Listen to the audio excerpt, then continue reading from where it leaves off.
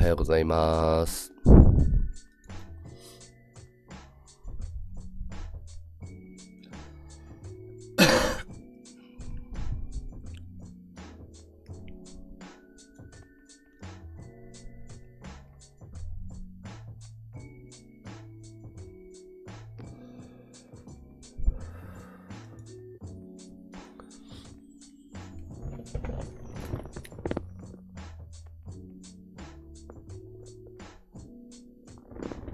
際ありがとう。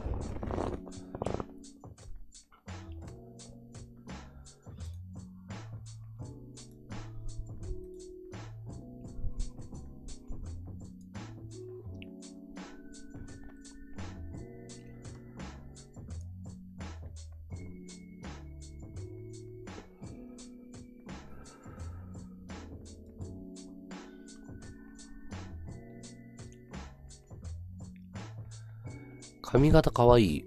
そうだね。今日は寝起きで、まあ、髪ボサボサのにセットした感じかな。かわいい。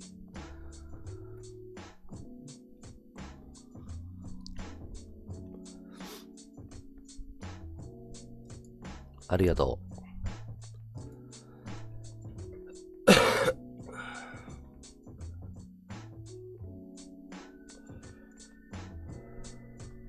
あ、ありがとう。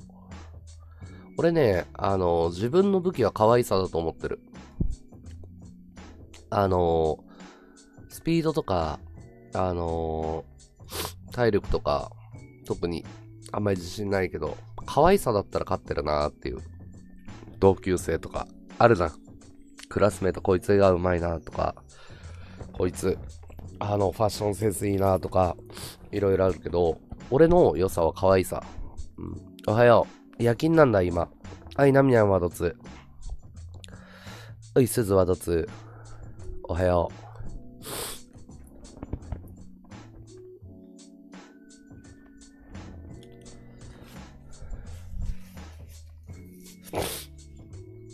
サッカーすごいなと思った。結構ね、何でも才能あるの。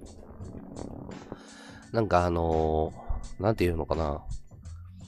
何やっても、あの、こ、こう、器用にこなすタイプっていうか。うん。器用貧乏なんだろうね、多分ね。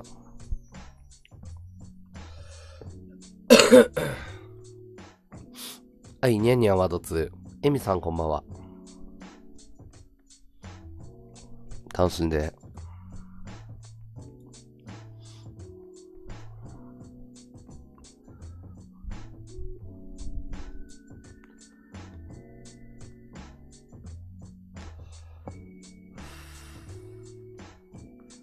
鼻が赤い。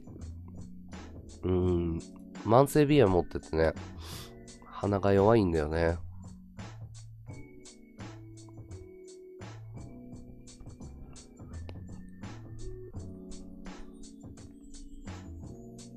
風邪は悪化はしないと思うよ。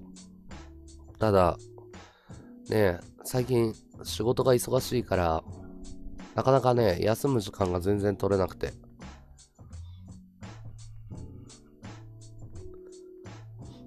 辛いね。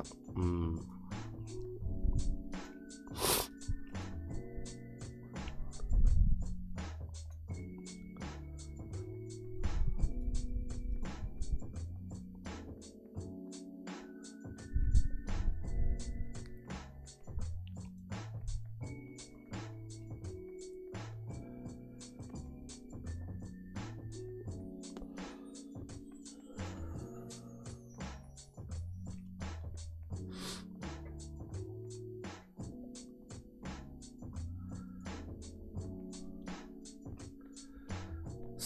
ね。なるべくアクティブに動いていこうと思ってるのよ。うん。なるべくね、アクティブに。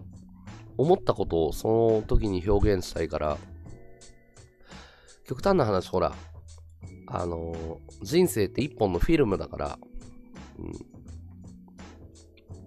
ね。うん。自分が主人公なわけですよ。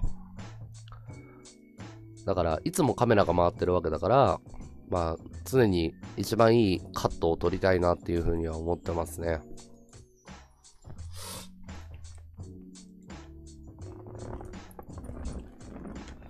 どのシーンがみんなの好きなシーンになるかわからないわけじゃん。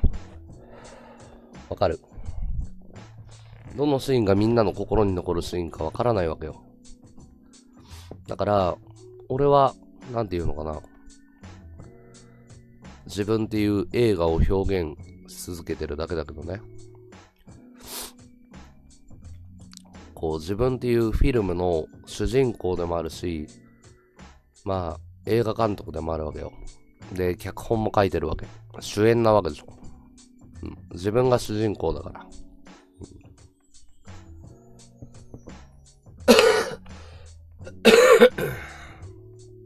だから、その、演じ続けないとダメだよね。自分自身を。人生っていうのは一回しかないわけだから。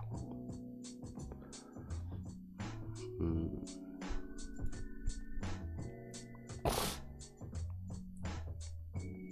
俺はそう思うよ。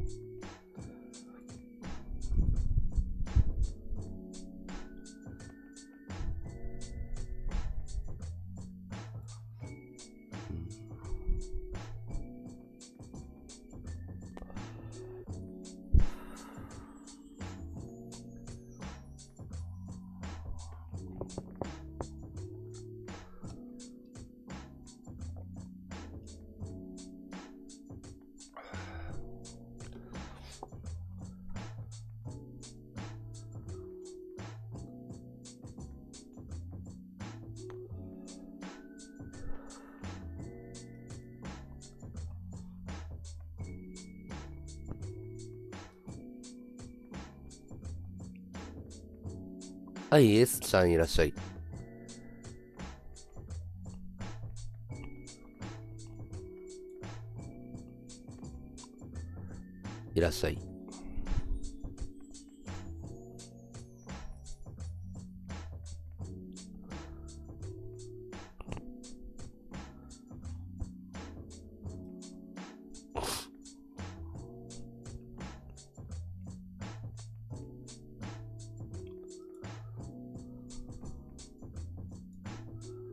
風邪が治らないね。あの、沖縄ってさ、すごい暑いんだよ。みんなが思ってるよりもすごい暑いのね。で、冷房がすごいやっぱり効いてるんですよ。だから、あの、外のね、えー、外で、こう、ミストサウナみたいな状態になって、で、部屋に入ったり、タクシーに乗ったりすると、あのー、大変なんですよ。あの、温度の差でね、やられるんですよね。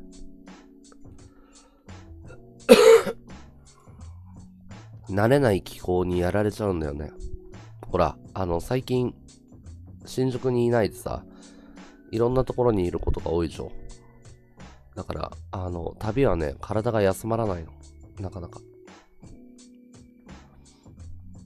でも、あの、体のメンテナンスも、あの、自分の仕事の一つだなっていうふうに思ってるから、お気をつけていかないとなって思ってるね。ご飯は食べてるよ。今日うなぎ食べた。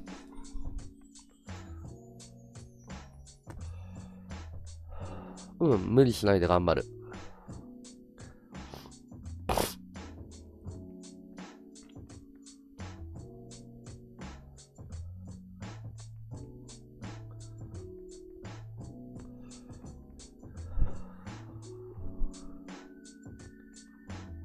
はい、どうも、つるさん、おはよう。おはようございます。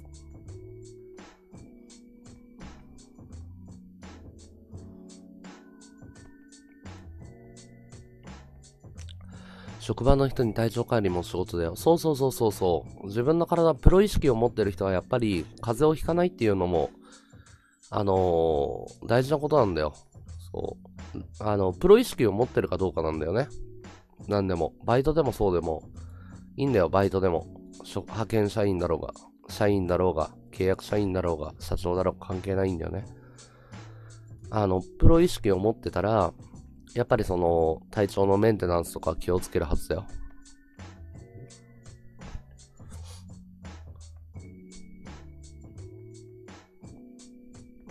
初見さんいらっしゃい。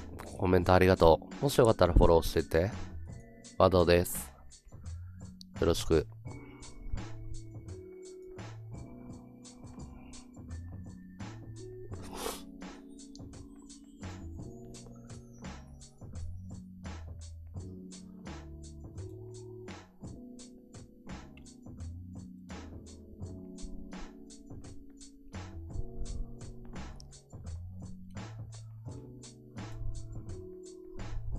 マスクしてても風邪ひくのはどうしたらいいんだろう？うーん、どうなんだろうね。俺は耳に何かを引っ掛けるのがすごい嫌いなのね。だから、マスクって苦手なんですよ。多分ね、あの、発達障害の、あのー、なんだろうけど、耳、耳がすごい敏感なんですよ。だから、うん、普段はしないですね。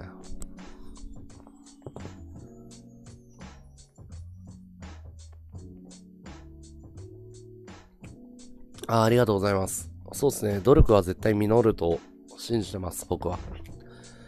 あの、長い単位で考えたらね、人生っていう尺度で考えたら、あのー、行動を起こした人間は必ず結果が出せるって言って僕は思ってるんで、なんか1年とか2年とか、それとこそ数ヶ月とかだと結果って出ないんですよ。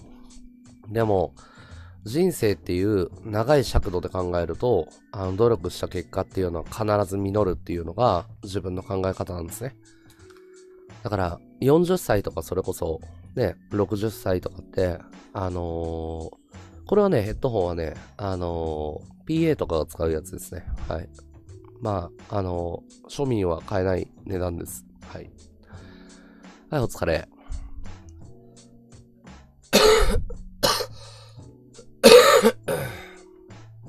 よろしく。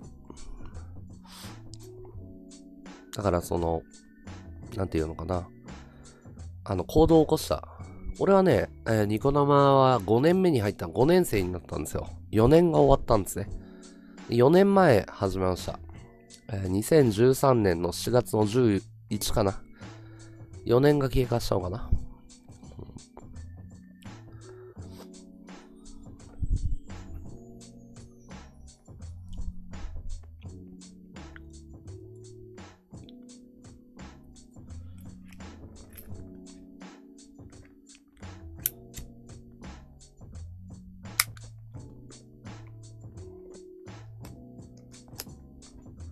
いや、そんな前じゃないですよ。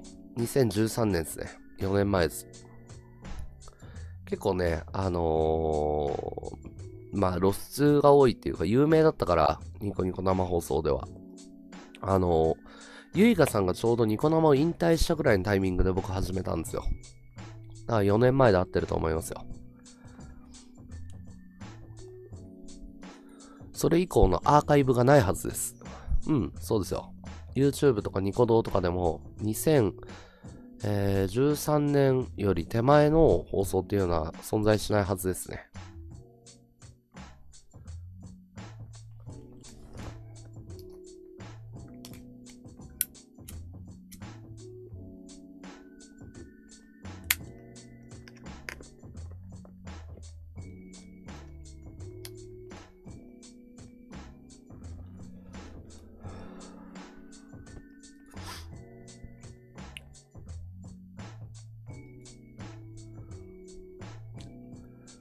これはリスナーさんからもらう。俺は普段あの、カルティアのライターが好きなんですよ。あの、カルティアのライターとかを愛用してますね。で、実報はあの、リスナーさんからのプレゼントなんで、やっぱりいただいたものはちゃんと配信で使っていきたいなって。あの、ファンに対するそれは恩返しだから、うん。ファンを大事にしていきたいのね。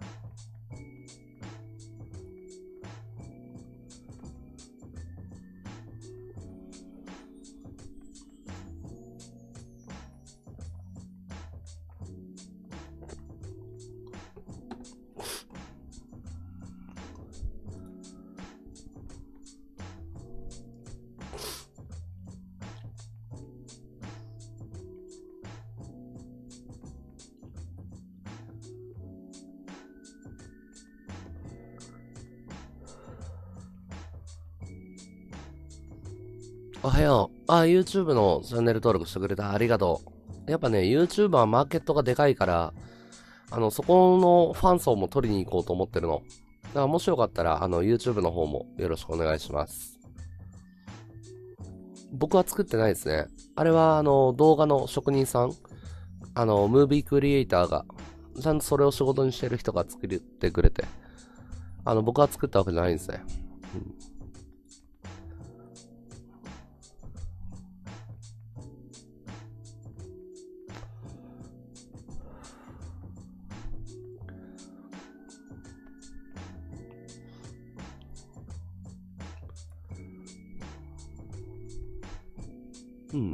僕が作ったわけで。まあ、あの、構成とかは自分で言いましたけど、こういう風な感じで作ったらどうかなっていうことは言いましたけど。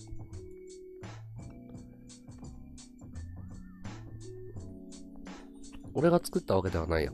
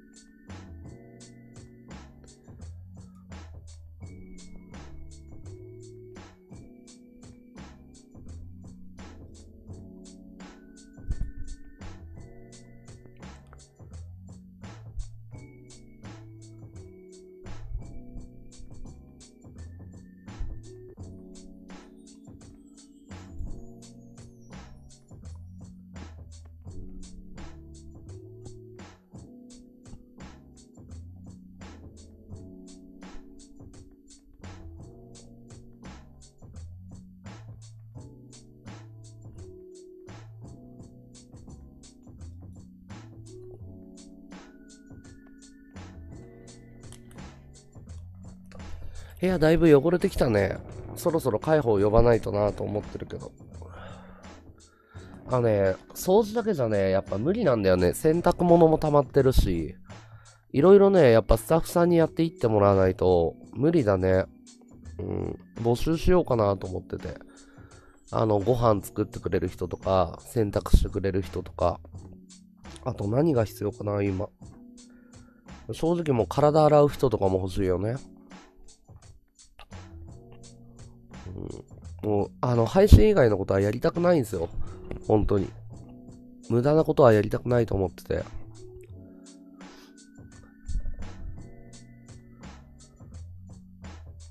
ああ、どうなんだろうね。俺は別にどこでやっても俺は俺だと思ってるから、あんまり気にしてなくて。なんか客層に合わせてキャラを変えないといけないっていうのはさ、あの、自分を持ってないからだと思ってるの。別にどこでやっても和道は和道でやってるから、ツールでしょ？電話とか電卓とかと一緒だから、ネットの放送っていうのはツールだから、誰が使うかによって用途が変わると思ってるんだけど。東京、俺に会いたければ東京にいればいいじゃん。引っ越せばいいじゃん。そんな難しいことじゃないでしょ。近くに住めばいいんだよ。俺のそばにいたい人は。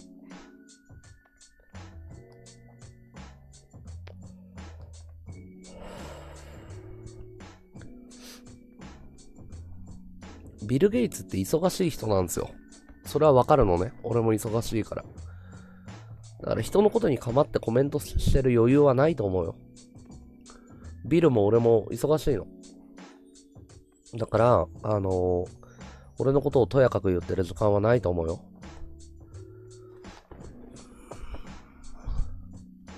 そうそうそう。簡単にシンプルに考えること。うん。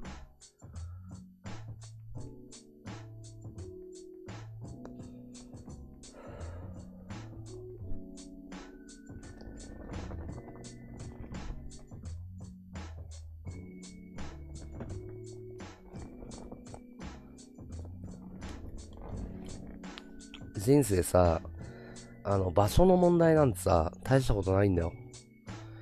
ありがとう、まなくん。うん。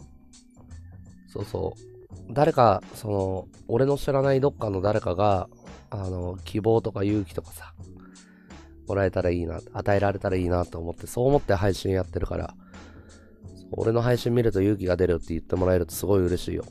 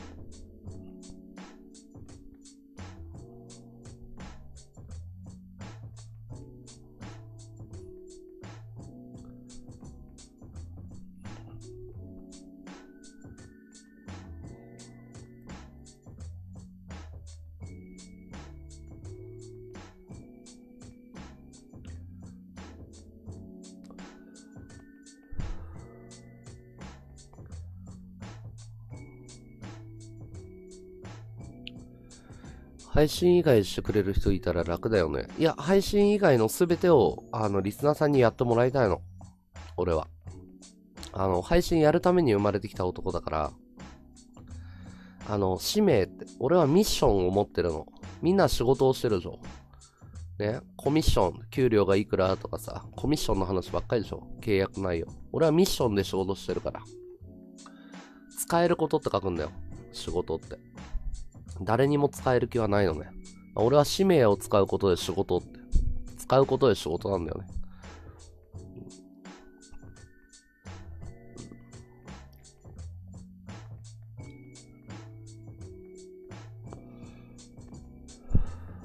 俺は使命で動いてるから。だから配信以外やりたくないの。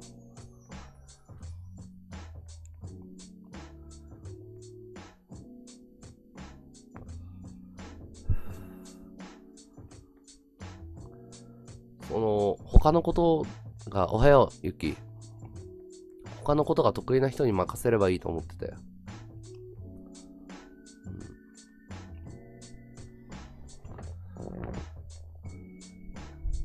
あの、得意な人仲間を頼るっていうことを覚えたよね。仲間を頼っていくっていう。自分の価値を決めるのは周りの人なの。でしょ？だから自分で自分の評価をしても意味ない。俺は自己評価っていうのは当てにしてない。うん。別に誰かが勝手に決めればいいと思ってる。俺は自分のやるべきこと。俺は評論家じゃないからプレイヤーだから。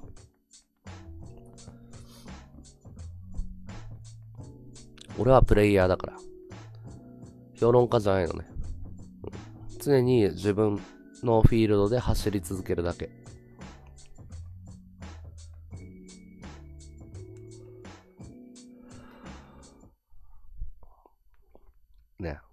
だって、その、俺は、あの、映画が好きだから、自分の人生っていうのは、一本のフィルムだと思ってる。うん。一本のフィルム。うん。で、主人公は自分でしょ？で、彼女っていうパートナー、ヒロインを見つけて、で、今俺には、あのー、テルチャンピンとか、あの、どれの深夜食堂とか、ロハコとか、いろんな、あの、ね、仲間ができて、で、俺のことを、俺の人生、俺の一本の映画を盛り立ててくれてんだよ。でもね、みんな、監督も自分でしょ？でも、シナリオを誰かに書かせてないかって。シナリオさ、学校の先生とか、会社の上司とか、うん。周りの人間にシナリオを書かせる人間になってほしくないの。自分がシナリオを書くもんだと思って。シナリオも自分で書こう。一回しかないフィルムだから。うん。いや、サッカーが好きな人はさ、その表現をフィールドって言ったりするかもしれないけど。俺はただ、あの、自分の人生が一本の映画だと思ってるから。うん。それでいいと思ってる。ありがとう、ルキコ。うん、ありがとう。そうそうそう。他人に評価を委ねるっていうか、俺は評価自体を気にして生きてない。うん。そんなことは周りがやればいいと思ってて。俺と関わらない人だでしょ。うん。俺は、あの、仲間たちと普通に一本の映画を作っていくだけだから。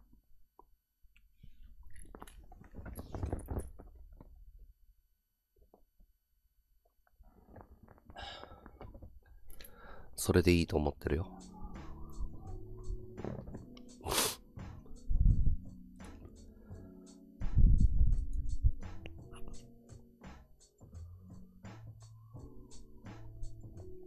朝からかっこいい。朝も夜もかっこいいよ。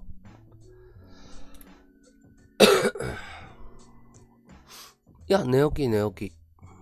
寝起きです、僕は。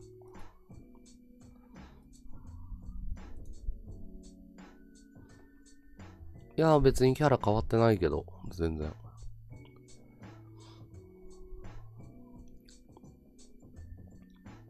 おはよう、入る。サクッとらありがとう。おはよう。みんな楽しんでってね。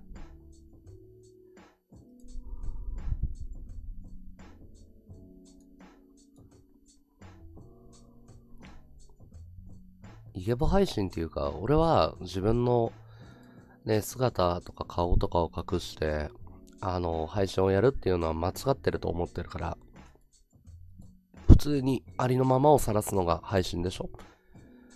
ありのままの自分でしか勝負できないんですよ。初見さんいらっしゃい。コメントありがとう、ゆかさん。もしよかったらフォローしてって。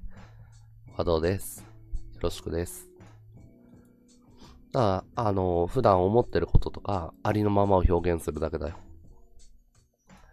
特に自分をね、こう、大きく見せようとか、そんなことしても意味がないからね。まあ、マスク被りたい人は被ればいいと思ってるけど、俺は被る気はないね。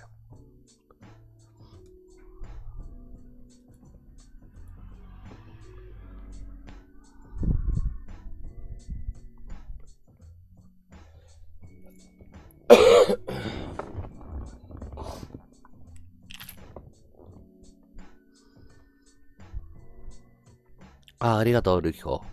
ありがとう。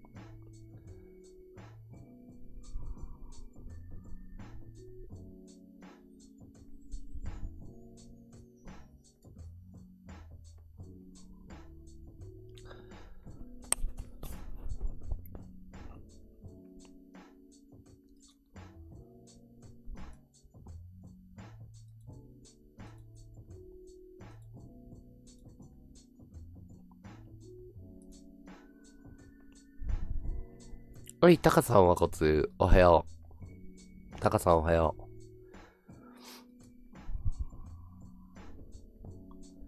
あ、いいのいいの。そういうのはほっといて。あの、別に、俺の耳には届かないでしょ、俺は関わることのない人たちだから、いいのいいの。ファンだけ大事にしていけばいいわけだから、気にしなくていいよ。うん。ブロック入れればいいんだから。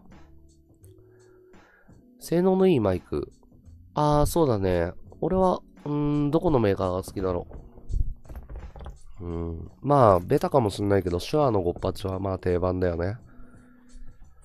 うん。まあ、俺はベータが好きなんだけど、抜けがいいから。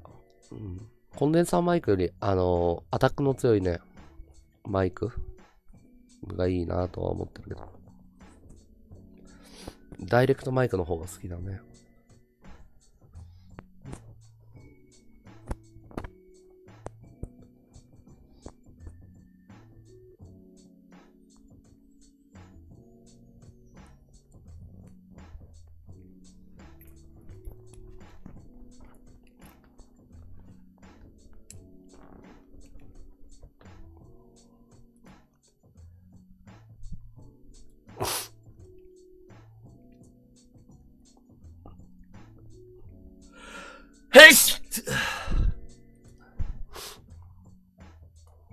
あ、声好き。ありがとう。俺は自分の声結構コンプレックスあるけど。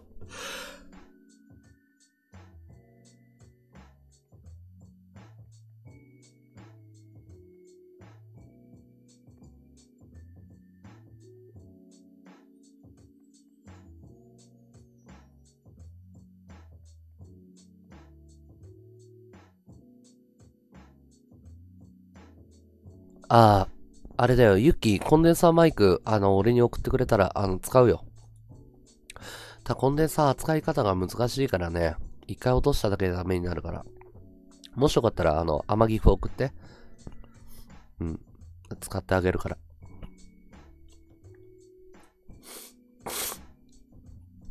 うん。あの、俺に使ってほしいアイテムがあったら送って。使うかどうかわかんないけど。あの、もし、配信に役立つアイテムだったら使ってあげるからさ。全然、あの、和道にこういうのを使ってほしいとか、和道に、あの、俺が好きなブランドあるからって言って、あのプレゼントとか全然送ってきていいんで。花粉症じゃなくてね、あの、慢性鼻炎なんですよ。慢性鼻炎。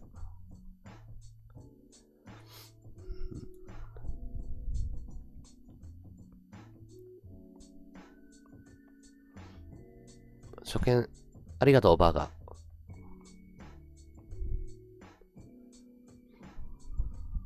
ありがとうね。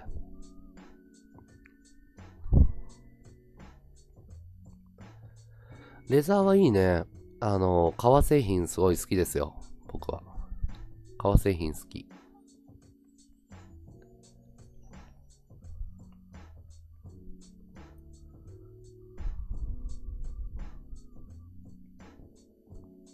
初見さんいらっしゃい。コメントありがとう。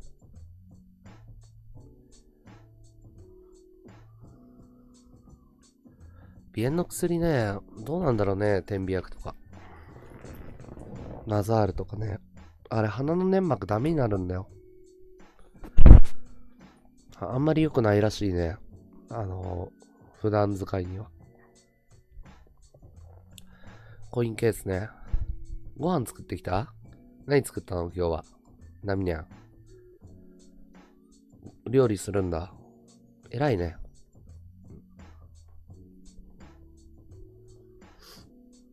アクセサリーうん。まあ好きなアイテムをつけてるだけだけど。666のリストバンドとかね。シルバーとか。リングとかね。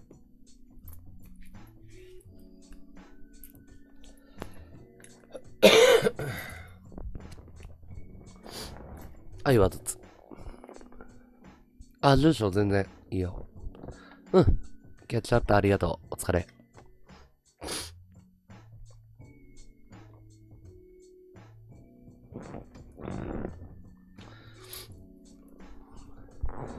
ランボルギーニ、うん、俺は、あのー、マイバッハとか好きだけどね。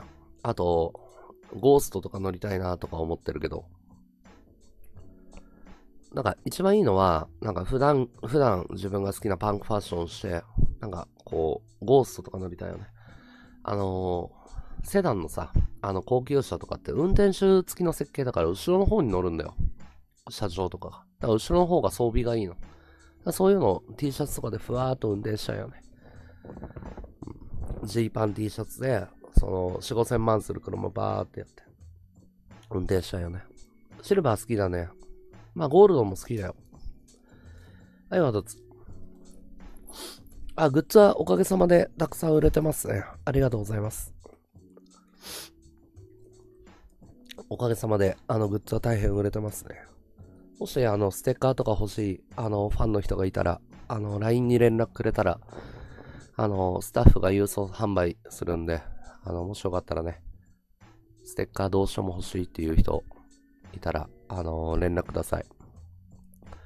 奥ぐらい、奥？何が奥なの？免許は、まあまあまあ、取りたくなったら取ろうかなと思ってて。あまり気が向かないことをやりたくないんだよね。いや、してないですよ。うん。僕はリスナーさんに手出さないんで。ファンに手を出すっていうのは最低な行為でしょ。俺はファンに手出すことはないよ。うん。その、やっぱりファンは大事にしていかないといけないと思ってるから、うん。ファンに手を出すやつは最低だと思ってる。それそうでしょうん。俺はファンには手出さない。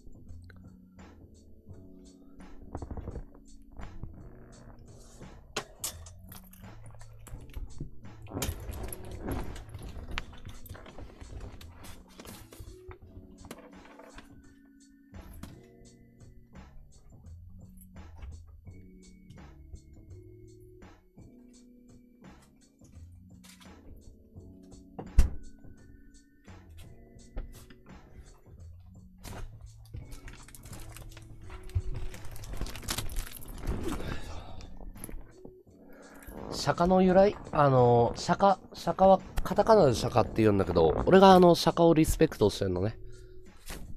釈迦の思想とか釈迦の考え方っていうのが、すごい言ってることこいつ合ってるなっていうか、うん。まあ、普遍的なことを言ってるっていうかね、正しいことを言ってるっていう風に俺は思ったから、うん。あ、いいかね、バーガーありがとう。わたつ。だからまあ、あの、シャカリスペクトから来てますね。あ、ありがとう、ゆき。そうだね、まったり、ま、マイペースにやってますね、僕は。得意料理？ああ、なんだろうな。得意料理。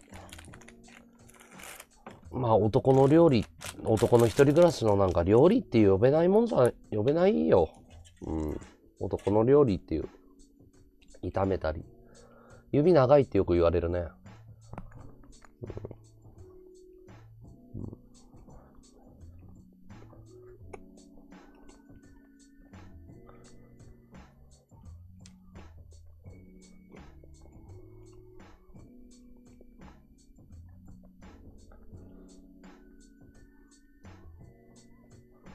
いや、食べたことないですね。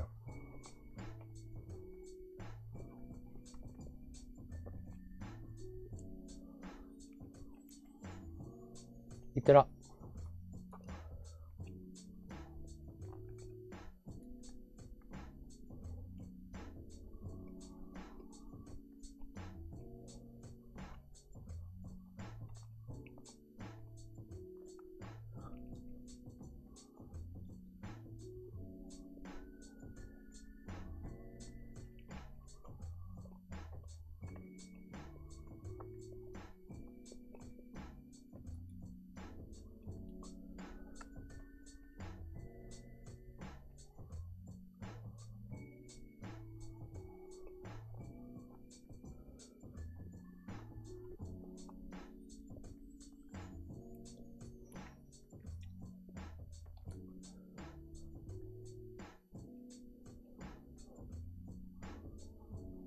スジャータが実害を出した頃、あれはまだ下脱してないからね。ただの小好ですわ、あれは。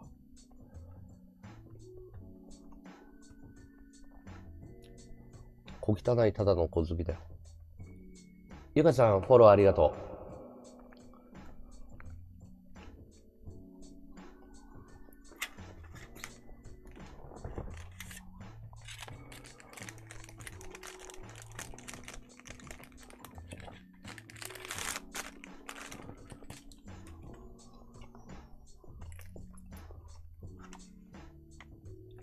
まあ、きっかけにはなってるよな。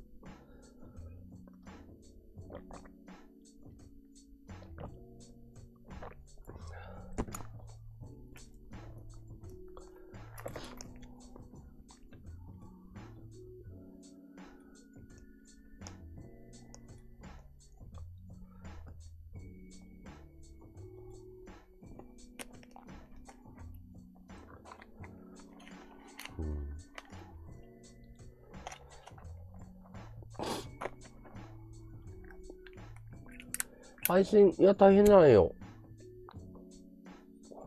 配信は大変じゃないけど、和道っていう人生を生きるのは、他の人には無理だと思ってる。だ俺の生き方は大変よ。別に配信やるのなんか誰でもできるんだから。スマホ持ってれば。バカでもできるよ。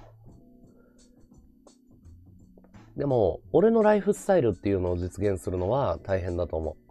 花火ありがとう。素敵？ありがとう。花火ありがと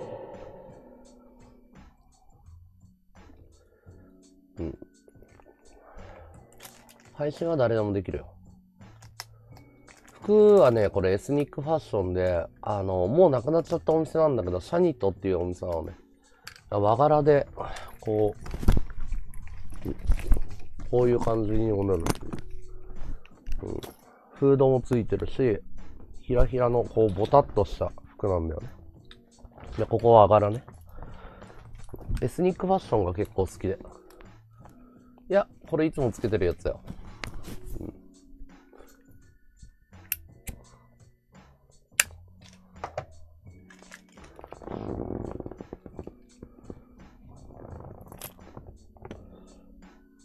ああ、大乗仏教はまあボロボロに間違ってるよな。俺も同意見だわ。でも、釈迦は言ってんだけどね。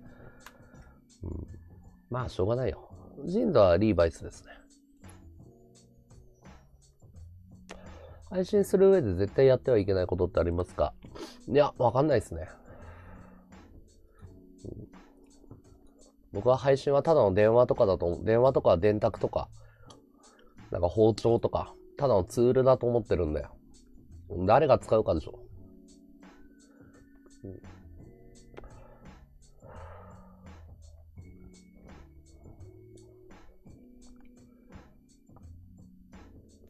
最近よくおしゃれって言われるね。うん、なんでか知んないけど。自分で全然おしゃれだと思わないけど。うん、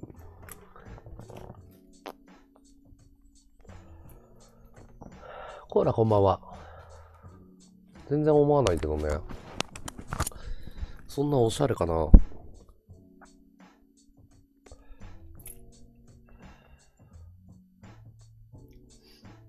お金儲けの秘訣？いや、やりたいことやってたら勝手にお金が入ってきただけだから。僕はそういうのはわかんないです。ヒゲはね、22ぐらいの頃からかな。なんか、社長やってて会社経営やってたんだけど、やっぱ若いと舐められるのよ。見え張り商売でしょ？だから、なるべく老けて見えるように、髭を生やし始めて。そっからもうずっと、たまに剃ったりしてるけど、まあ、基本的にはヒゲは生やしてるかな。谷さん、風船100個ありがとう。ありがとう。いや、全然困らないですね、僕は。僕にはリスナーさんがいるんで。僕にはファンがいるんで。大丈夫です。谷さん、ハート5個ありがとう。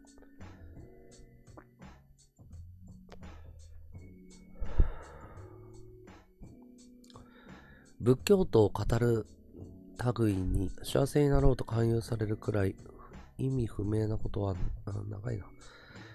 六本木ってあんなに頑張ってるやつがいい、いい音ですか？ごめん、日本語がよくわかんないです。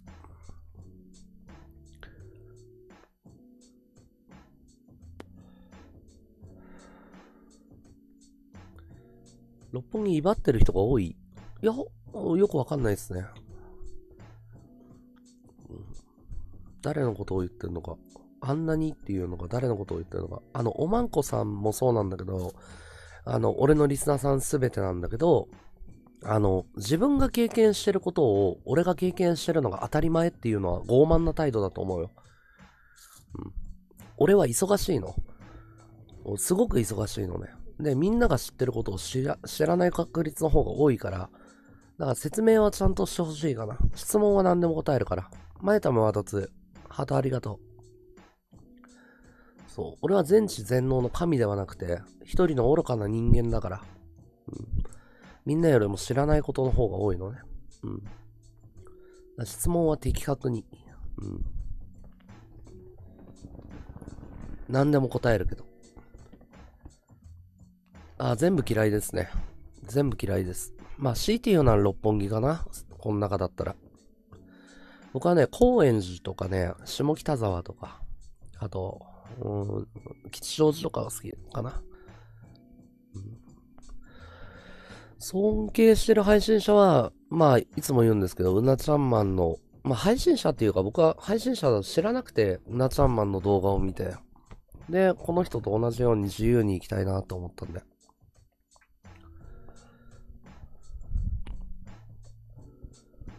あ、僕は仏教すごい詳しいですよ。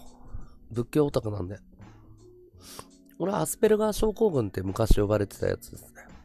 発達障害です。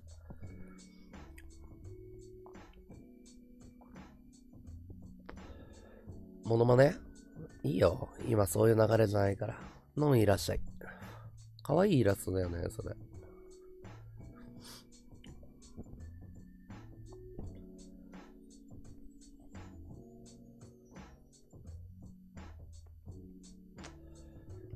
私生活で何が使えるの？ありがとう、ホッケ。俺は白と黒と赤のものをなるべく身につけようと思ってる。いや、どうも思わないですね。あの、他人のことには関心がありません。自分のことで、あの、忙しいんですね。毎日やるべきことを思ってるんで。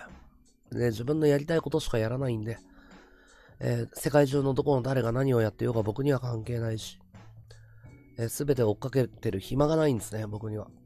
だから僕は、えー、自分の目指してるもの、自分の手に入れたいもの、自分のなりたい自分、それを常に追っかけてます。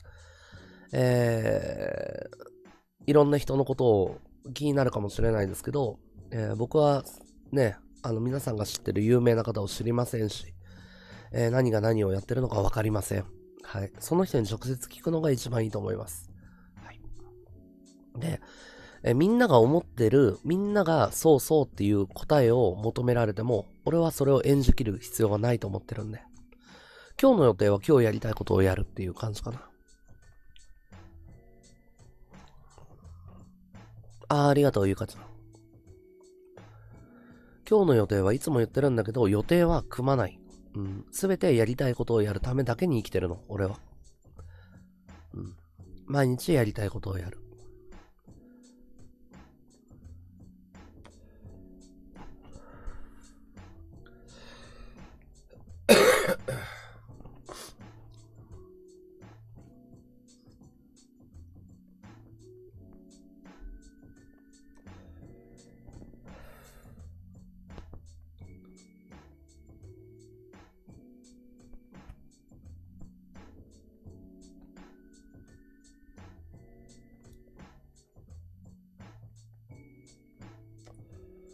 未来の自分のイメージ。未来っていうか、あんまりその未来、まあ、ゴールは1個だけ持ってればいいかなと思っていて、で、未来っていうのは不確定要素が強すぎるんですよ。で、俺は過去から現在、現在から未来っていう時間の流れっていうのは嘘だと思ってて、未来から過去に流れてるもんだと思ってるのね。時間自体の流れっていうのは、普通の人と感覚が違うの。で、俺はただ自分のゴールっていうのを見定めて、なりたいものっていうのになると。で、その中で選択肢を間違えないで毎日今をちゃんと生きていくっていうのが俺の理想の考え方。で、仏教でいうとこの曼荼羅に近い思想を持っていて、うん。弟子は取ってないのでしょうかまあ弟子は勝手に名乗ればいいと思ってますね。僕が勝手に、僕から勝手に盗んで勝手に名乗って、え勝手にやってください。そういうふうに思ってますね。うん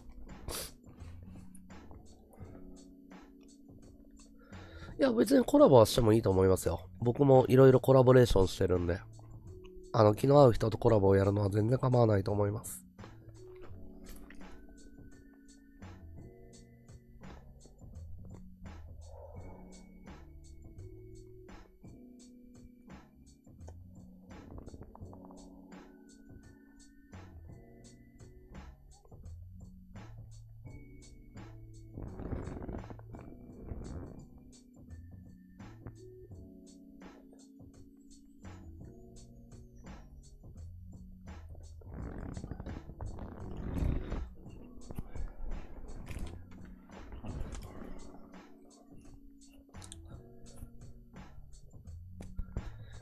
教イコール苫部地秀とはバカすぎるだろう。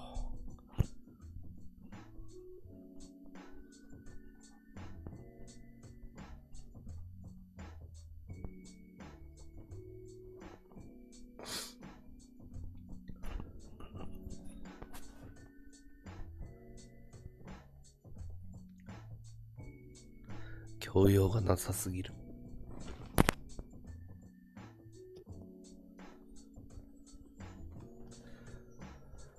寝起きってみんななんであんな機嫌悪くなるもんなんですか？なんでだろうね。やっぱり、その、俺は起きたい時に起きるっていう習慣をつけてるの。自然に身を任せてるのね。俺は24時間の体内時計じゃないから、あの、普通の人とは違うんですよ。だから目覚まし時計とか、あの、携帯電話もオフってますし、なるべく。体に任せるっていう。苫部シーデとから引用はしてないですね、僕は。それはあなたの誤解です。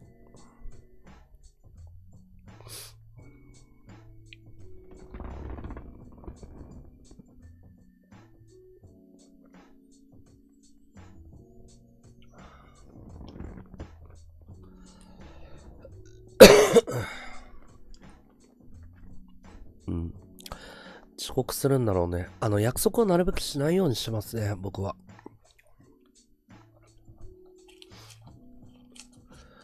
寝起きっていうかね、起こされたんですよ。ピンポン100回ぐらい鳴らされて。いきなりリアドつきて、アポなしで。だから怒ったんですね。あの、僕の家に簡単に入れるファンの人っていうのは限られてるし、あの、要件がないのに来るっていうのはダメだよっていうことを強く言いました。ファンの人には。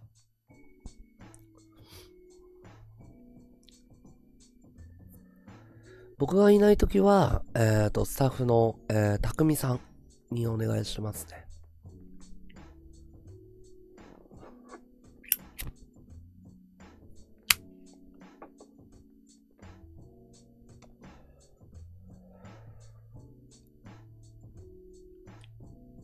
そうだね。やっぱり、俺の部屋に入りたい女の子っていっぱいいるのね。俺と、俺の部屋に入って俺と過ごしたい女の子っていっぱいいるの。でも全員にそれを叶えることは無理なわけですよ。全員平等に扱いたいと思ってるの。だから、あの、そういう勝手な行動はしちゃダメだよっていう。いや、入れないですよ、ユミさん。もちろん、その人間関係があって、LINE でやり取りしてて、何回か会ったことがあって、お招きをするっていうことはありますけど。うんそれそうでしょ？みんな俺に会いたいわけじゃん。でも、俺は、あのー、だいたい1時間3000円ぐらい稼いでるの。だから、配信しないで俺に会いたい、1日拘束したいっていう人は俺に50万払ってくれって言ってるのね。そうじゃない、釣り合いが取れないのよ。うん。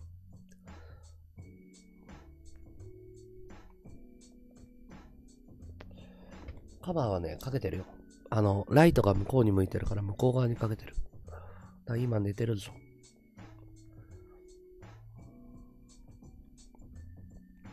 そう、俺は付き合う人間を選んでるから。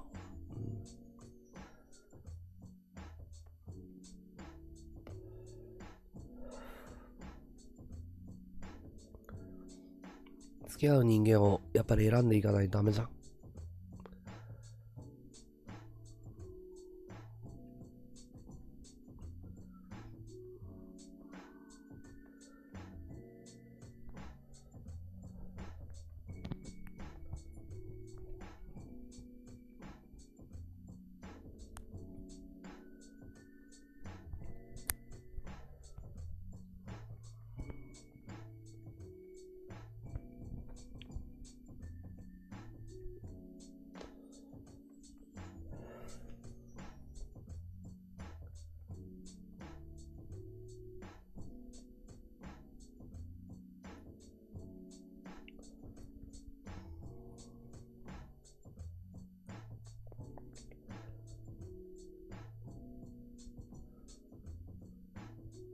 あ、りがとう、ガルダ。調べてみる。放映ね。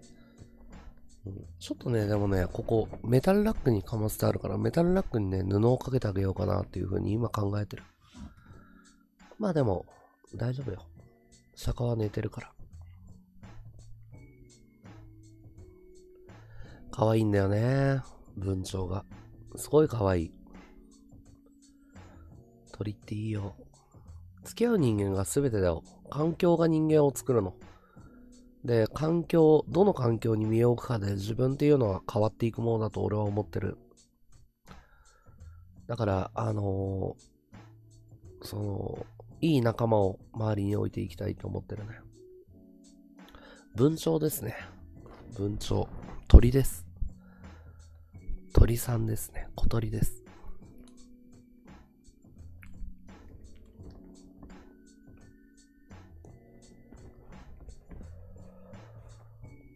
あ、ごめんね。今寝てるんだ、ゆみさん。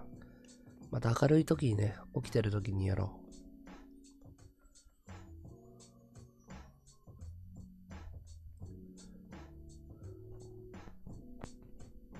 手乗りですね。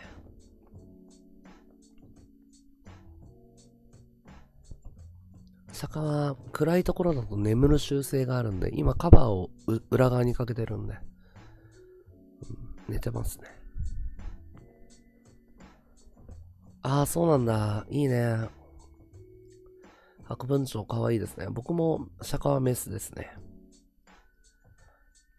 オスかなって思ってたんだけどね。さえずらなかったですね。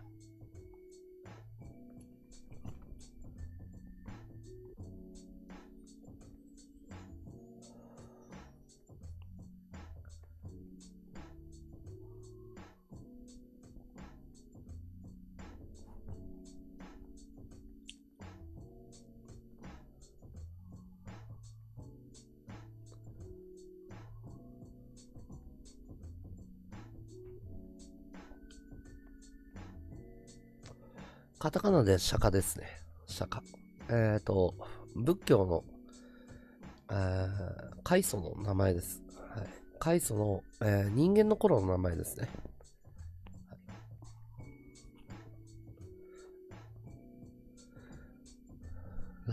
和道 VS ランハゲ。ごめんなさい。ちょっとよくわかんないです。あー、でもね、メスの産卵はあのね、あの、死ぬ可能性があるらしいんで、まだ一回も卵を産ませないように産ませないように。あの、メスが大体死んじゃう原因っていうのは、あの、あれなんですよ。あの、卵を産む時の卵詰まりで死んじゃうってブログに書いてあったんで、僕はあの、発情しないように大事に育てて、一回もまだ卵は産んでないですね。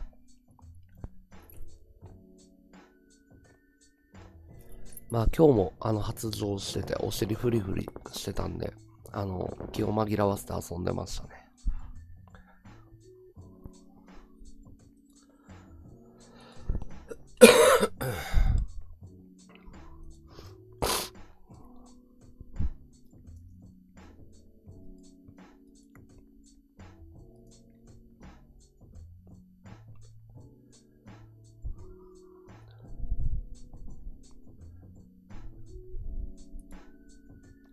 そう、そうかな。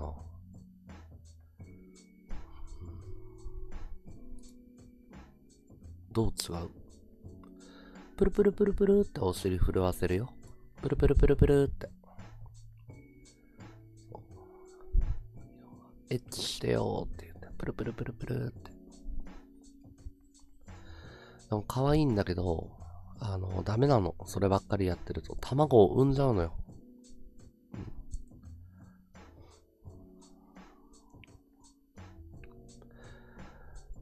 乾きから生まれた。まあそういうエピソードあるけど、俺はそういうところはまあ、なんか後付けだと思ってるんで、あんまりそういうところには、あの、まあキリストが復活したみたいな話だと思ってるんで、あんまり関心がないですね。いや、知ってます、知ってます。あと、サブロー、あの、言葉遣い気をつけようね。ああ、かわいいな。いいね。人間、人間もまあ、メスが発情したりするでしょ。そう、発情の合図なの。交尾しなくても、要は、あの、想像妊娠とかと一緒で、あの、お尻のところにトントンって乗っかると、卵を産むっていう習性があるんですよ。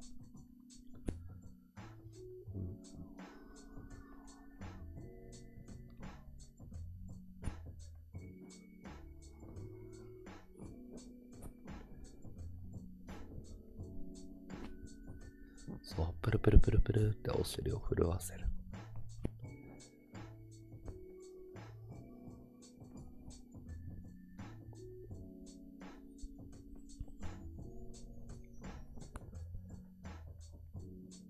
かわいいよ、すごい。でも、ちょっと苦しそうに、切ない感じで、キュッキュッキュッキュ言いながらね、クックックって言いながら。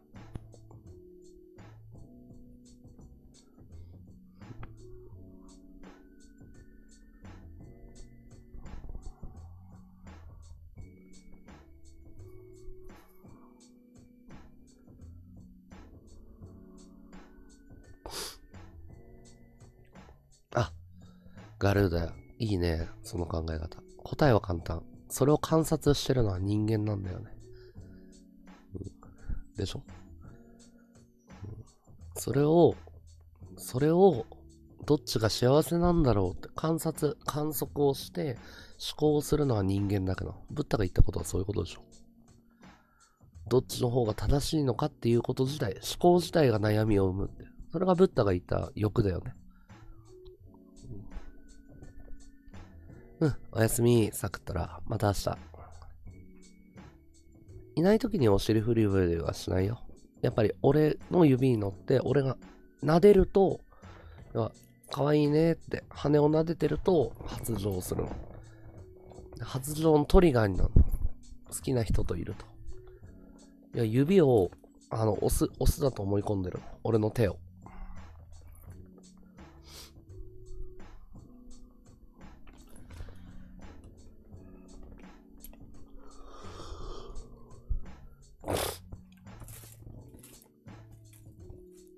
なるべくトリガーにならないようにやんないといけない。デリケート。すごい。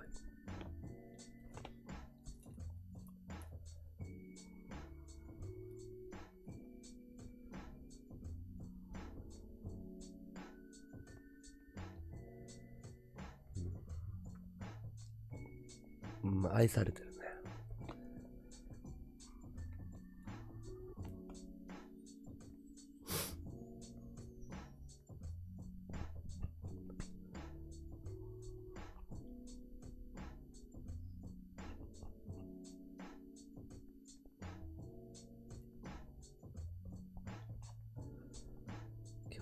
るね。今日は暑いな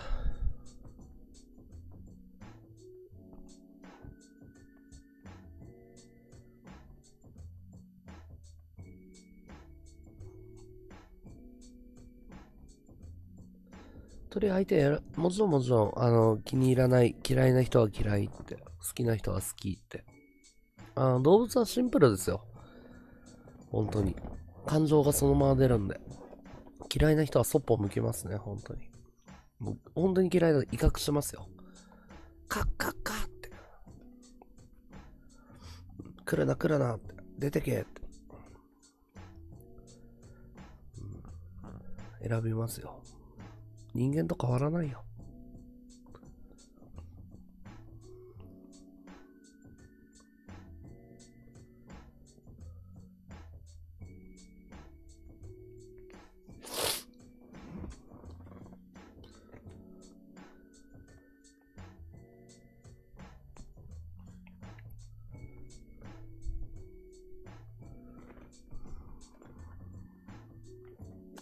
ああ、いいね。いいですね。あの、巣の中に T シャツ入れてあげてもいいかもしれないですね。僕もツボスを入れなかったんですよ。カゴの中に、子供の頃。だから、大人になって、この前入れたらね、怖がっちゃって、飛ばな、あの、カゴの中で遊ばなくなったんで、もう出してあげましたね。ツボスが嫌いなんですよ。かわいそうなことしなかった。いや、もうね、すごく頭のいい子で、あの、飼い始めてからね、すごく、最初頃喧嘩しちゃったのね、3ヶ月目ぐらいに。思いっきり噛んできたから、バーって振り払って、わーって言ったから、そっからね、1年、半年ぐらいかな。ずーっとね、もう手のひらにも乗っかってくれなくなっちゃった。でも、電気を消すと寝る習性があるから、わざと寝かせて、手のひらの中で30分間真っ暗なところに寝かせてたの。要は仲直りしようと思って。電気消して、そーって、もう木の枝みたいにそーっとこうやってやって、3、3、ね、半年ぐらいずっと寝てたら、ようやく仲良くなってね。で、自然と寄ってくるようになったね。いや、あの、起きて、寝て起きて配信を始めたんですね。うん、まあ、いつもそうですよ。寝て起きたらすぐ配信やって、配信終わったら寝るっていう。だいたい14時間ぐらい僕配信やってるんですよ。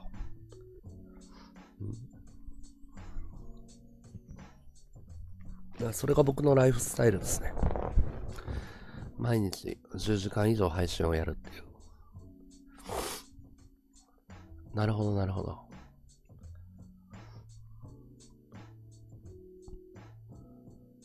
なるほど、なるほど。まあ、鳥は面白いですよね。だから、あの、スマートフォンとかをライバルしましますよね。マウスとかゲーム。俺はゲームやんないからあれだけど、手のひらを友達だと思ってるんですね。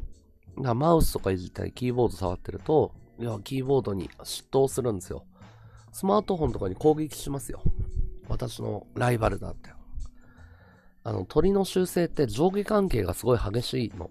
要は、グループで飛ぶから、あの、後から入ってきたものは後輩っていう、その明確にあるんですよ。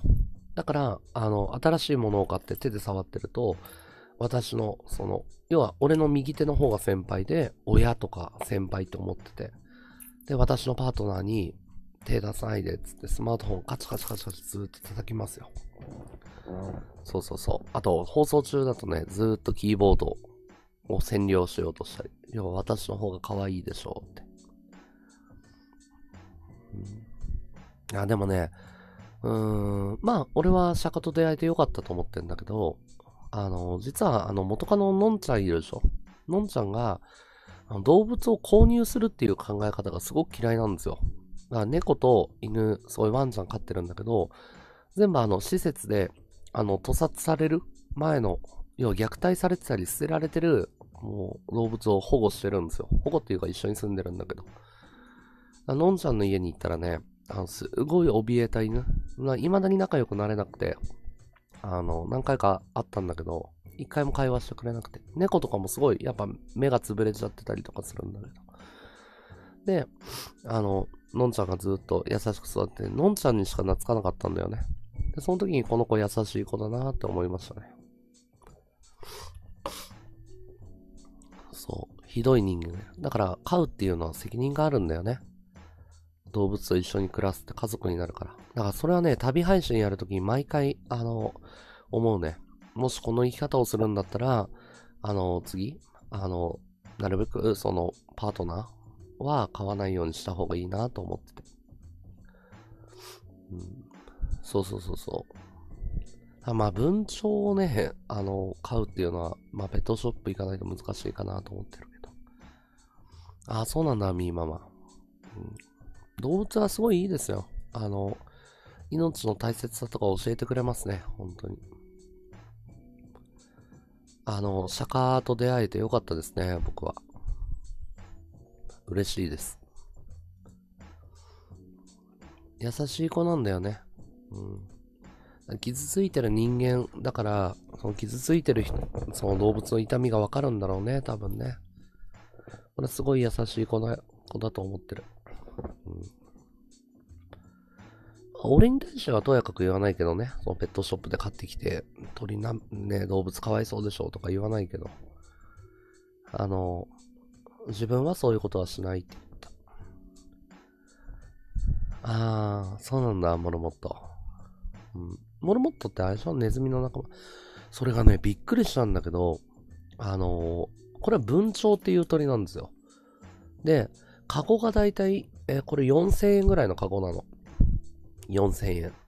カゴを用意するでしょで、文鳥自体が2000円か3000円なの。で、多分ね、田舎の方行くと800円とかで売ってる。東京だから4000円とかなの。だから釈迦ちゃん4000円ぐらいだったの。で、びっくりするのが、あの、毎日お水を取り替えること、水道水を取り替えることと、えー、餌代がね、1ヶ月500円ぐらいなのね。俺サプリメント4つぐらい入れてるから、あの、1000円ぐらいなんだけど、で、寿命が えー、どれくらいかな ?6 年とか。長い子で10年生きるのよ。びっくりするんですよ。で、あの、鳥ってさ、あの、頭悪いと思ってたの、俺。懐かないと思ってたら、手のひらで寝たりしたり、コミュニケーション取れて、言葉もあるの。猫とか飼ってるとさ、猫が今何言ってるか分かるようになってくるじゃん。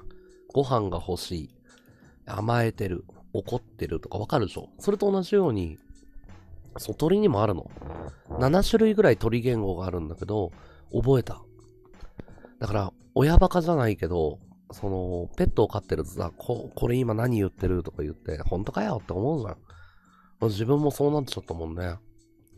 で、俺が一番びっくりしたのが、仕事で失敗して、凹んでる時があったの。ちょっと鬱っぽくなってるっていうか。その時ね、慰めようとしたの。本当にびっくりした。要は俺が疲れてたりとか、凹んだりすると、泣き方が変わるの。で、ぴょこんって座って、こう、しゃがむのよ。温めてくれんの。子供みたいに。で、その大丈夫だよって泣くの。動物ってすごいなって思ったよ。あと俺、動画で見たのですごいなと思ったの。多分、美ら海水族館なんだけど、マグロがビューンってものすごい30キロぐらいのスピードで、バーっていきなりミサイルみたいに加速して、で、水族館のガラスにバーンってぶつかるの、マグロが。で、ブワーって血流したら死ぬのよ。その時にね、マグロが寄ってくんの、全部。あの時に見てね、なんか、動物に思考がないとか感情がないっていうのは絶対嘘だっていうのが分かったよね。あの、動物ってさ、あの、心があるんだよね。言葉を持ってないだけで。なんか優しさを持ってるんだよね。そう、変な意味、言い方悪いんだけどコスパがいいんだよね。そう。うん、鳥、うん、ツバメは空に向かって呼べば来るくらい。へー。で、鳥を飼うときに気をつけないといけないのが、頭は5歳ぐらいいいの。だから猫ぐらいいいんですよ。こんな小さい体で。体重 25g なの。俺本当に生命の神秘を感じるの。25g のボディで、脳みそなんかもうほんと何グラムしかないんだよ。25g でこんなに、要は神様がデザインしたもの、こんなに完璧なものを作れるのかって。すごいと思う、本当に。生命って。インコとはね、全然属性が違うんですけど、5歳ぐらいの知能を持ってて、ただね、感情年齢が2歳ぐらいしかないの。だから、2秒ごとに怒ったり笑ったり泣いたりするの。悲しんだりとか。もう気がコロって変わるの。鳥頭って言うんだけど、よく言うでしょ。鳥頭って感情の起伏が激しい人のことを言うでしょ。鳥みてえだなって。鶏とかも物忘れ激しいとか。要はね、もうパッパパッパ場面が切り替わっていくっていうか、懐いてると思ったら急についてきたりとか。それが大変だね。可愛いですよ、鳥は。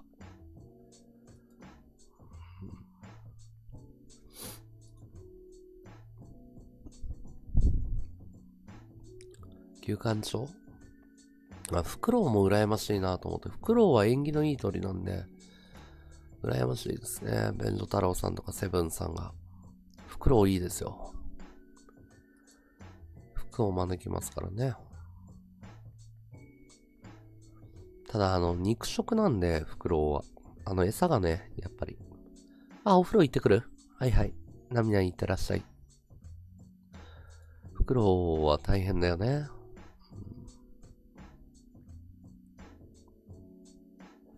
ハリーポッター見たことないんですよね、僕が。ハリーポッター面白いのハリーポッター見たことないね。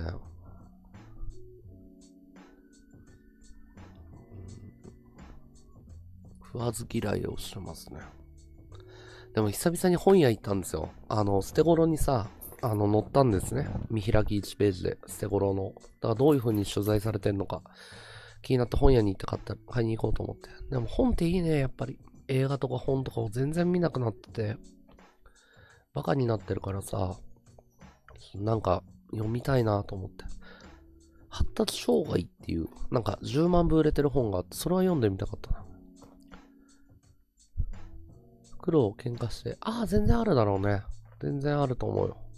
猛禽類って言って、食物連鎖のてっぺんにいるんじゃないかって言われてるのが、タカとかね、フクロウとか、要は、肉食の鳥でしょあいつらはすごい強いっていう風に。次はね、あの、ベンジョ太郎さんに出させてくださいってお願いしました。ただ、確約はできないって言われました。あの、元々の第2回やるかどうかはわからないっていう条件だったんですよ。あの、すごいストレスがかかるから。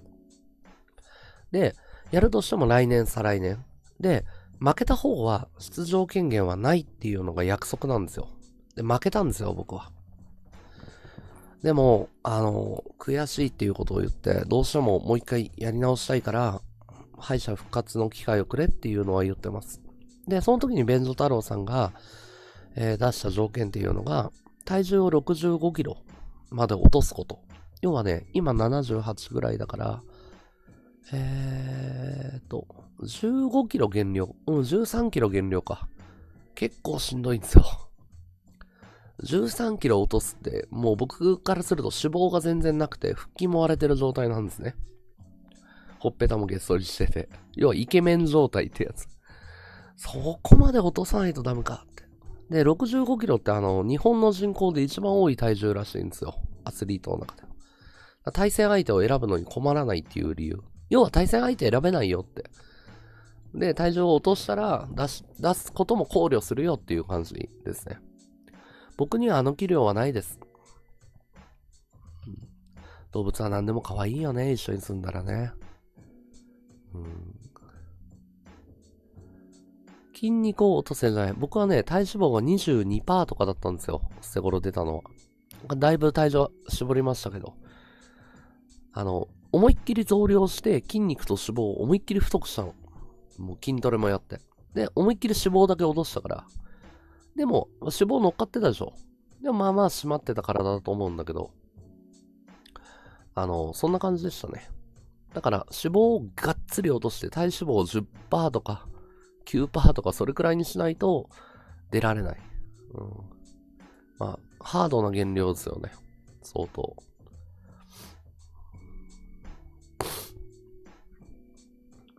結構きついっすよ。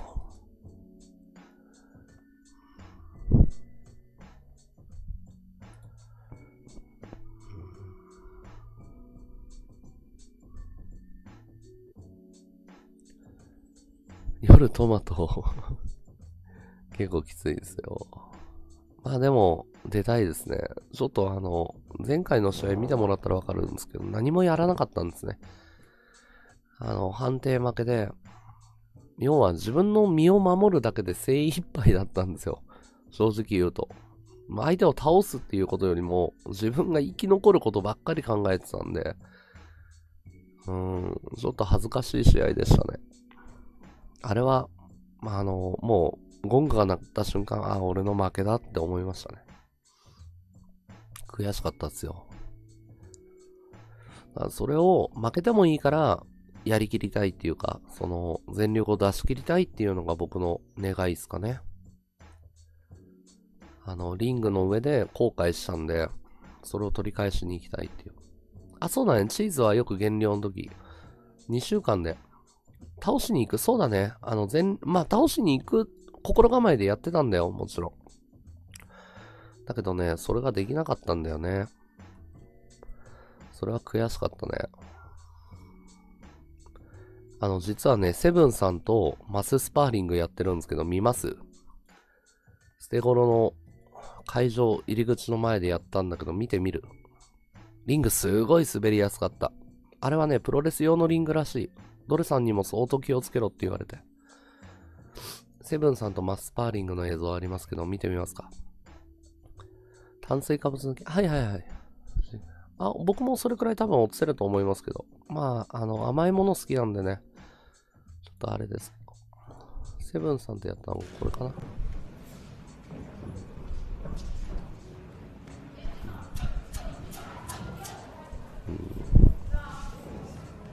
うん。練習。その誰も会場いないところでシャドウをやる時間があったんですよ。いや滑りやすかったよ。あのマットが要は何て言えばいいんだろうこういうのって。あのザラザラっていうかデコボコのビニールシートがかぶせられてんのかな？あのなデコボコっていうかわかる？ザラザラっていうか。すごい滑りやすかった。でこうやってやってたらセブンさんがやりましょうって言ってくれて。で2人でちょっと軽くね。その時思ったね、あ、やべえなって。あ、ヒカルくん相当苦戦するだろうなと思ったよ。うん。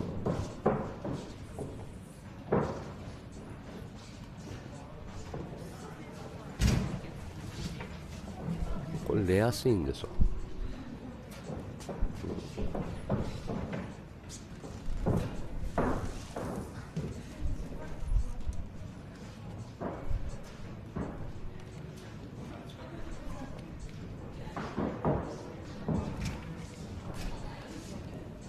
セ ブ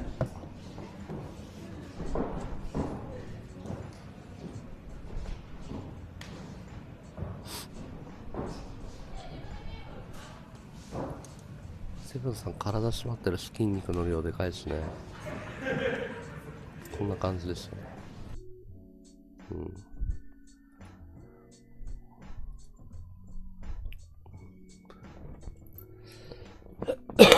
まあ、1ラウンド目でね、あの、金梅さんが相当スリップしてるし、僕も1回スリップ起こしてるんで。裸足ですよ。あの、靴は履いちゃダメなの。キックボクシングだから。あの、靴で有利か不利か出ちゃうじゃん。あの、ボクシングはシューズは履いていいの。だけど、あの、キックボクシングはダメ。セブンさんは空手の経験がありますね。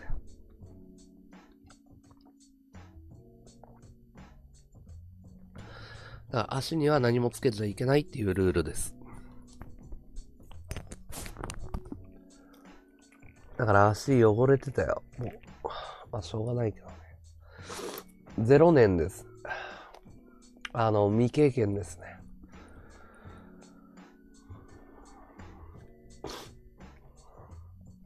もともと、あの、素人同士の戦いなんで。僕はドレさんに教わってたんですね。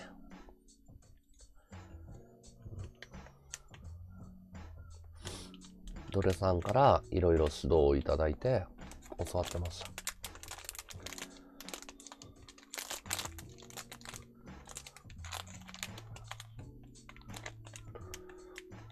まあ、あと、チーズとピーナッツと炭水化物完全に抜いて、甘いものを完全に取らない。糖分取らないと。糖質制限ダイエットだ。で、激しい運動を入れるから、ライズアップフォークス式ですね。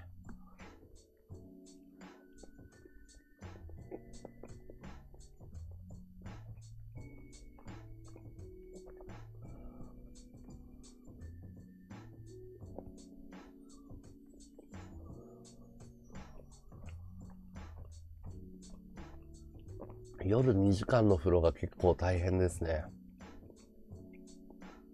長時間のお風呂すごい汗出ますよね。うん。うん、うん、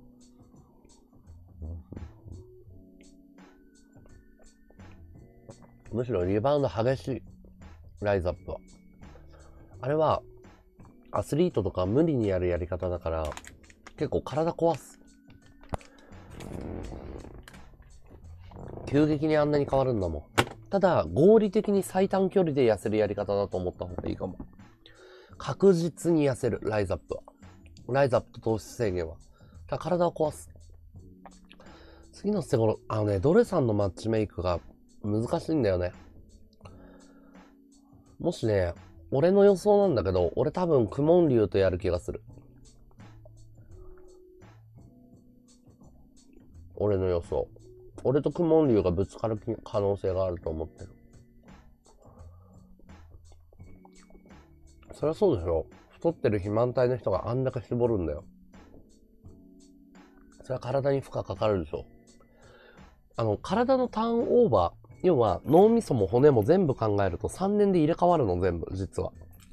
ただ、分子レベルでゆっくり入れ替わる、ゆっくりっていうか高速なんだけど、細かーく入れ替わるの高速で。骨とか歯とかも全部、硬いものも全部入れ替わるんだよ、実は。だからその3年のターンオーバーの周期に合わせて、ゆっくり改造すると、要は、その、変わるんだけど、それ3ヶ月とかで無理やりやるわけじゃん。脂肪燃焼とかさせて。体に良くないでしょ。負荷かかるよ。ああ、まあ、こ、心すよね。うん、本当にそう。1ヶ月で俺もリバウンドしてるじゃん。あ、いやいや、サッパさんいらっしゃい。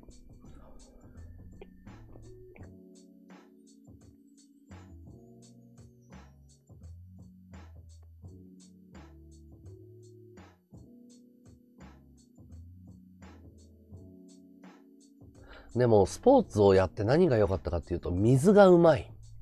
あと、汗をかく喜び。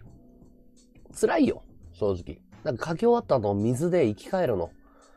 それはやっぱり、やっぱ動物としての本能があるわけじゃん人間だから。そういうのがいい。うん。そういうのがいいね。汗をかいて、ボロッボロにするの、体の。で、筋肉痛も痛いの。で、格闘技だから足とか蹴られてるから痛いのよ、体中。それそうだよね。ドルさんとかに思いっきり蹴られたんだもん。うん、だけど、その、喜びみたいなものを初めて感じた。うんうん。美味しいよ。うまいよ。体に染みてくの。いいよ。うん、あ、あのね、俺がおすすめしてるダイエットは長期間組まないっていう。今日だけ痩せるか今日だけ太るか決めてくださいっていうの。だってさ、極端な話、飯食わなきゃ痩せるんだよ。で、運動すれば痩せるんだよ。だから、今日痩せるか、今痩せるか決めるの。そう。で、太るっていう判断をしてもいいですよっていうルール。要はね、意識をしてないの、太る人って。俺もまあ、あの、俺は結構安い太ったりコントロールできるからあれなんだけど、考えないで食べてるのよ。食いたいだけ。だけど、そのマインドセットが入ると、ご飯を大盛りにするか小盛りにするか無意識でやってたのを、うん、牛丼ライト食べようとかさ。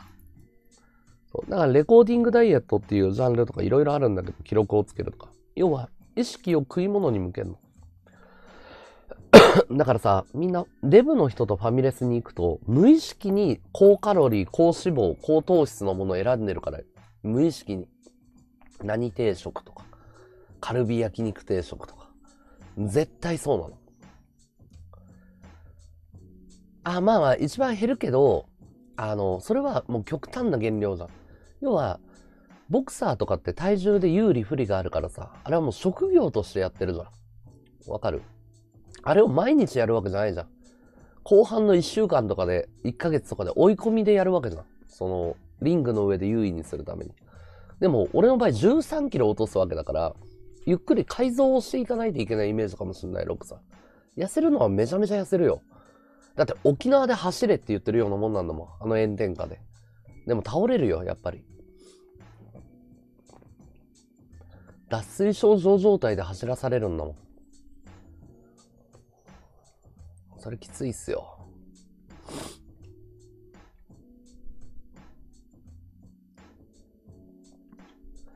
それが面白かったりするんだけどね。その自分の限界をみたいな。皮も余る。だから3ヶ月ぐらいでゆっくり落とすと皮余んないんだけど、急激に落とすと1ヶ月ぐらいで皮がだるんってなっちゃって、それが戻るまで3ヶ月かかるって言われてる。皮が引っ込むの。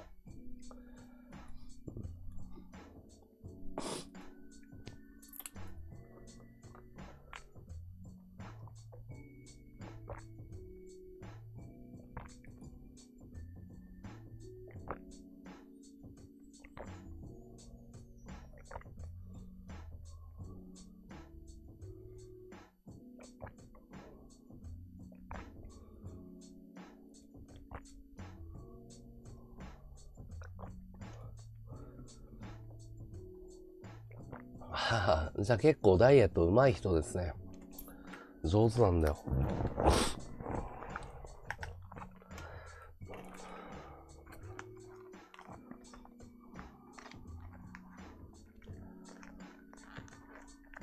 捨て頃もう一回見てみようかな。捨て頃見てみる。捨て頃。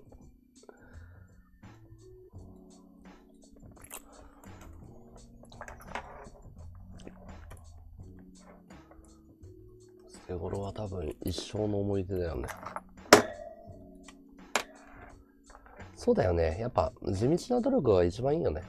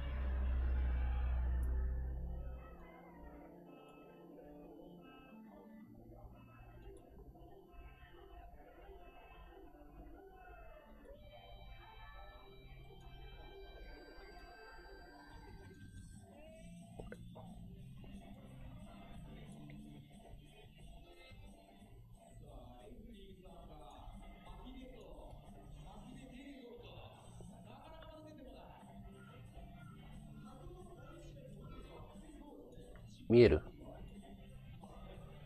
ああ、ガルーダさんぜひフォローしてくれると嬉しいです。また遊びに来てください。遊びに来てくれると嬉しいです。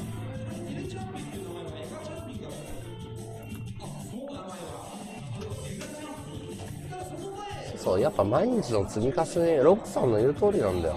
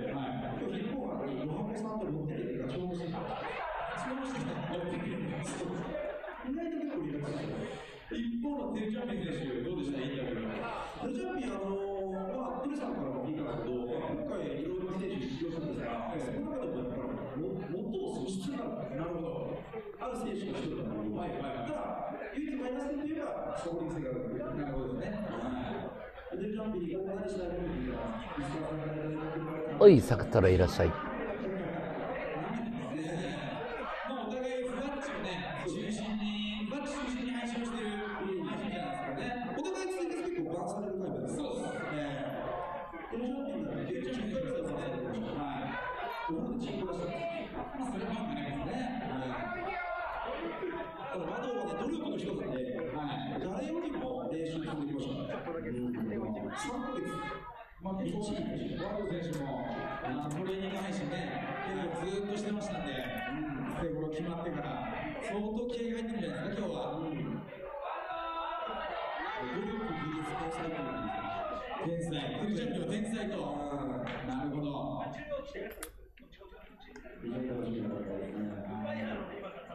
それではまもなくね、ゾーンになります。第1試合。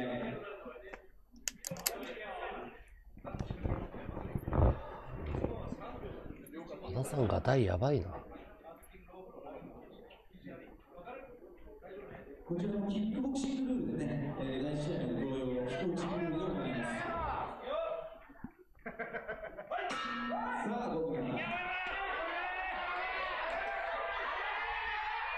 あ、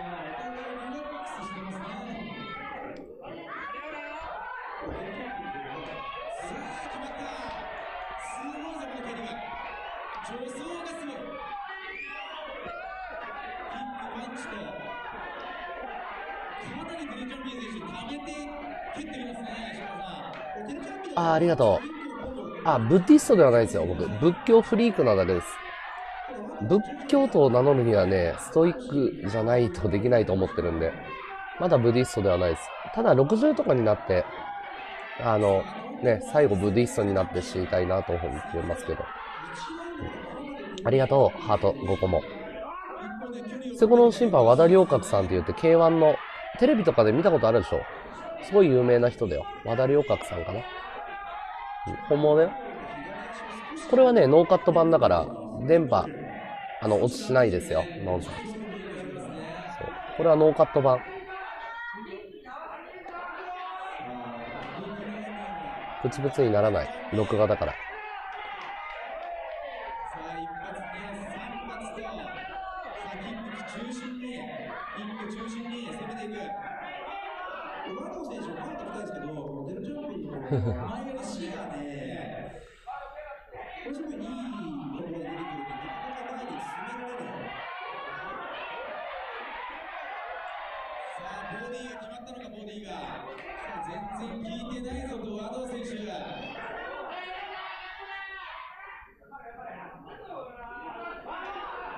閲覧、この時2万人ぐらいだったかな？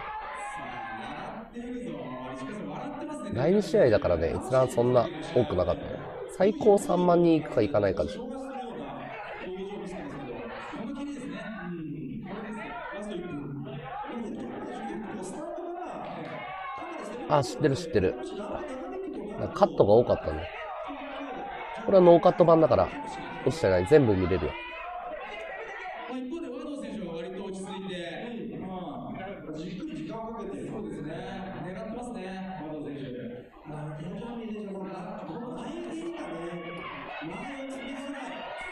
よ、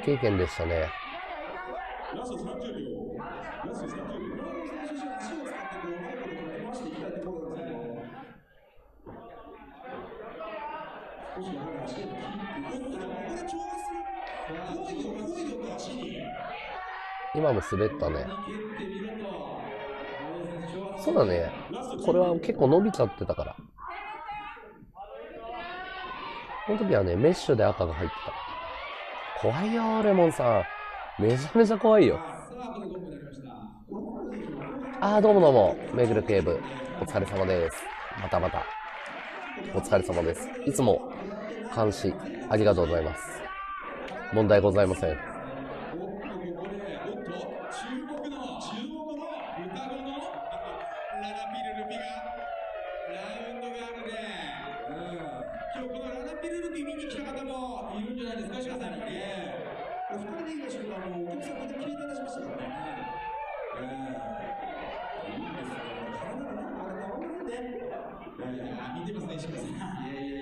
もね、テルはあるよ。テルは24、俺は32か。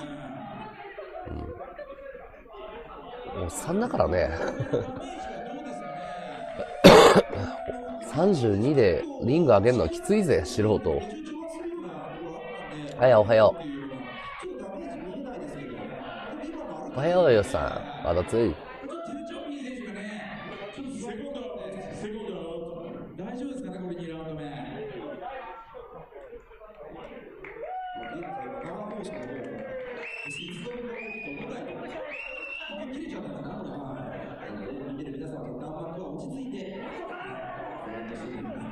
評価あります、ありますけど、やり残したことがあるんですよ。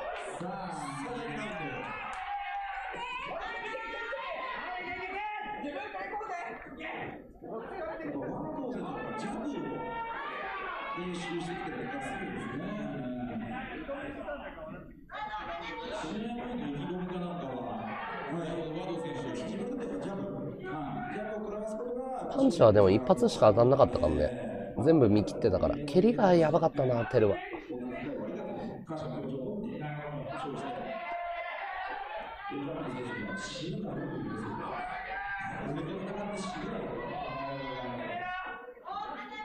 そうそう。蹴りはね、受けてるんだよ。ブロックもできてるし。パンチも一発しかない。手数が足りなかったの。はい、謎の X いらっしゃい。パリングっつって払えてるんだよね、ちゃんと。だから当たってないでしょ。よく見ると当たってないんだよ。これスリップね。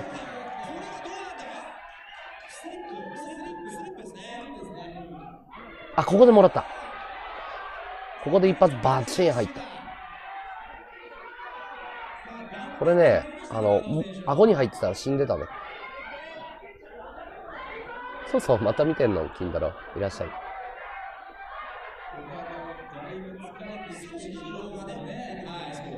まだちょっと余裕あるんだ、俺は。汗がボタボタ。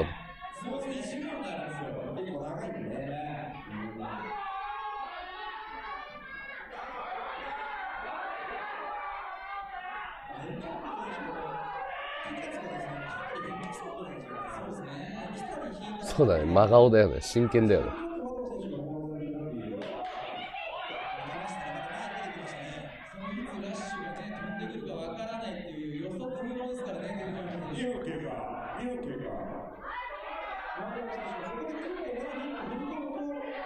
青山でも筋肉だからね、これ。体脂肪低いけど、スポーティーな体で。体重ちょっと軽すぎるけどね。うん蹴りが異常に重かった。重かったっていうかね、スナップが効いてる感じ。試合だって9分戦ったもん。フルラウンドだもん。地獄だぜ、マジで。9分、3、1ラウンドでも地獄なのに、もう3ラウンド目なんか意識ねえよ。マジ10ラウンドとか戦うプロとか意味わかんないもん。今当たったな。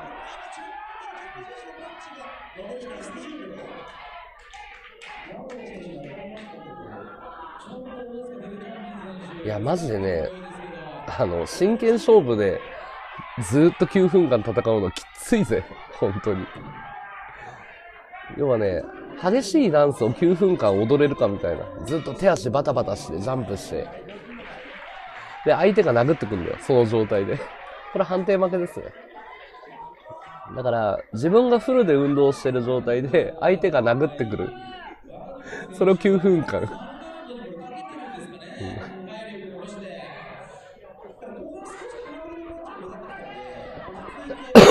素人に9分間は地獄だよ、本当に。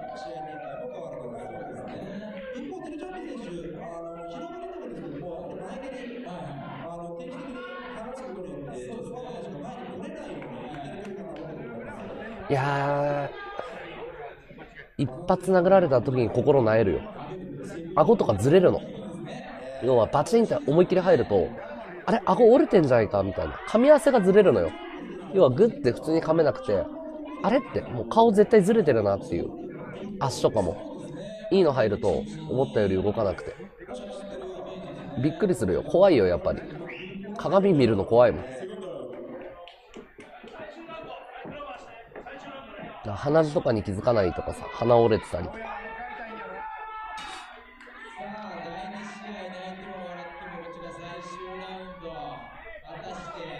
リズムが悪いね、俺。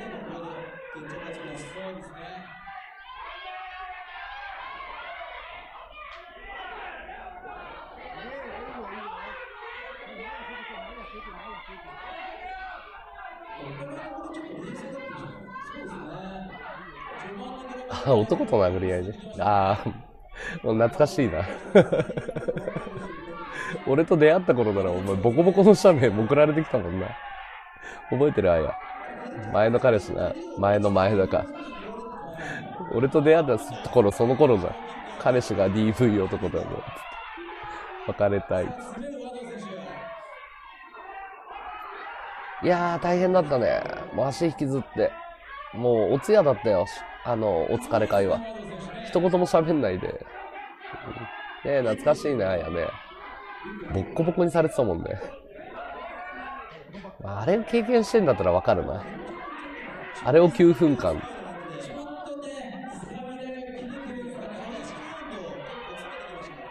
ここで攻めればな。ここでボディ一発叩けば勝ってたんだよな。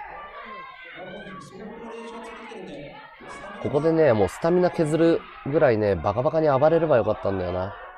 体力俺の方が勝ってんだもん。ここでボディは拷問だよ。絶対勝てる。ここでいけない勇気のなさね。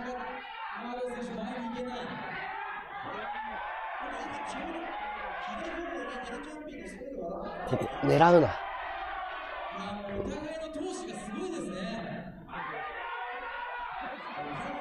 スタミナ切れてんだよね。そう、テルはスタミナ切れ起こしてるんだよ。だからここで暴れれば勝ってたんだよ。2分経過残り時間1分もうだから立ってるのも必死なんだよ、お互い。動き見ればわかるでしょ、もう。倒れたいんだよ。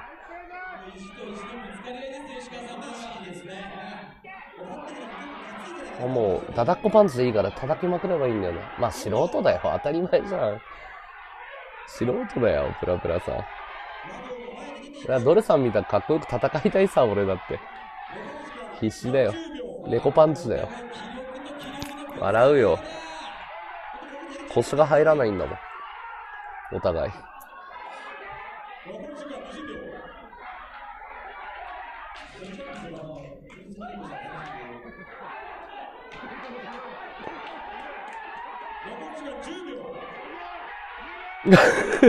二人とも心折れてる。二人とも、二人とも膝つきたくてしょうがない。二人同じ姿勢。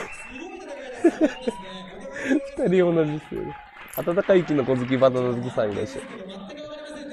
うん。笑うわ。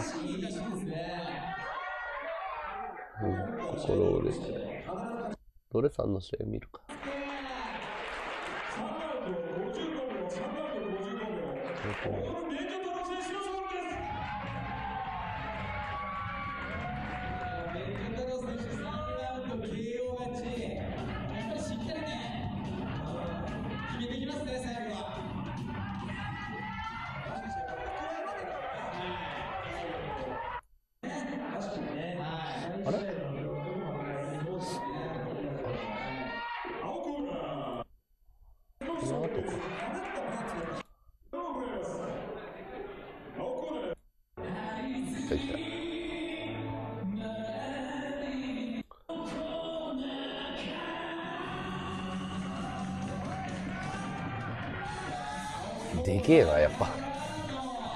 ケモンみてえにでけえな。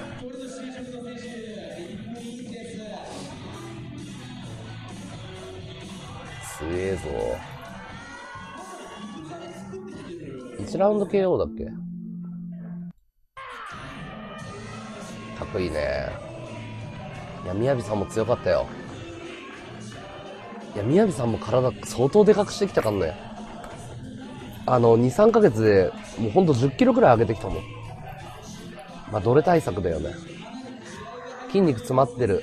宮城さんもすごかったよ。あの、ドレさんがでかすぎて目立たないだけで、うん。宮城さんすごい良かったよ。体仕上げてきてたよ。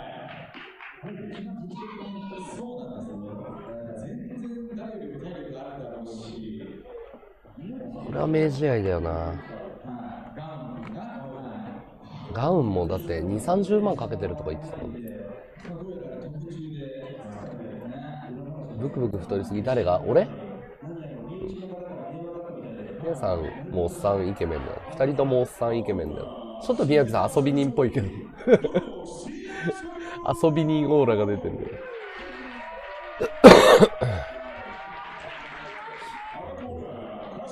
ヒカルくんは名試合。俺一番すごかったのはヒカルくんの試合だと思ってる。練習一緒にやってるから凄さがわかるんだよね。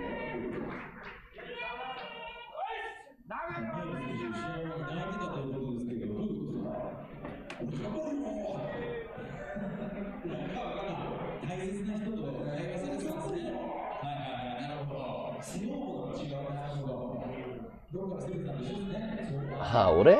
俺、違うんだよ。あの、運動嫌いなんだよ、俺。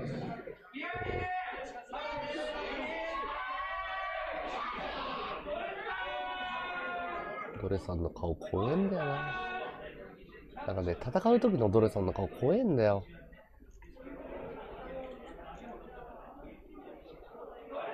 そうそう、生倉坊主だからさ。いや、いい動きなんだよな。赤いグローブが宮城選手、黒いグローブがどれが新谷選手ですね。いや、かっこいいよね。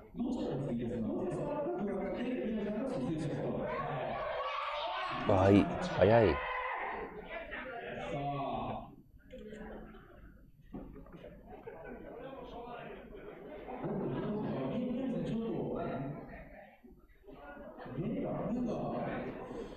コンタクトずれたんかな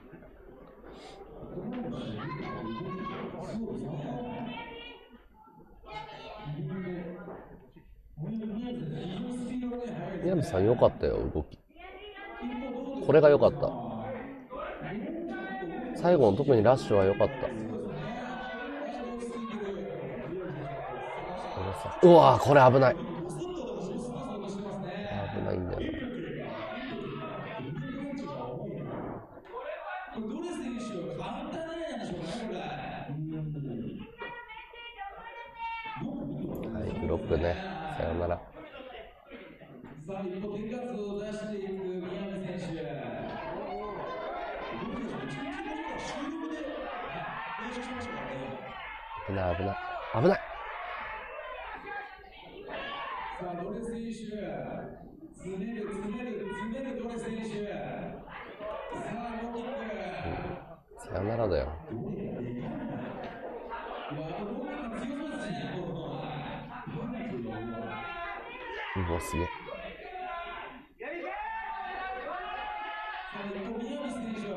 ローバーね、16オンスって言って、かなりでかい。痛いっつうかね、危ないドレさん戦うのは。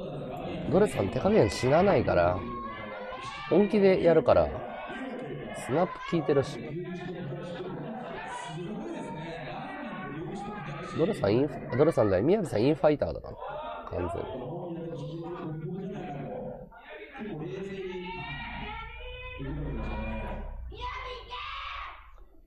宮城さんすげえよな。こんな化け物とこんな戦ってんだもん。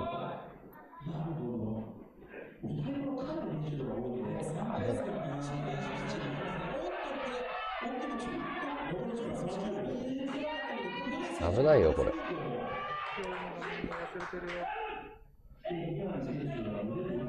いや、いい動きなんだよ、これ。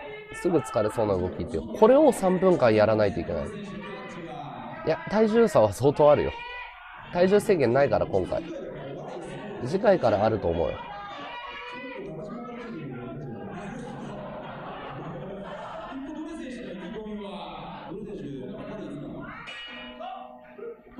オープンハンドと、まあ違うよね、やっぱりね。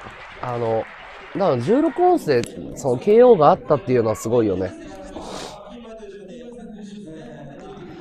16音声全然 KO あったかもね。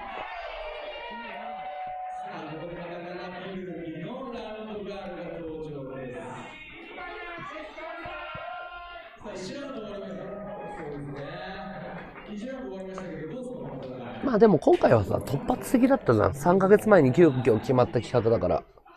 よくいいマッチメイクだったと思うよ。いいマッチメイクだと思う。よくこのメンツで、このバランスでよく組んだよね。でもよく見たらこれ東西に分かれてんだよ。東と西に。西勢と東勢に分かれてたの分かる。だから、あのー、弁護士さんうまく作ったよ。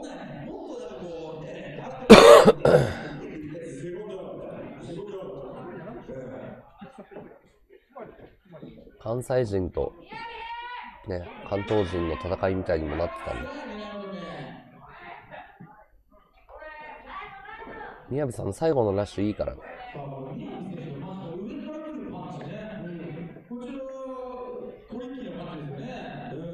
ね気づかなかったでしょ言われてみればでしょそう、テルも関西、三重の方だから。赤グローブの方が関西になってるんだよね。これが良かった。これが。でもこれで目覚めちゃったんだよね。うん。これすごい良かったよ、宮城さん。この後、危ない危ない。危ない危ない。うん。すぐコーナーに追い返すからね。危ない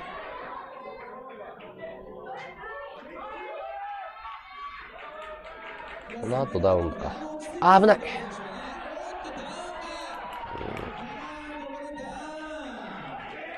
この後、速攻だろうな。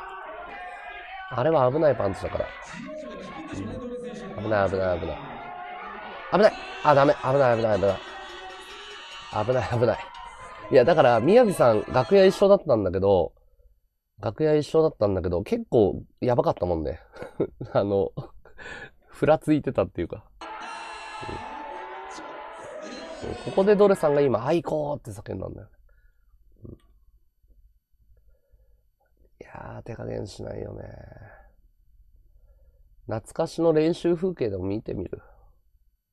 練習でも。練習残ってるか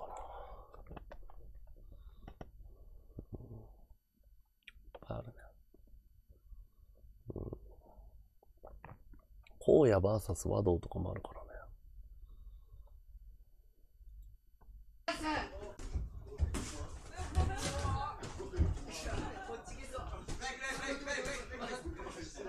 カルくんと俺だ。ヒカルくんと俺だ。ね。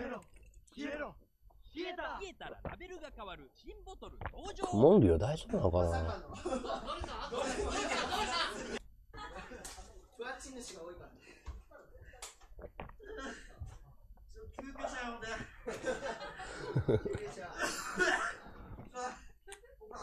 の和気あいあいもい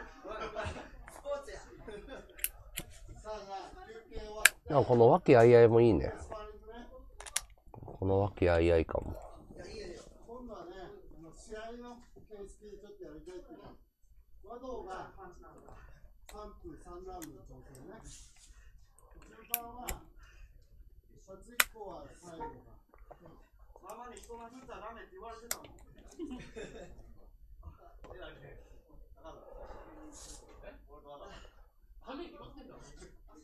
疲れた。疲れてるあ、金ちゃん、おむつ借りてきたかった。おむつ借りてきたかった、金ちゃ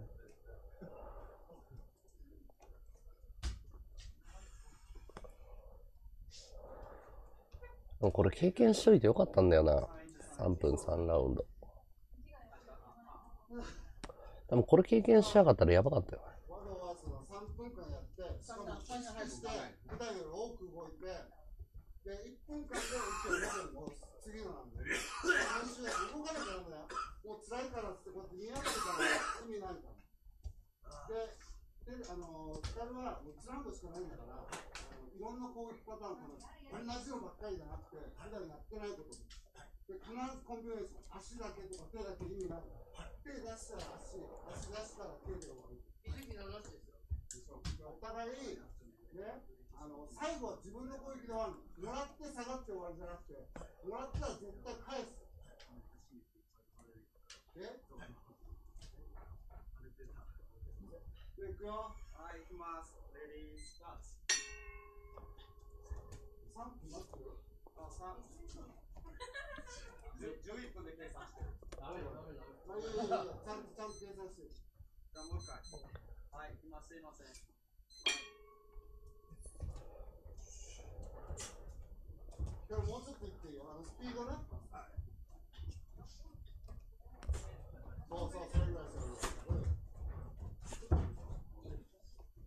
だから目つぶんない顎引いてそうそうそうグローブが大きいんだからもらわないからそんなにそうそうそうまだちょっと振りすぎこれフルスイングして。振り抜かない。止めない。おいほら手からじゃない手から足までだぞるです。ぎ見すぎ行かなきゃ終わっちゃうぞ行かないと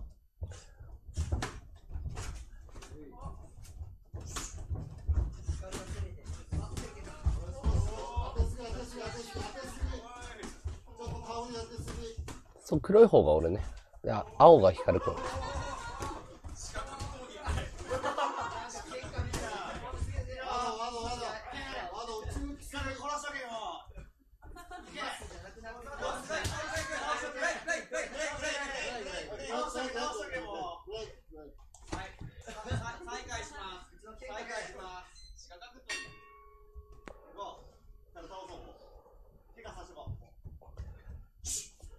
う。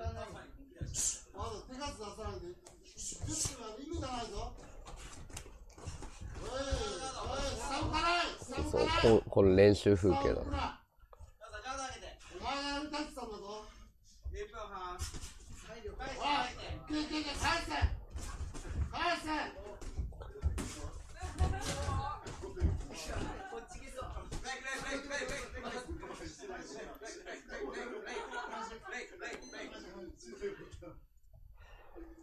気づいてないけど鼻血出てんの。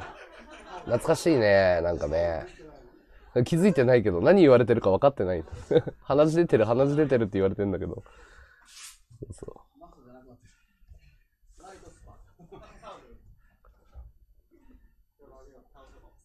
大丈夫ダメージ残ってる大丈夫です。じゃあ、じゃあ、こう、次会長ね1分、うん、1分であげるんだぞう。顔シャープだな、今より。顔シャープだね。痩せてるね。太ったな。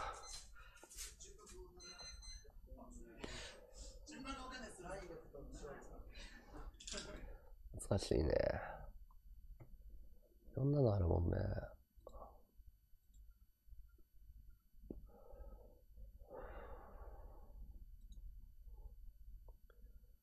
足も細い。腹はね、いあの、こっちの方がまだ出てたけど、こっから絞るんだよね、急激的。急激。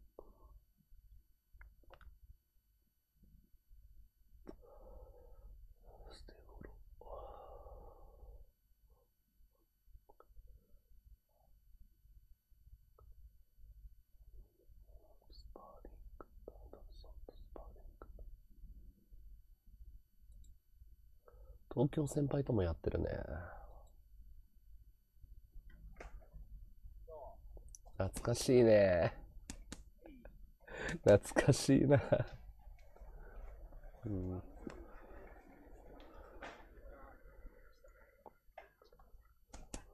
懐かしい。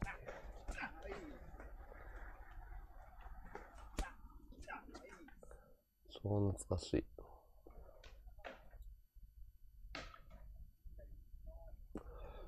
超きつかったな。深夜町のやつはないかな。うん。深夜町のやつはない。うん。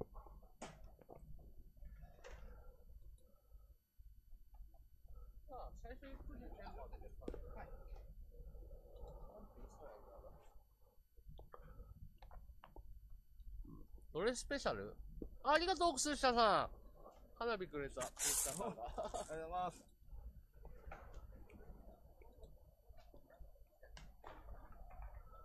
書いてあった。うん。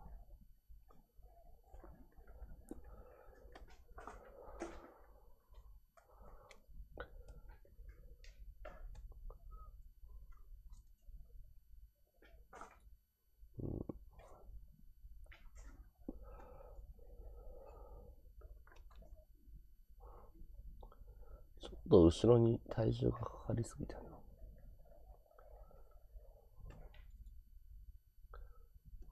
あ、これスパーリングだね。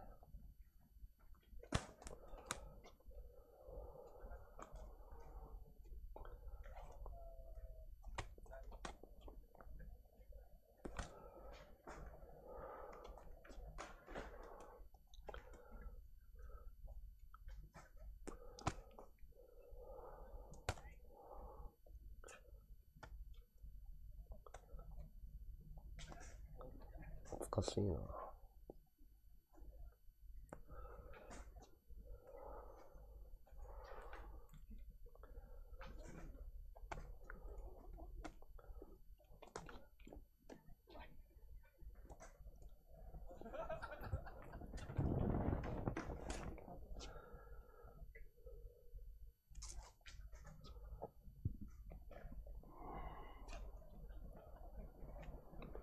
配信長くやってるといろんなことあるね。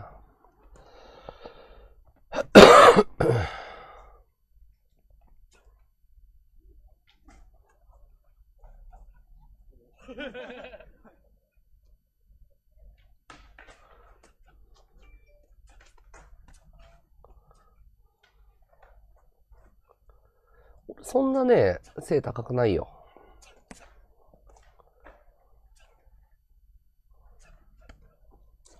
俺はそんな背高くない。170ぐらい。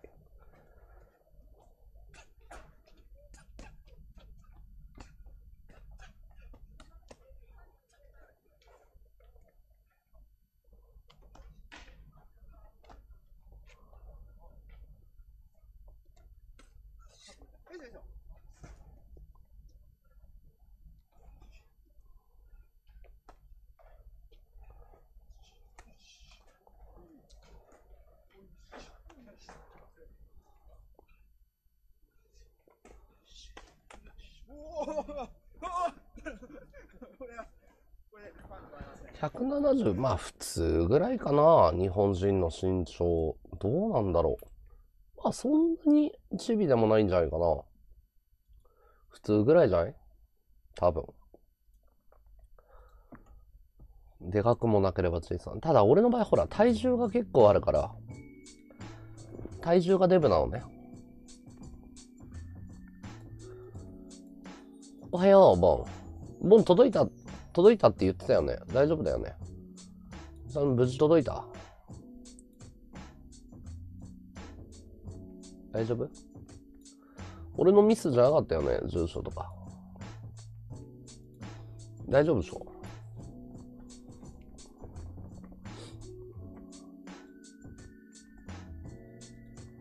おはよう。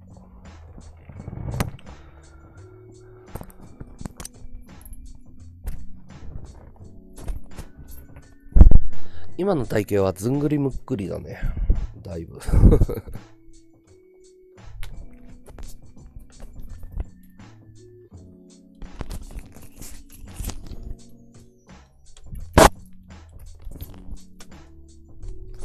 ずんぐりむっくり。ああ、よかったよかった。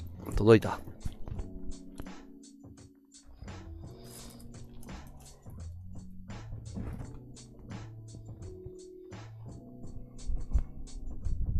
でも、次の捨て頃に向けて、これからだいぶ絞ると思うよ。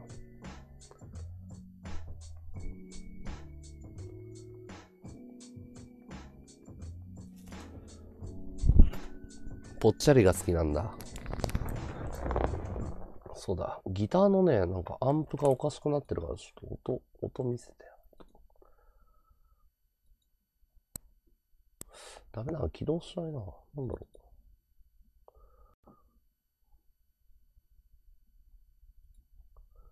ちょっと待ってね。音の、音確認させて。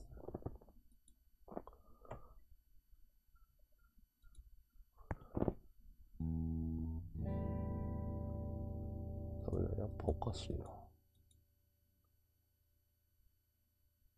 普通の音しか出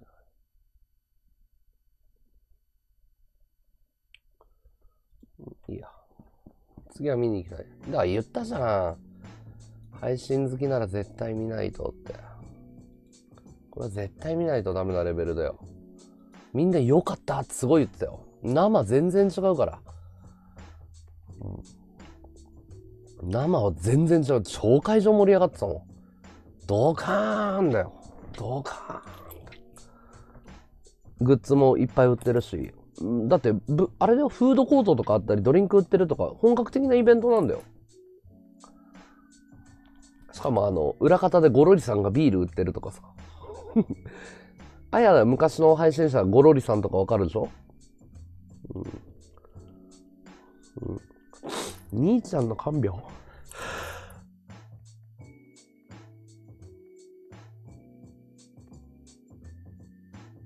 いや、でもね、プレミアチケットでも取れないと思うよ。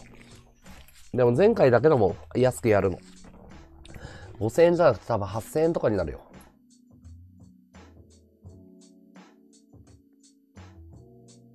ゴロリさんはもともと石川紀之、便所太郎、暗黒のスタッフやってた人。だから、便所太郎さん、石川紀之、えー、暗黒の大型企画には絶対いる。スタッフやってる。みんすけでんすけさん、いらっしゃい。コメントありがとう。もしよかったらフォローしてって。来てくれてありがと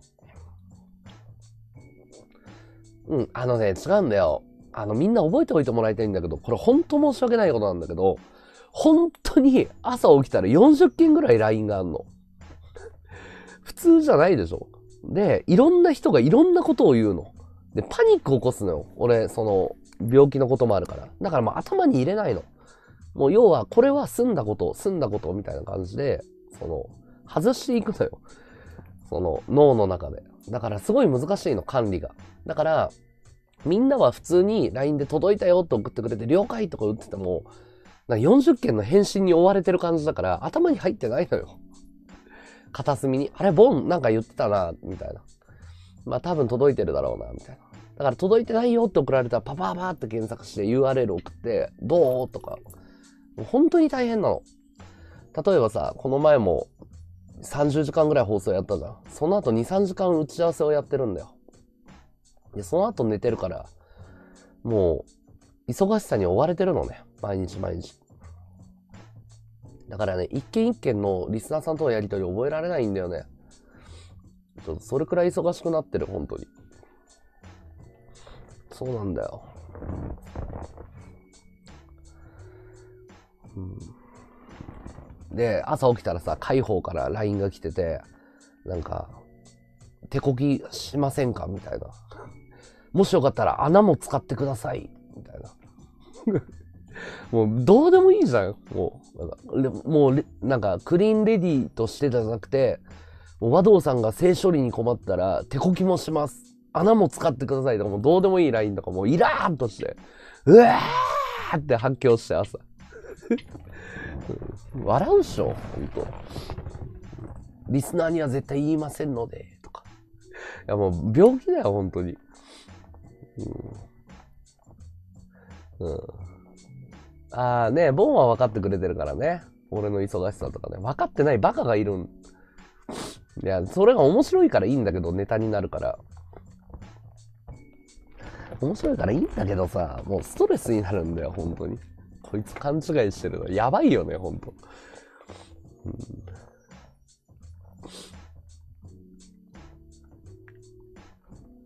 や、面白いよ。いろんな人がいるから。まあそういうのも楽しみつつやってるけど、あの時、ああ言ったじゃないですかって言われても困っちゃうっていう、その、生活をしてるのだよ。うん。申し訳ないけどね。うん津村28番、エピ、カシュトゥ、えー、嘘。えー、花粉症ではない、慢性鼻炎なんだけどね。アレルギー性の。しかも温暖性って言って、冷たいところ、暑いところに行って、温度が変わっても鼻炎が発症するっていう。そうそうそう、やばいよね。やば、面白いからいいんだけどね。いろんな人がいて。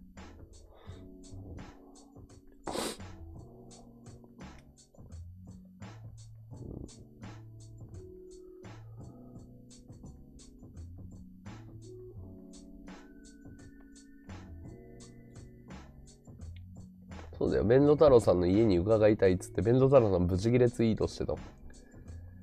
あ、更年期でイライラしてる。リータリードはどつ。温かいキノコ好き、バナナ好きさんはなんて呼べばいいの？呼びづらいんだけど。長いよ、ポテハン。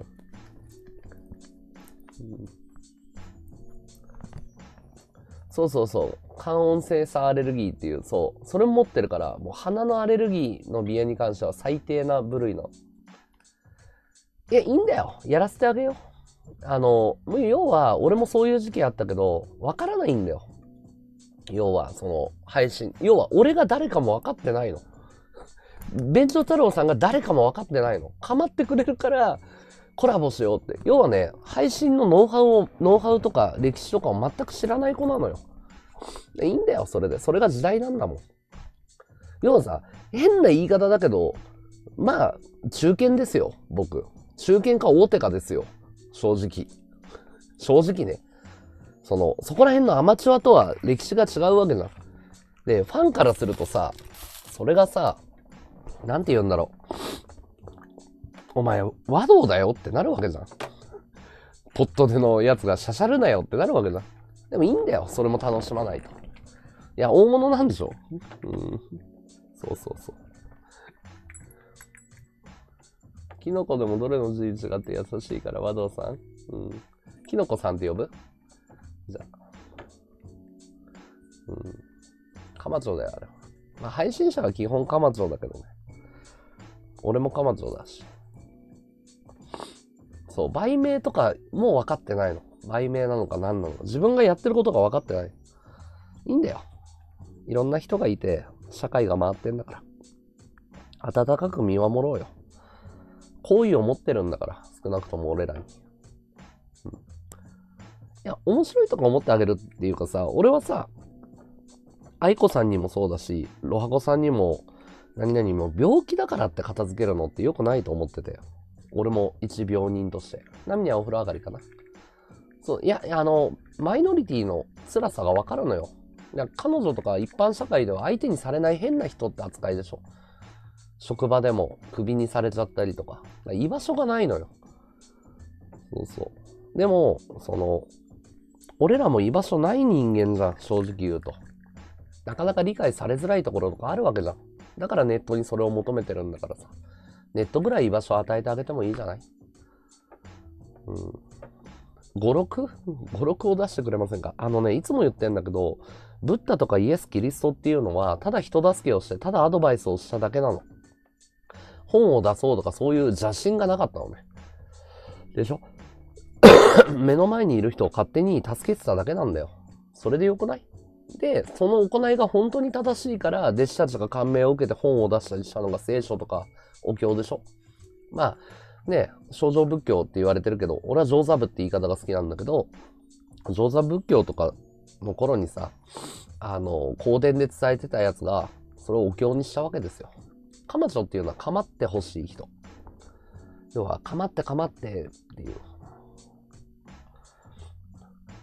お風呂から上がった？うん。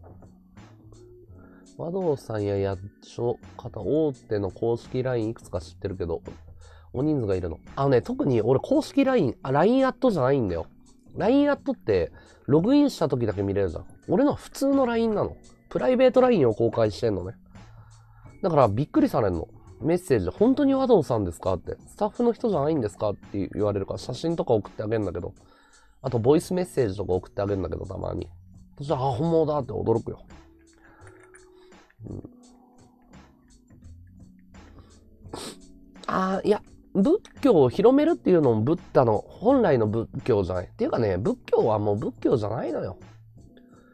あの、いつも言うんだけど、大乗仏教の、特に日本は残念なことに大乗仏教から入ってるから、道教と儒教の思想をかなり受けてるの。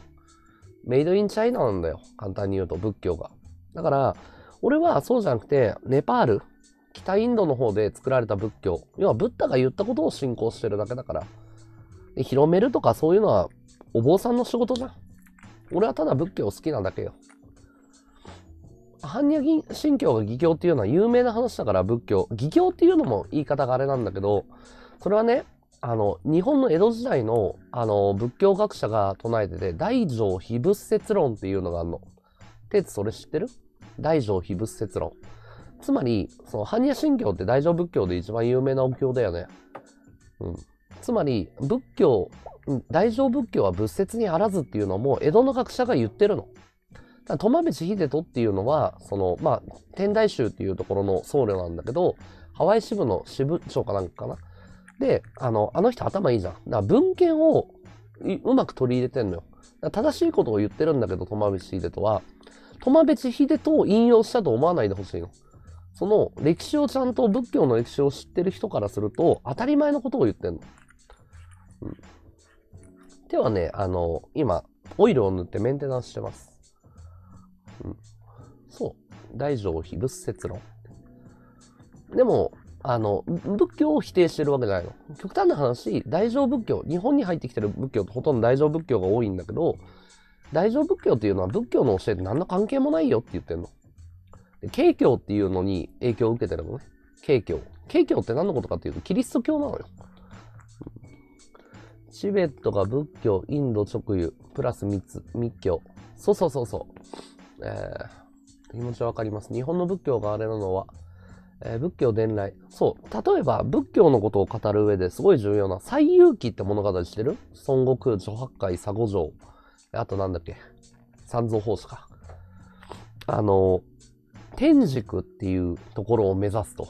で、天国みたいな国があると。って言って、中国人が、偉い人が、あの、天竺を目指すっていう物語あるでしょ？ドラゴンボールの元ネタだよね。簡単に言うと。悟空、超八海、佐護城、三蔵法師。あの、西遊記って本。それ聞いたことあると思うの。ヒンドゥー教が始まりは全然違う。ちょっとちゃんと解説してあげる。うんそれはにわかすぎる。で、その天竺っていうのはどこなのかっていうのは、インドのことなの、簡単に言うと。で、あの物語って何何を言ってるかっていうと、インドに行って仏教を持って帰る話なの。意味わかんないでしょ日本人から。で、中国で作られたのがお経なの。そこで大乗仏教っていうのが花開くの。要は、インドから中国人が持って帰ってアレンジを加えるのよ。もともとあった道教とか儒教とかの思想と混ざり合いながら仏教を発展させるの。その時にもう、こんと根幹っていうか、そこは合ってるんだけど、解釈がかなり歪んじゃうのよ。全然ついていけない。え、でも、だいぶわかりやすいでしょついていくっていうか、簡単な話をしてるから。うん。ついていけないって思い込んじゃうと、もうフィルターかけちゃって、あ、ダメだ、私聞かないってなっちゃうから、大丈夫よ。俺は、バカでもわかるように話すから。誕生日。あれは嘘ではないよ。大体合ってる。要は、あの、えっ、と、簡単に言うと、王子様だったんだよ。ブッダって。ブッダっていう言い方はあれなんだけど、まず、王子様、シャー貴族っていう部族がいたの。シャー貴族。で、釈迦っていう国があったの。釈迦国っていう国があったの。うんわかる？あ、釈迦国じゃない。まあ、釈迦国でもあってんだマガタ国っていう国があったの。マガタ。オッケーシャマガタ国の部族のことを釈迦族っていう、シャー貴族、釈迦族って言ったのね。で、そこの王子様を釈尊、え釈迦って言ったの。漢訳すると。で、その国の言葉、マガタの言葉で言うと、ゴーダマシッダールタっていうのね。要は、ゴーダマシッダールタっていう王子様がいた。で、王子様が、簡単に言うと、僧侶が一番上で、王様が二番目で、平民がいて奴隷がいる。これをカースト制度って言ったのね。で、カーストっていうのは変えちゃいけないの。で、王様が奴隷にもなっちゃダメだし、奴隷が王様になってもダメなの。これインドのルールなの、宗教の。これがバラモン教。富尾さんおはよう。そうそう、ゴーダマシッダールタとか、シッダールタとか。うん。大玉シッダールタでいいよ。そう。で、その王子様が簡単に言うと、子供が生まれて、王様に、王様に嫁ぐ、あの、引き継ぐところで、バックれるの簡単に言うと。俺僧侶になるわ、つって、バラモンになるわって言って旅をしちゃうの。絶対ダメじゃん。だけど、あの、要はインドの端っこの方の、まあ王子様だし、あの、まあ簡単に言うとさ、あの、あんまり力のある部族じゃなかったらほったらかされてたの。まあ好きにやらせとけ、みたいな。そうそうそう。バラモン教ね。で、バラモン教で、簡単に言うと、バラモン教の思想をぶっ壊したのがブッダの悟りっていうのを開いて。で、バラモン教はぶっ壊されて滅ぶのよ。あ要は仏教に変わるの。で、その後、リバイバル運動っていうのが起こるの。それがヒンドゥー教。わかる？元はヒンドゥー教っていうボンの解釈は間違いだよって言ったんですよ。元はバラモン教。で、バラモン教のボンが一如。要は、ウパニシャット哲学の奥義である部分を改変したのがブッダ。で、ブッダの思想を取り入れて、さらに昔のバラモン教を改変したのがヒンドゥー教。そんな感じ。困ったさんいらっしゃい。閲覧、だいたい僕200前後ですよ。昔から変わってないです。おはよう、みやみや。リズさんおはよう。そう。だからまあ元はヒンズー教っていうのはちょっと語弊があるね。今の話は仏教。では、ブッダの、え生まれを話したのかな。うん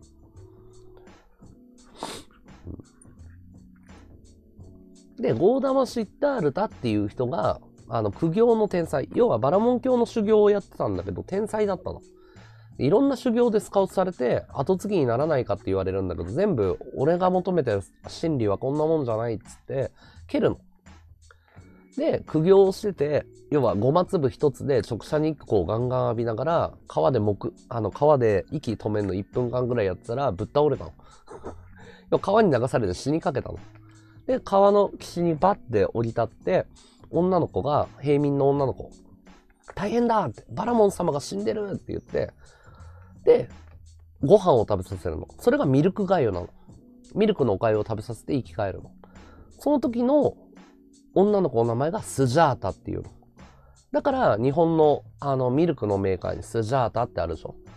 あれは仏教の話から来てるの。スジャータってミルクあるでしょこういうすっごいやつ。あれは仏教のミルクがゆのエピソードから多分名前を付けられてると。仏教とキリスト教は根本的に違う。うん釈迦の死因は食あたりつまり、まあ、き毒キノコ盛られたって話だよね。うん。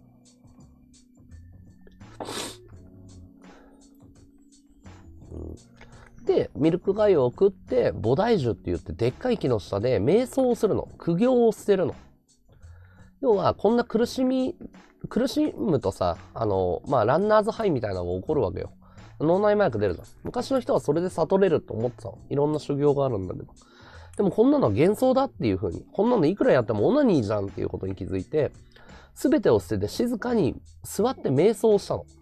その時にやった瞑想法っていうのはガチリンカンっていう瞑想なんだけど、月を見る瞑想法なの。で、その時にニルバーナ、要は悟り、英語で言うとニルバーナって言うんだけど、悟りを開くの。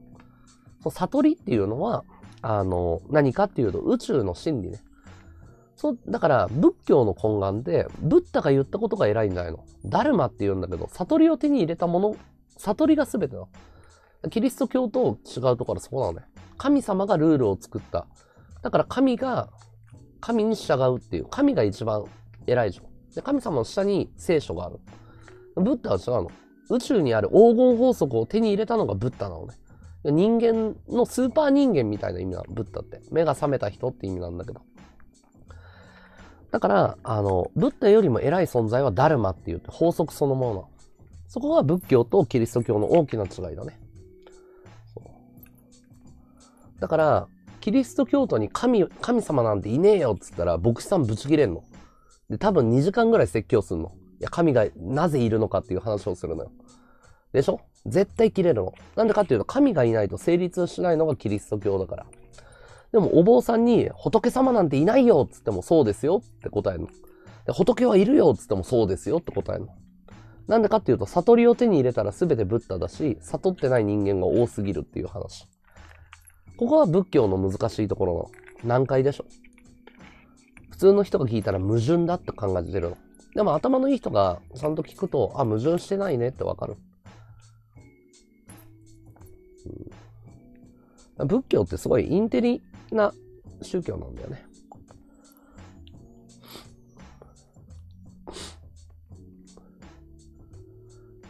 ん？大仏は仏教。合ってる？合ってる。うん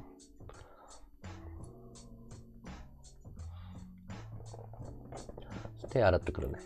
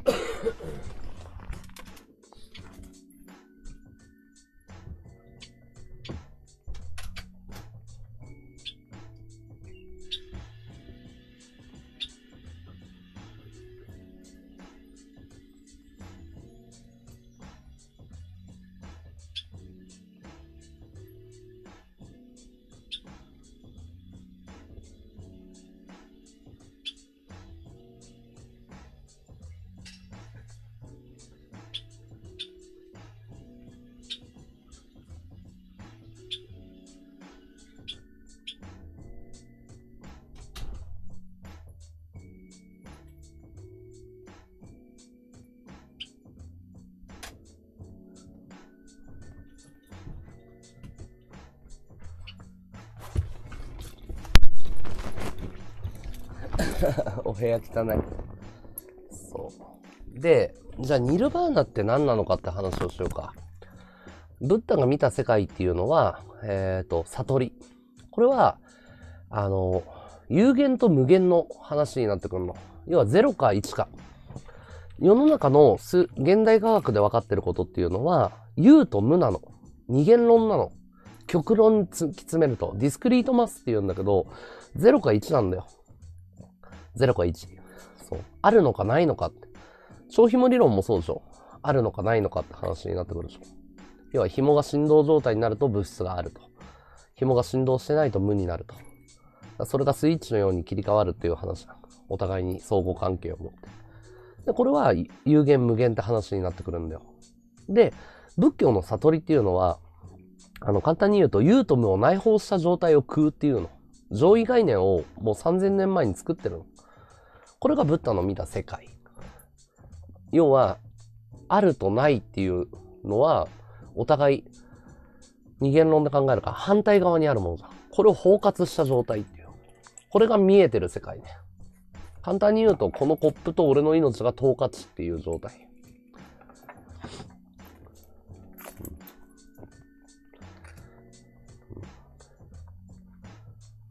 だからブッダには、その、すべて平等に見えた世界なの。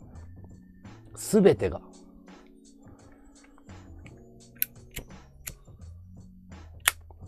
それがニルバーナね。それを体感で手に入れること。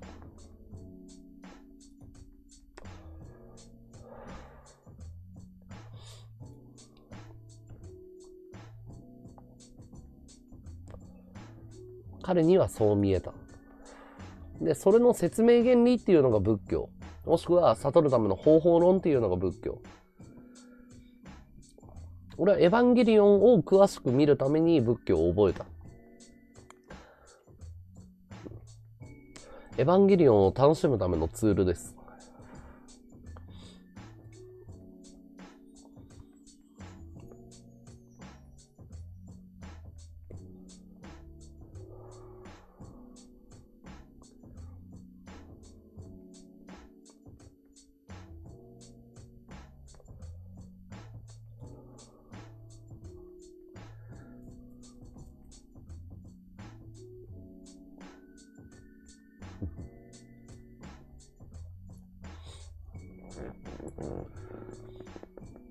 からさ、あの、ブラフマーってさ、ブラフマンっていう言葉、ボーンだったらわかると思うけど、絶対神のことじゃん、ヒンドゥー教の。バンドのブラフマンの元になってるでしょ。あれって、えっ、と、ボンが一年をボンっていうのが、あの、ブラフマンのことだよ。ブラフマンのこと。でもそのボンが一年を否定したのがブッダなの。うんそうだね。エヴァンゲリオン知らなかったら多分仏教に興味なかったと思うよ。うん。あ、そうなんだ。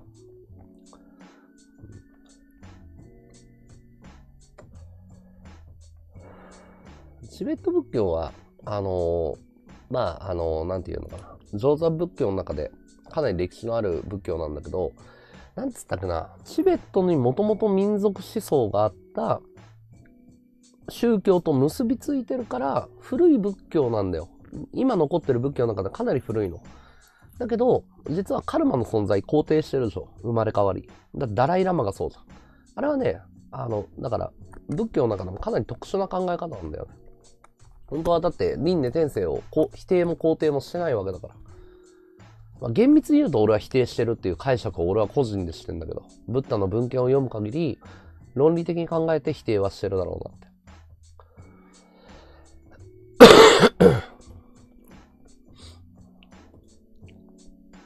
あでも解釈は無限にあるからね。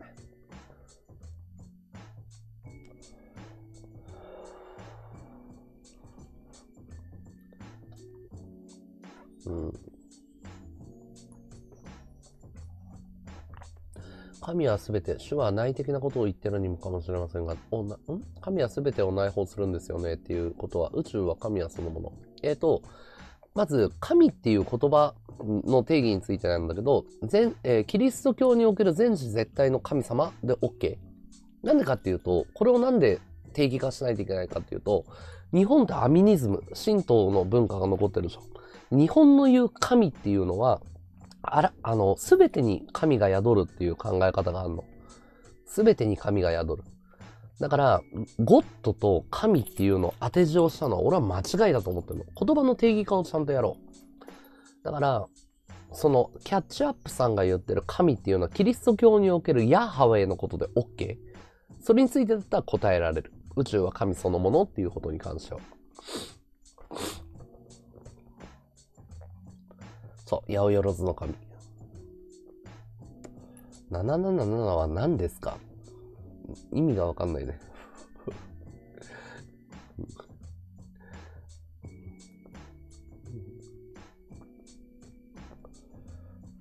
だから日本、神道的における神っていうのと、日本人が漠然と思ってる神と、キリスト教徒が厳格に思ってる神っていうのは存在が違いすぎる。だからそこが日本人が無宗教がって、無宗教だって言っちゃう愚かさにつながってると俺は考えてる。キャッチアップさんの定義による。ああ、俺はね、神の定義は違う。神は現象って言ってる。俺の考えね、これは。そうすると仏教、神道、キリスト教全部内包できる。実はね、聖書の中にね、神はあるって書いてあるの。神はいるって書いてないの。現象なんだよ。うん。だから見えてる人にしか見えないっていうのはそういうことだ。人じゃないよって。だから、あの、偶像崇拝を禁止してんだよ。どこの宗教も。俺はその域にいるって。だから、キリストが見た世界、ブッダが見た世界は俺は理解できるよって言ってるのはそこなの。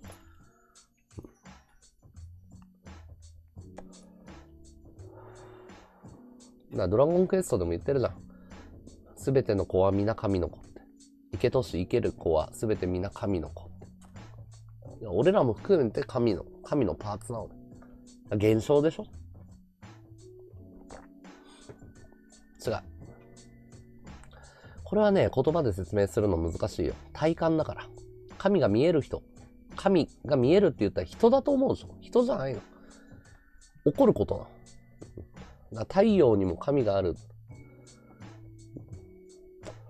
漢字を考えたのは仏教じゃなくて、えー中国人。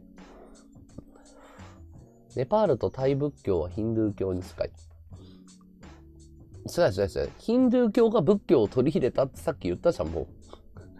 ヒンドゥー教が、では仏教の神様と考え方を取り入れた。だバラモン教プラス仏教がヒンドゥー教の。逆。神は善でも悪でもない。善か悪かを決めるのは人間な。だからこの世の中は天国でもあり地獄でもある。天使もいるし悪魔もいる。天使悪魔っていうのは人間なの。人間の見え方、心の状態を指す。そう。だから神はただそこにあるだけなの。だから神はある。出家はしない。今、今ね、いろんなコメント読んでるから間違ってほしくないのが、仏教の話、キリスト教の話、あと俺の考え方はもう混ざってるからね。今、キャッチアップさんに答えてるのは俺の考えね。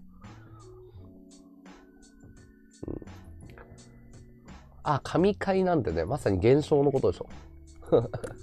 いい例えだね。うん。混ざっていい？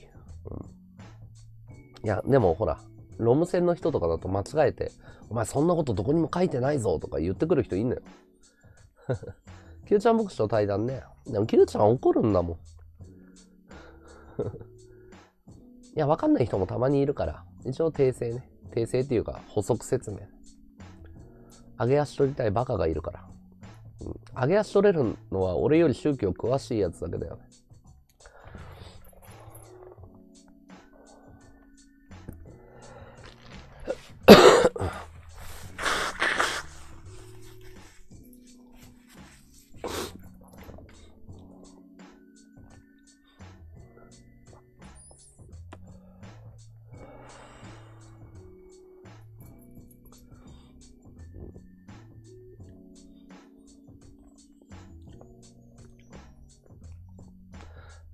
わかりやすく例えると、時代と、ね、国とか思想とかのバックボーンがあるでしょ。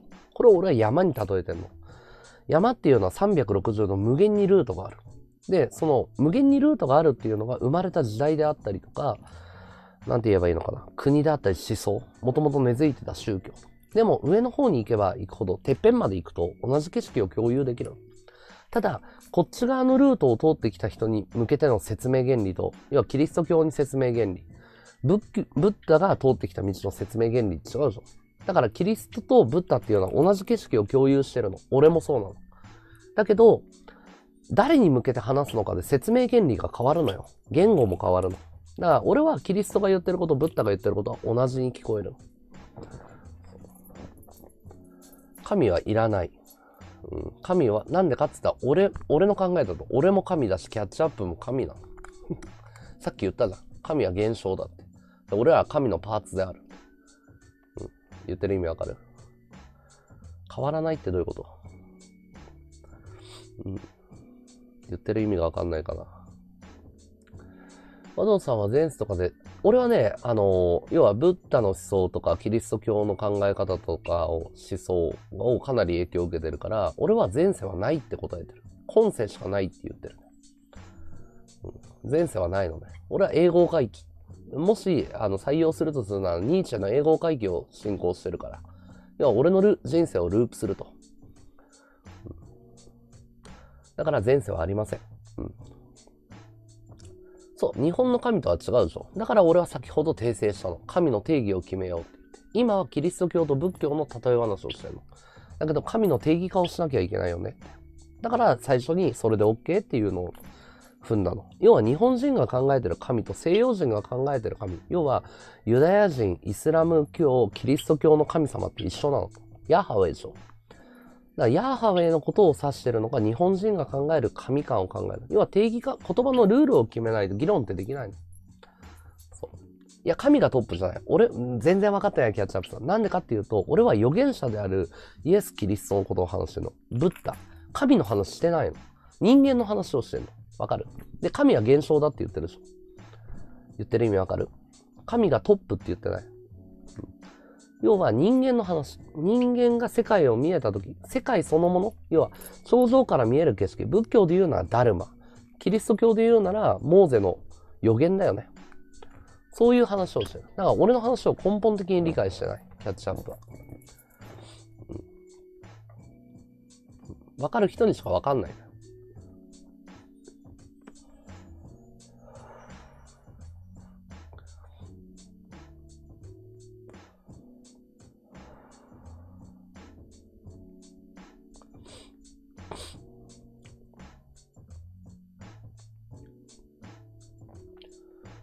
だから、上か下か、トップって考え方があるでしょ。神が上か下か善か悪。だからそれは見え方だって言ってんの、俺は。神は上も下も上下も左右も赤も白も黒もない。ただ現象。人間がそれをどう捉えるのか。それが悟りね。ニッパーナ。神は現象っていう感覚は聞いてびっくりしたけどね、それなら神と結びつけるとややこしい。だからキャッチアップにとって神っていう用語はどういう定義化をしてるのかによるって言ったのそこなのよ。それは、あ八百万の神。神をどう解釈してるのかに、要はね、待機説法って言って、俺、ブッダがやった説法に近いことをやってるの。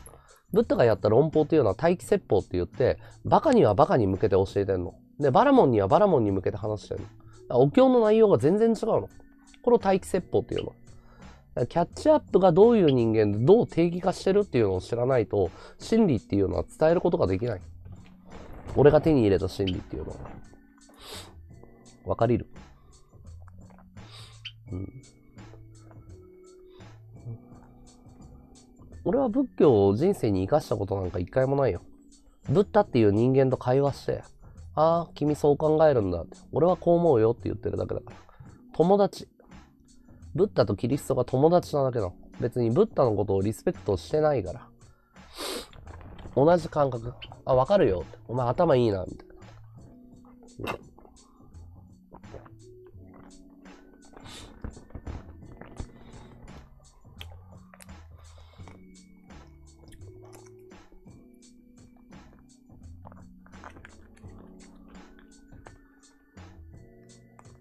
I'm no religion. リレジョンか。無宗教。レリジョンか。リレジョンか。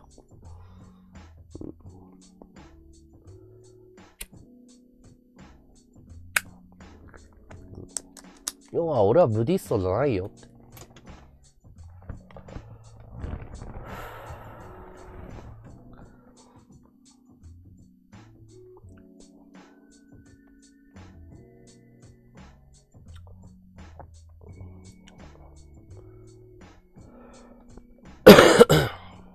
よ、じゃあ、突待やろうか。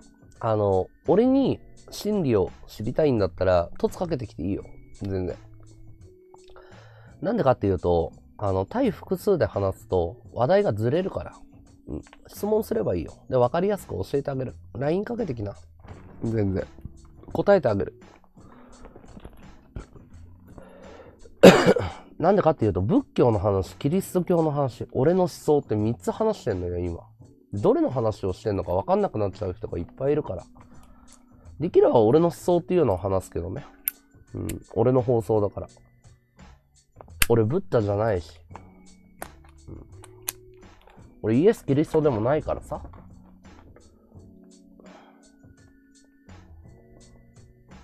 俺に関心を持ってほしいの。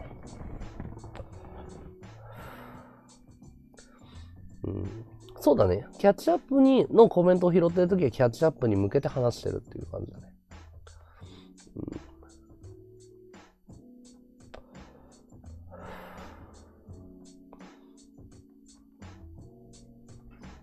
ん。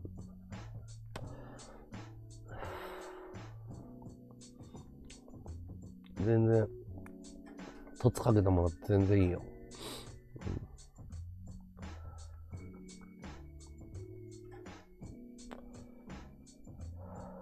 だから、仏教の話をするなら仏教、キリスト教ならキリスト教、和道っていう宗教を話すのは和道。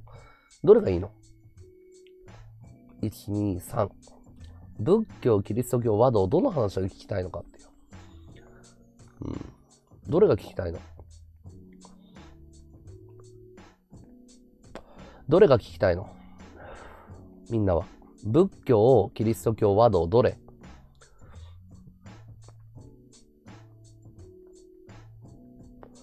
仏教、キリスト教、和道、どれ？みんな。別に、もうこの話終わりにしてもいいし。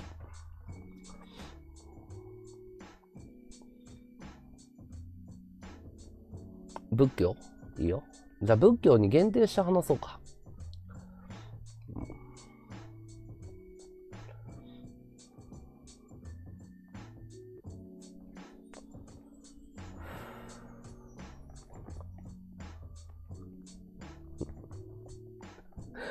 カーの歴。これまずいだろ。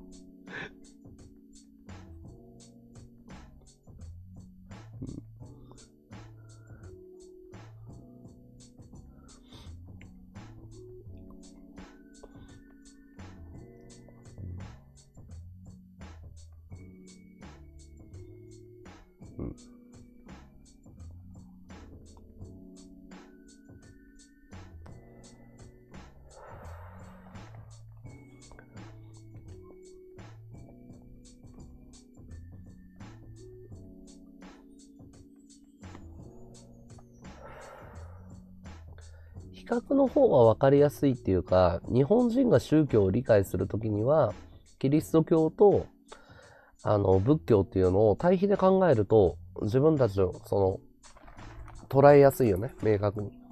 うんなんでかっていうと、全然違う思想だから。例えば、キリスト教で天国地獄ってないんだよ。生まれ変わりもないの。それ言うとびっくりするのね。地獄っていう記載一個もないんだよ。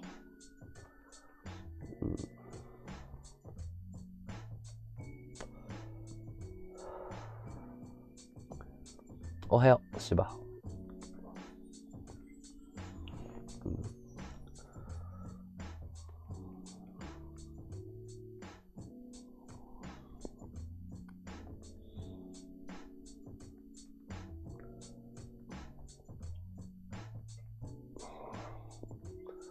だから俺はブッダリスペクトしてるなんでかっつったらお布施で食ってるからだよね。うん、だって俺の話が尊いって価値があるって思った人が花火投げて食ってんだもん。だから情報コンテンツをやっては、生まれて初めて情報商材やったのがブッダだと思ってるから。うん、いや、俺のありがたい話聞きたきゃ金投げろって話でしょ。うん、俺は全然ブッダと同じ考え方してるよね。うん悪魔はいるよ。うん。地獄っていう記載はない。なんでかっていうと、あの、 Left Behind してさ、神の国に行くんでしょ。携挙でしょ。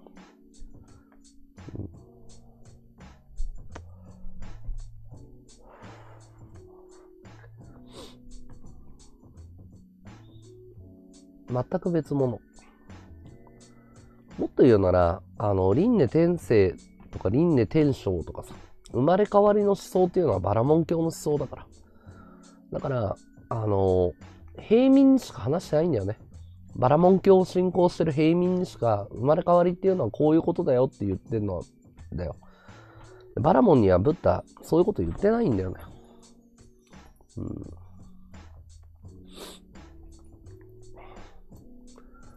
そこがブッダの大気説法のすごいところだよな。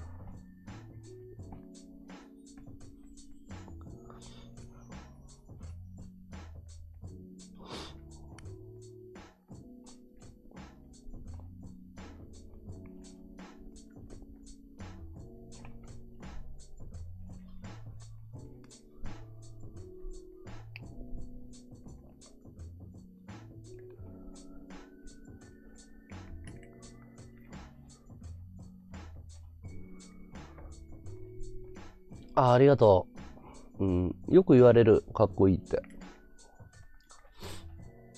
ありがとうね。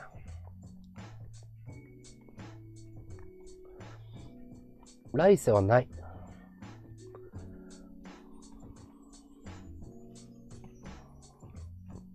冷静に考えてないでしょ。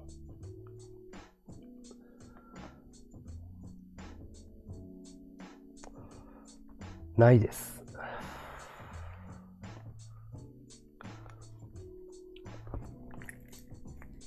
正確に言うなら、みんなが思ってるような来世はないよ。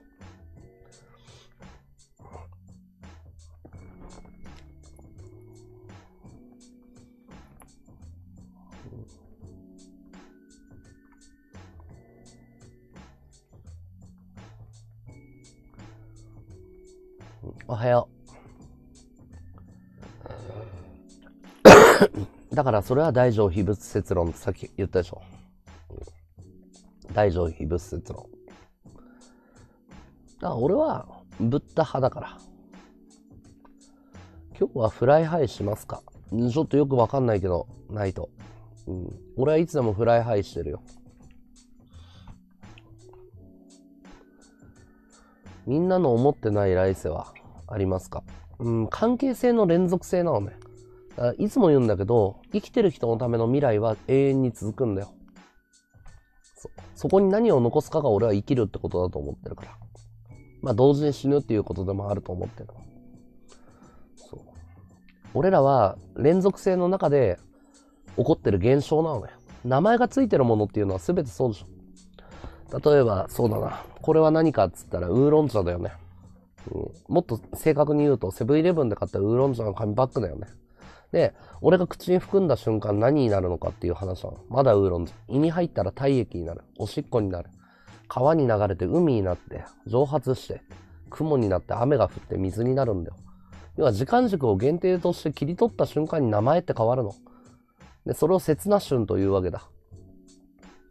それと一緒でしょ？うん移ろいでいくの、すべては。うん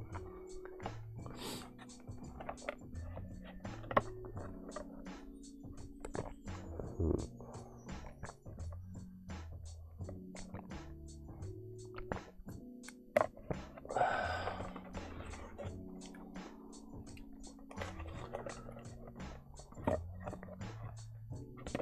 いや、俺はね、4次元で測るっていうのは人間の愚かさそのものだと思ってるの。うん、この世の中はもっと複雑な多元世界で生きてるの。だそれを数学的定義上、要は答え合わせが終わったものが4次元なだけでしょ。うん。どんな本読んだんですか？いやー、漫画は2万冊ぐらい読んだけどね。うん。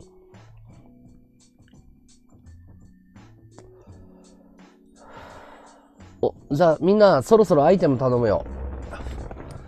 3時間話してアイテムタイムやんなかったからさ。じゃあアイテムタイムスタートします。2分間音楽流すんでアイテムよろしくお願いします。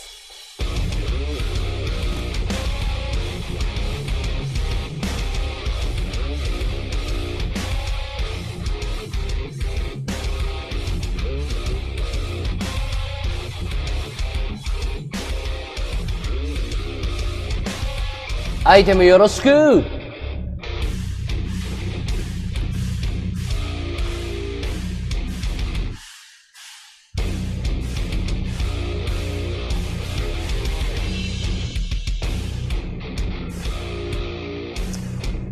風船ありがとうハートありがとう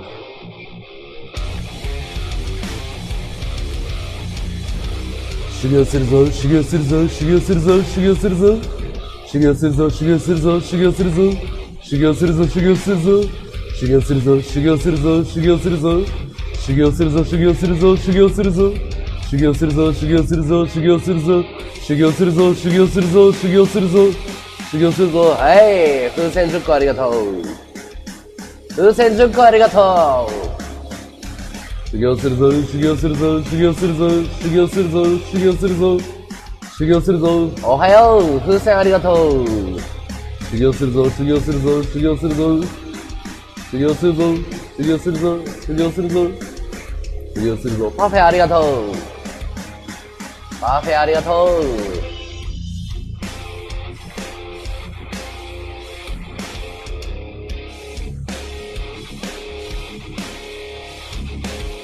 アイテムありがとう。Thank you.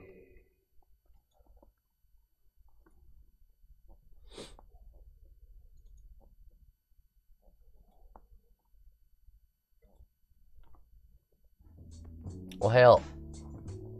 おはようございます。花火ありがとう。池袋木曽口さん、花火ありがとう。いつもありがとうね。あざっす。ありがとう。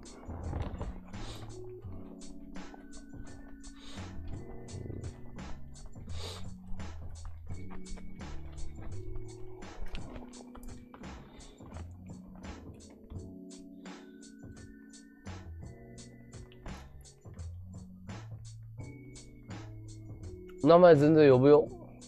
名前全然呼ぶよ。でもさ、俺のさ、トークが聞きたくてみんな集まってるわけよ。でしょ？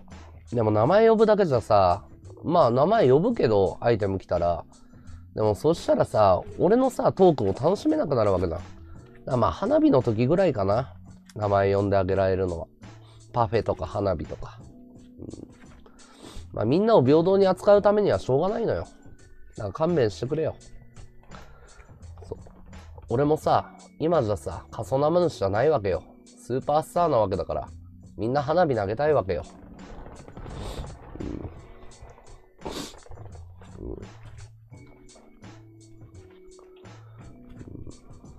みんな、俺の名前を呼んでくれってなるわけじゃん。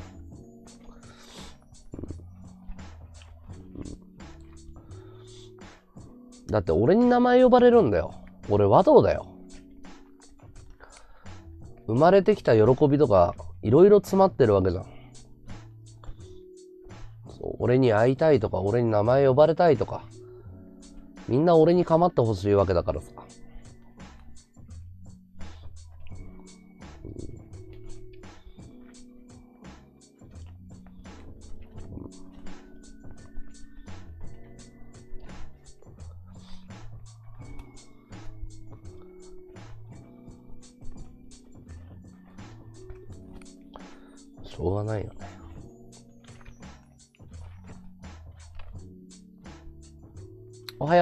う。メガネ変えたよ。うん。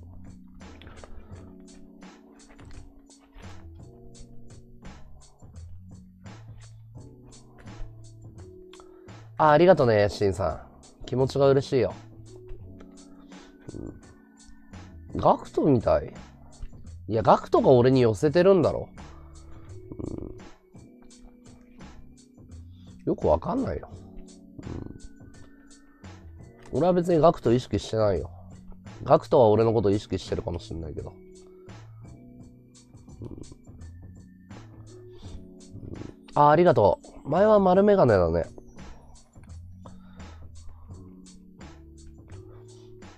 まあ、リナネコと俺はスタイル違うからさ。俺は俺のやり方があるし。うん。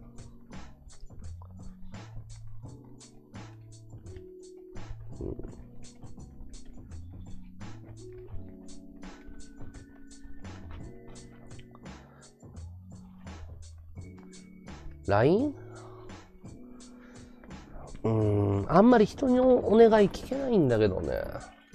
だから俺にお願いするときはステッカー買うときとか俺に銀行口座にいくら振り込んだよっていうときにしてもらいたいっていうのがあるけど。まあ特別に見るよ。LINE 来てないよ。LINE 来てないよ。ボン。ボン ?LINE 来てないよ。何も。今見たけど。LINE 来てないよ。うん。LINE 来てない。ボンから。うん。あ、シャンプーの話？シャンプーいらない。プレゼント禁止してる。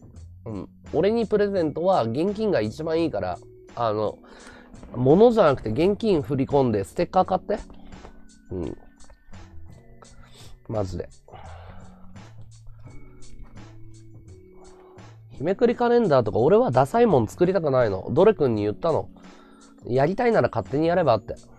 うん。俺は自分のブランドに自信を持ってやってるから、俺のブランド高いよって。うん。でも、高いから価値があるんだよ。そう。な、なんか安売りしたくないの、自分を。そう。それは、その、身につける人がダサい生き方してほしくないから。だから稼いでる人だけ買えばいいと思ってるから。で、買えなかったらバイト頑張ってっていう。いろんなブランド出していくけど、あの、安売りはしない。うん。で、日めくりカレンダーとかいらないから、俺の部屋に。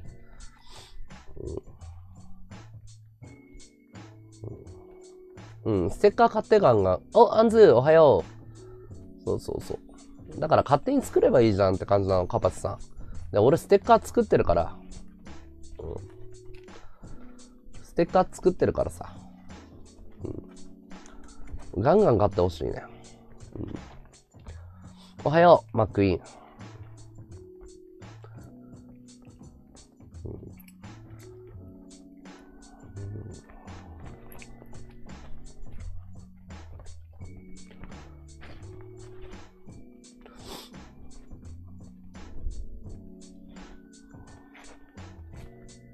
おう、ロビー、おはよう。いつもありがとね。天才バカボン？世代じゃないかな見たことない。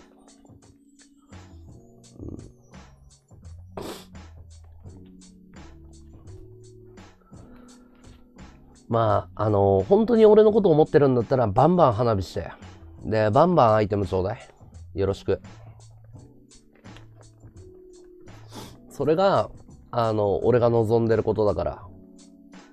俺は、あの、億万長者になろうと思ってるから、みんなの、その一つ一つのさ、花火で。ありがとうロビー、花火ありがとう愛してるよ。ありがとう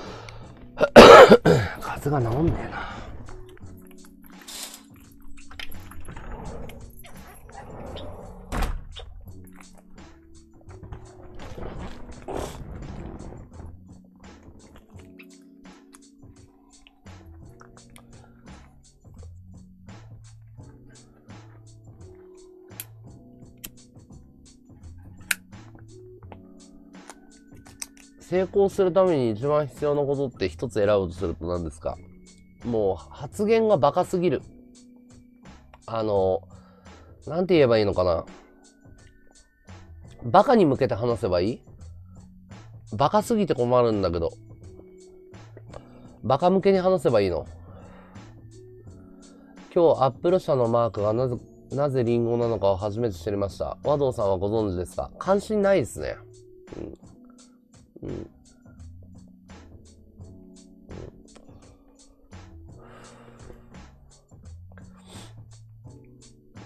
俺の放送のレベルを落とさないでほしいのね。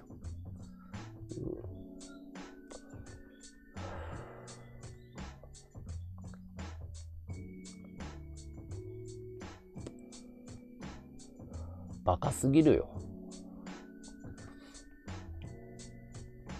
うん。ホスンさんおはよう。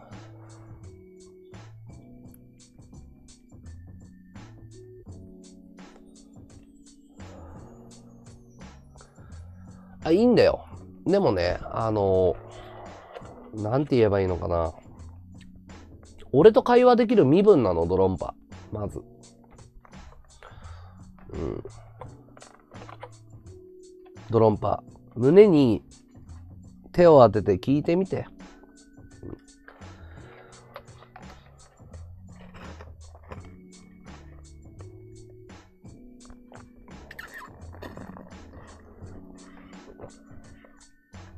うん。ランちゃん、おはよう。風船ありがとう。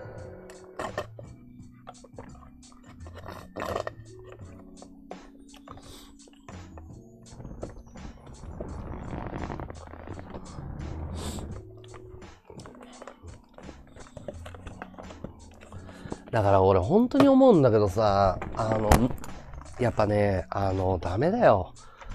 あの、差別は俺嫌いだけどさ、やっぱさ、あの、もう、生まれながらに違うんだよ、多分。生まれながらにね、やっぱね、すげえやつはすごいし、生まれた時からダメなやつダメなんだよ。DNA レベルって多分決まってるんだよね。うん。多分わかんねえだろうね、本当に。うん。差別はするつもりねえんだけどさ。うん、バカは死ななきゃ治らないってよく言ったもんだよな。本当に。成功するために一つ大事なことを教えてくださいって。働けって話だよ、本当に。まず働いてから物を言えよって。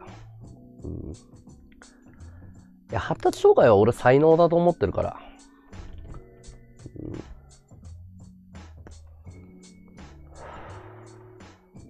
いや、あの、生まれながらに身分は決まってるのを、俺は打破するのが戦いだと思ってるけど、成功するために大事なことを教えてくださいって。まず行動してから言えよって。ドロンパ花火投げてくんねちょっと気分悪いわ。お前のせいで。ランハートありがとう。ちょっと、300人の前でさ、あの、空気変わっちゃったから花火投げてくんねほんと。300発ぐらい。これはねえよ、さすがに。うん。ランハートありがとう。うん。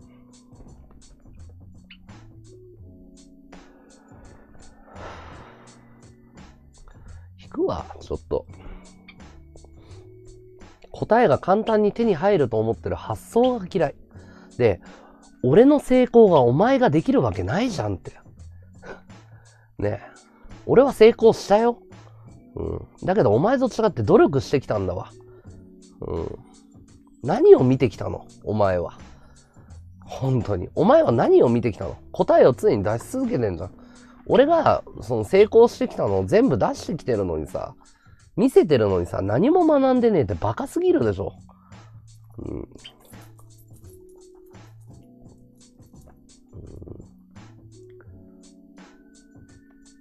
にわかだね、あれ。そう、み細田さんの言う通り。見えない努力をしてるんだよ、みんな。うん、行動しない奴に限って答えを求めんの。答えは自分の中にあるだろう。自分で作るのが答えだろう。攻略本なんか売ってねえぞ。うん、本屋行け、お前は。まず。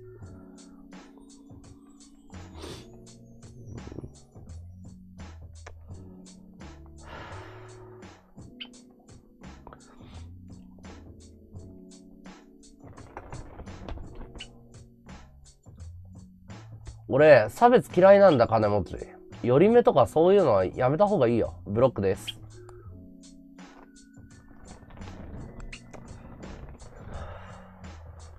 まあね、どうすれば閲覧増えますかって質問するやつが閲覧増えるわけないんだよ。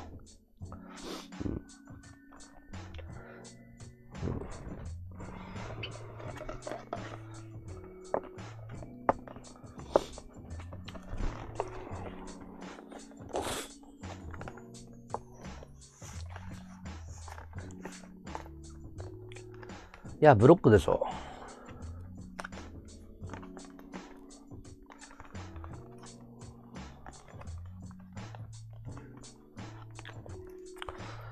ダメだな話ついてこれねえやつが多すぎんな。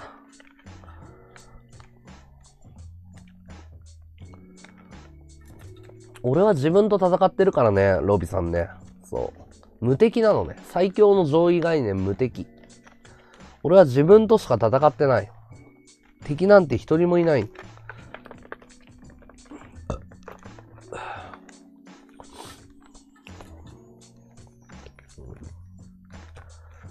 おはよう、ゼルで。お疲れ。今日もよろしく。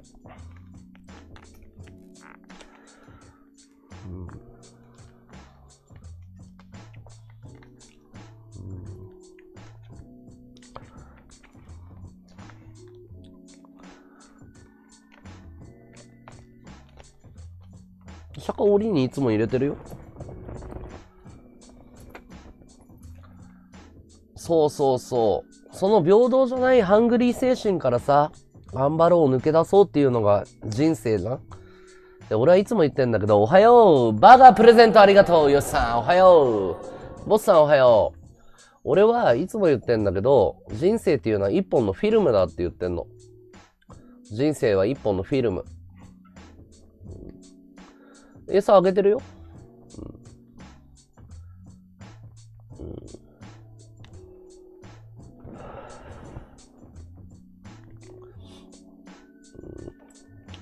メガネを変えた心境いや、だからまあ、なん。だろうね。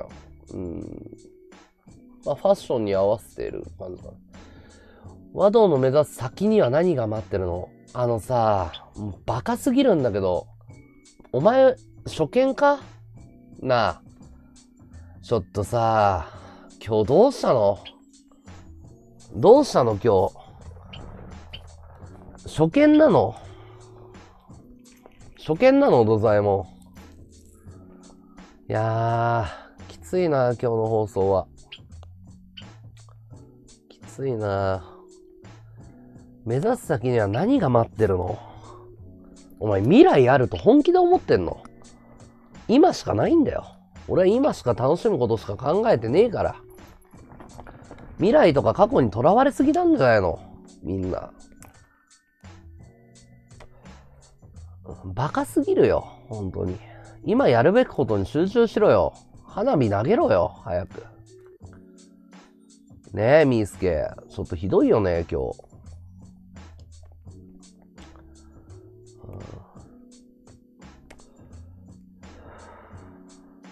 俺は関わる気ねえな、ドロンパ。俺と関わりたかったら、あの、1日50万俺に貢げ。そっからだよ。うん。俺と対等に話せるラインが俺に50万渡すこと。ありがとう、ロビー。パフェありがとう、ロビー。いや、イライラするでしょ。ありがとね、ロビー頑張ってね。俺と関われると思ってるのがもうびっくりするもん。小さな会社を経営してるとか知らねえわ、ほんと。バカすぎるわ。うん。おはよう、かか。バカすぎる、ほんと。今日を楽しみ、明日はまた学ぶ。うん。おはよう、みんな。オッケー、ありがとう。億万長者は通過点ですか？すべての現象が通過点。いや、うんざりしてるよ。すべての現象が俺にとっては通過点だから。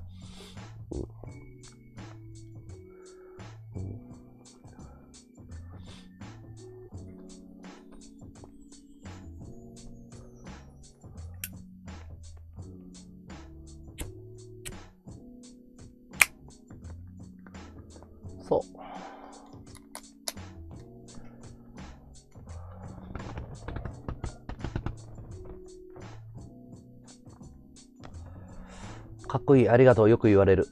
ありがとう。もしよかったらフォローして。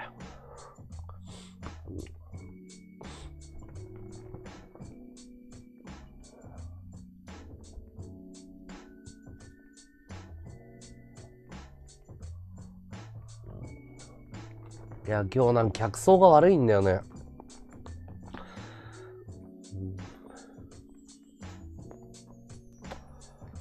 いや、アイテム全然大歓迎よ。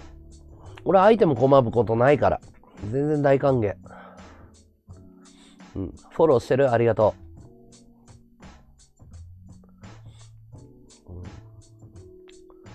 う。うんこだわったり執着したりとかさ、未来がどうとか成功したりとかもう煩悩まみれだよな、本当に。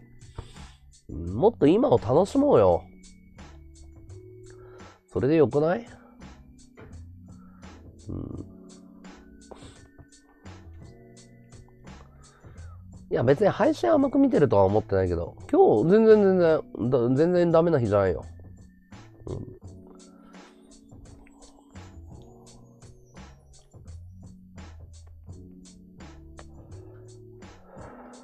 そうそうそう。今しかないんだよ。今なら最強だからね。そう。今、今を変えることはいくらでもできるんだよ。今を。なんでそう未来とか過去に縛られるのかな？くだらないよね。教祖になれそう。いや、だから俺のこと先生って呼ぶ人もいれば、神様っていう人もいっぱいいるけど、お兄ちゃんとか弟とか、彼氏とか、いろんな、まあ、人によって違うわけじゃん。俺の関係性って。別に教祖になんかなりたくないし、俺の仕事は俺だから。俺はただ俺として生きていくだけだよ。俺は別に何かを名乗るつもりはない。うん。その、俺のことファイターっていう人もいればね、作家だっていう人もいれば、映画監督だっていう人もいるだろうし、何でもいいよ。みんなが決めてって。うん。うん。アイテム投げまくれも煩悩じゃない？や別に投げたきゃ投げればっていう。受け取るぜっていうメッセージだ。うん。投げたい人が投げてくれて、俺の生活支えてくれてるわけよ。うん。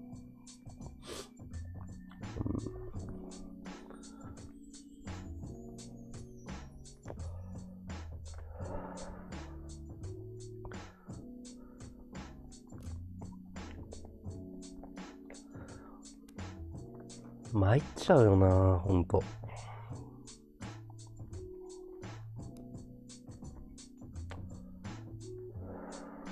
そうそうそうそう、本当に。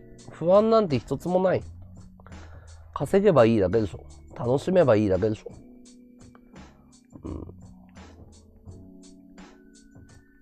うん。やりたいことやってるだけっすよ。あ、そう、みんなさ、誰かさ、ベルルッティの財布欲しいんだけど、誰か買ってくんねえ、マジで。俺一生もので、ベルルッティの財布買いに行こうと思ってんだけどさ、よくない？あ、和道が使ってる財布俺がプレゼントしたんだよって一生自慢できるんだよ。20万ぐらいだから、結構安い投資だと思うの。もし誰かあのベルルッティの財布買ってくれる人いたら連絡ちょうだい。うん、あ、そうだよ。あの、金は天下の回り物だから、金出す癖つけないとハングリー精神がないから、どんどんどんどん行った方がいいよ。もし、あの、ベルルッティの財布買ってくれる人いたらよろしくお願いします。自慢できるよ。いや、見ろよってキャバクラとかで。そう。財布出してって言ってくれたら、あ、これっつって、リスナーさんからのプレゼントなんだよねって。ベルルッティっつって。うん。それから、フランク・ミューラーのライジングさん。買って、あ、買ってよ、リサ。でも、結構高いよ。20万ぐらいするよ。でもまあ、あの、投資する価値はあると思うよ。うん。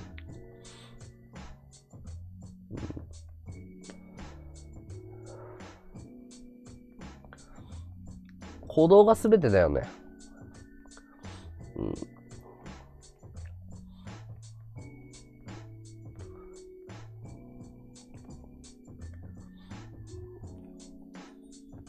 欲を出してないよ、別に。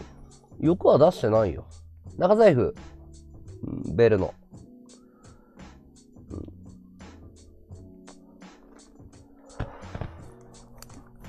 いいでしょボスさん。別に貧乏人に言ってるわけじゃなくてさ、お金余ってる成功してる人に言ってるんだから。うん。見返りだから言ったじゃん。和道が使ってる財布俺がプレゼントしたんだよって言えるんだよ。すごくね？じゃあさ、例えば、ビードたけしが使ってる財布俺がプレゼントした財布だよって、自慢できない？一郎が使ってる、あの、財布俺がプレゼントしたんだよって、なるでしょ？うん。うん。恵比寿さん、俺はね、あの何かをしてくれたら何かをするっていうの嫌だ。20発差し上げてから発言権があると思って、恵比寿さん。ごめんね。うん。本当に20発差し上げるんだったら普通に投げてるはずなの。でもしよかったらこれやってくんねっていうのが対等な付き合いだと思うから、まず先に投げるべきだと思っちゃう。ごめんね。うん。あ、かっこいい、ありがとう。ネックレス素敵、ありがとう。うん。ごめんね、恵比寿さん。うん、なんだろうね、直感だね、物を買うときは。考えてない。値段も見ないし、ブランド名も全然気にしない。うん、いいなと思った、欲しいなと思ったものを手に入れるだけ。うんうん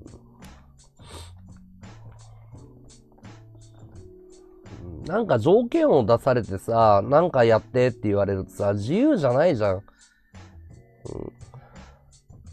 やだ。う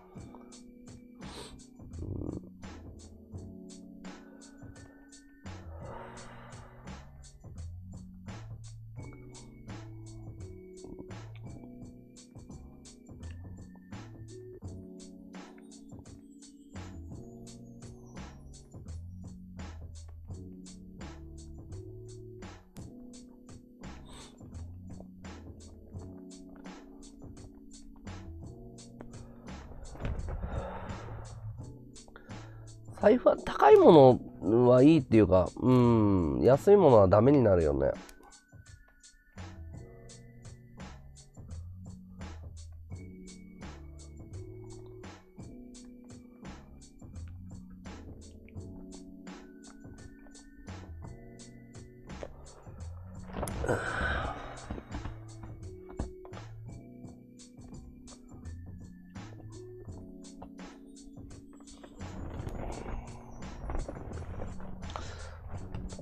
品長くね、メンテナンスしたら一生使えるからいいよね。うん。たまさんありがとね。たまさんありがとう。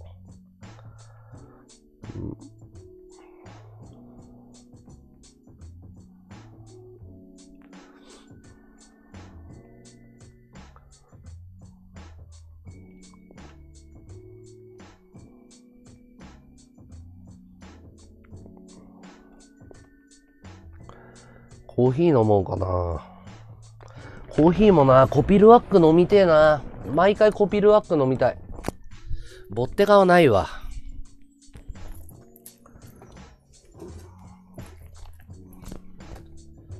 コーヒー買ってくるわ。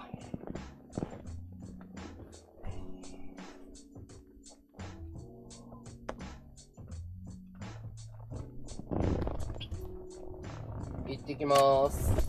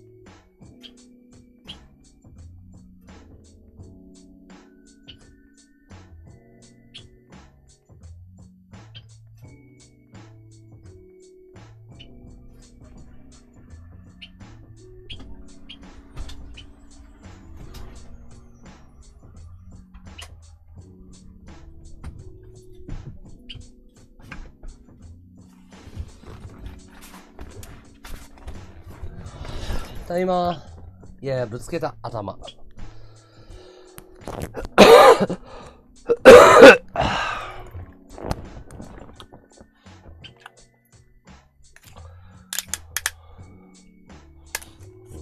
おはよう。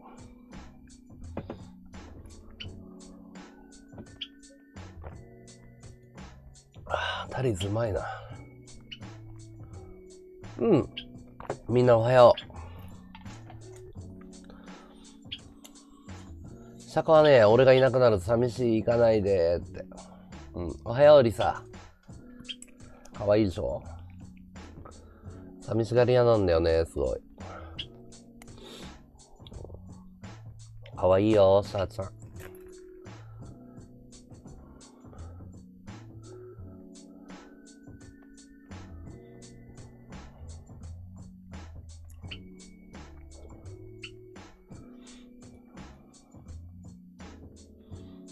あ、フォローありがとうね。新しいフォロワーさん紹介しましょうか、じゃあ。新しいフォロワーさん。ああ、たくさんありがとう、フォロー。えー、琴音、ゴッド高田、リコ、ガルーダ、リム三世、ユカ、ミータソ、フィグレット、フォローありがとう。文章入れると可愛いよね。すごい。東京水不足なの？今。ニュース見なくなっちゃったかな。おはようち。おはよう。今日もよろしく。楽しもう一緒に。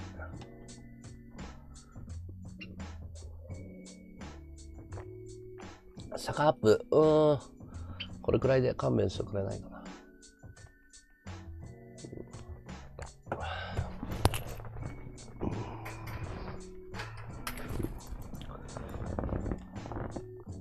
おはよう、ゆき。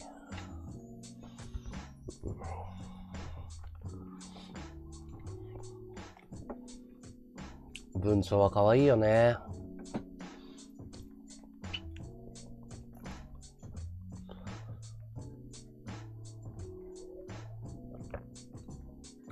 あ、どうなんだろう。白文章気が強いのかな白文章しか買ったことない。うん。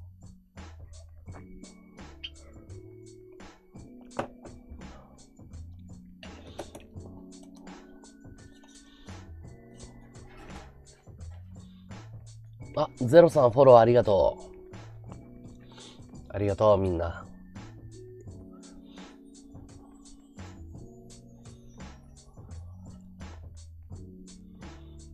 今日何曜日だ ?16 か、もう日曜日か、今日。今日何やろうかな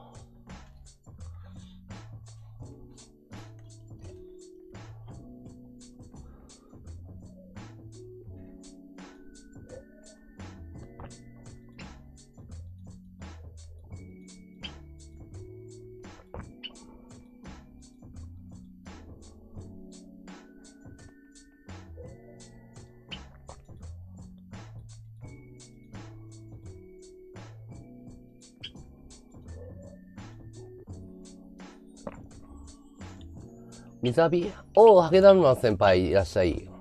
ひなから、そうだね。あの、餌を食べ始めたぐらいで、まだ、あの、色がついてた頃から買ってるよ。うん。新橋、新橋ってなんかあったっけ？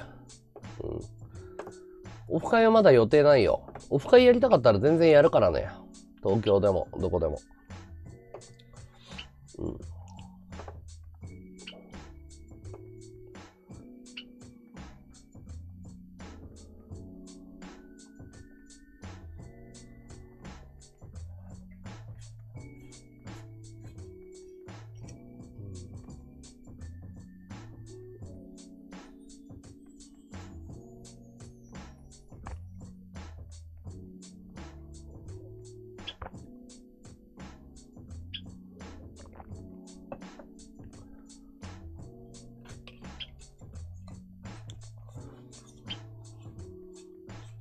水浴びするね。うん。水浴びするよ。バシャバシャ泳ぐ。おい、おはよう。バカありがとう、アッコ。3個もたくさんありがとね。よろしく。おはよう。オフ会、うん、買って買って。うん。まあ、郵送対応もしてるから。うん。あ、ドルさんのやつか、今日。何時からだっけ？喉ね、ちょっと調子悪いっすね。喉。あんまり良くない。うん、まあ、パッと行ってパッと帰るかな。か、うん、あんまり乗り気じゃないんだよね。水浴び半端ないね。一日一回らしいんだけど、本当は。かなりする、うちのは。うん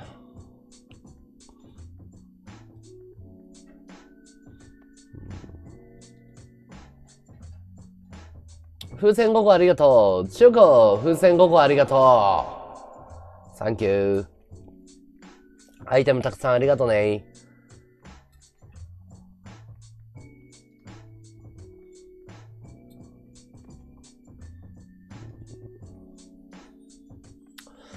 うん、カー君と飲もうかな。うん、カー君と一緒に遊ぶかもしんない。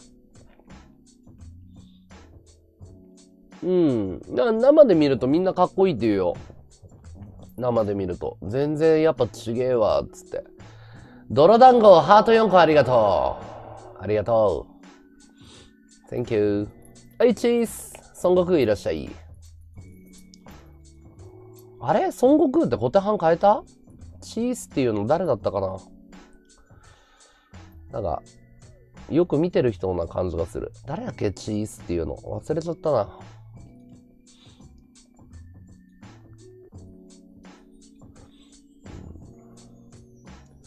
給料出たらアイテム進化すんの？ああ、頑張って。うん。生で見るとやっぱ違うらしいよ、雰囲気が。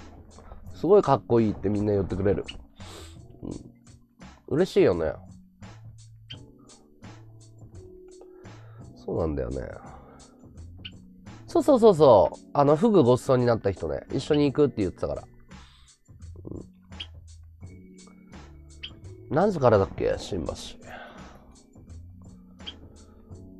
めんどくせえな。なんで俺が配信者のリア突町行かねえといけねえんだよ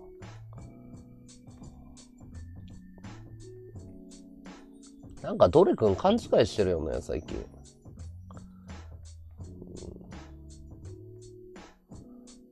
うん。あまあ、全然違うらしいよ、会ってみたら。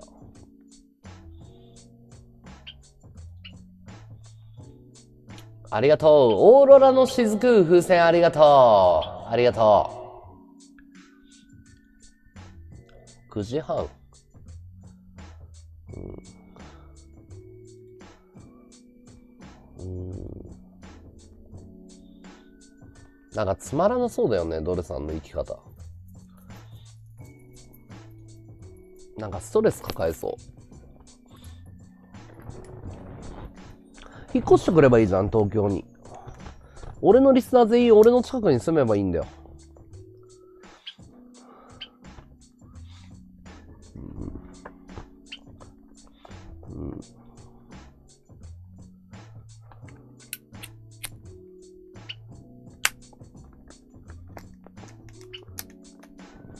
そしたら楽しいじゃん。ね。俺新宿っすよ。西新宿。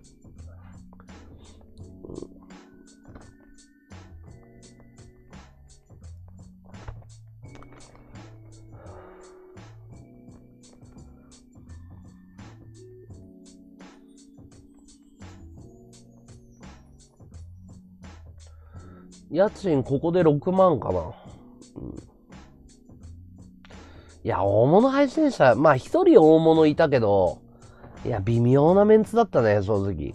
行きたくねえ、みたいな。逆に行きたくねえ。一人はちょっと会いたいなと思ったけど、何このメンツっていう。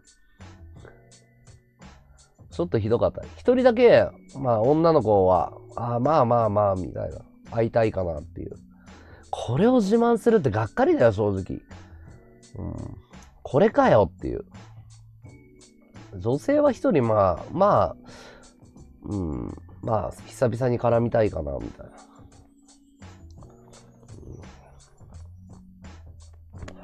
まあ、パッと行ってパッと帰るわ。嫌だもんだって俺。だってドレさんの囲いに合うわけじゃん。俺の、俺、別に俺に会いに行きたいわけじゃないじゃん、リスナーさんからすると。なんで俺が用意しょしないといけないんだろうってなるじゃん。だったら俺、俺のファンと会ってた方が全然有意義な時間と過ごせるわけでしょ？うん。スパーリングもなんか、ランハゲが来るって言ってたから、え、って俺会ったことないし、と思って。あ、払ったよ、保証。保証料。払った払った。配信者はただじゃないでしょ？うん、駅は、いや、まあ東京は駅どこも近いよ。歩いたらどこでも着くから、うん、そこはあんまり不安にならなくていいと思う。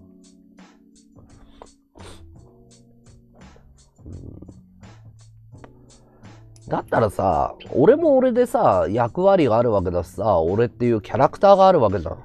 どれはどれっていうキャラクターがあって、どれさんはさ、自分のファンと会うべきじゃん。でしょ？そう思わない？で、ファンサービスをしないといけない立場じゃん。なんで俺がドレさんのティーアップしないといけないのって。嫌じゃない？意味がわかんないんだけど。出しにしすぎでしょ、ちょっと。周りの配信者を。ランハゲさん来んじゃないの？だから、そういうのも嫌なんだよね。うん。他の配信者が和道どうしちゃったって？え、別に普通だよ。別に。うん、どう、どうもしてないけど、毎日こんな感じだけど。だ、誰が言ってたの？お前さん。まさんか。まさん誰が言ってたの？そう。でも裏ではあんな感じだけど、放送つけたらなんか、すげえ出しに使ってくるの。それが嫌なの。毎回そうなの。裏では頼むよ、みたいな。そう。自分の企画なんだから自分でやりなさいよっていう。いや、わかるよ。突待ちを一緒にやろうとか、合同オフ会やろうって言うんだったら話は別だよ。だけどさ、その、なんで俺リスナーでもないのにさ、リア突に行かなきゃいけないのってなるじゃん。別に俺に会いに行くためじゃないんだから自分の企画ぐらいぐらい自分でやれよっていう。配信者だろって。いや、多分そうでしょうん。いや、俺そういうのってクソだせえと思ってて、その後輩を出しに使うとか。で、別に俺後輩じゃねえし。うん。捨て頃のあの企画はさ、ドレさんをさ、持ち上げるためにさ、ドレさんっていう配信者をさ、持ち上げるためにわざとさ、嫌われ役やってやったのに勘違いしてるよな、あいつ。もう捨て頃も終わったしさ、十分閲覧あるんだから胸張ってやれよ。そう、いつまで頼ってんだよ。ガキじゃねえんだからさ。いや、仲良くやりなよっていうかさ、だ、だったらさ、何なのって。そう、俺は俺で配信やるのが仕事なわけですよ。俺にもリスナーさんがいるんだよ。でさ、困るよ、そういうのは。みん、みんな困るよ。あんなやり方してたら。で、こっちはこっちでさ、香川さんとコラボ決まったらさ、俺も行かせてくれとか言って。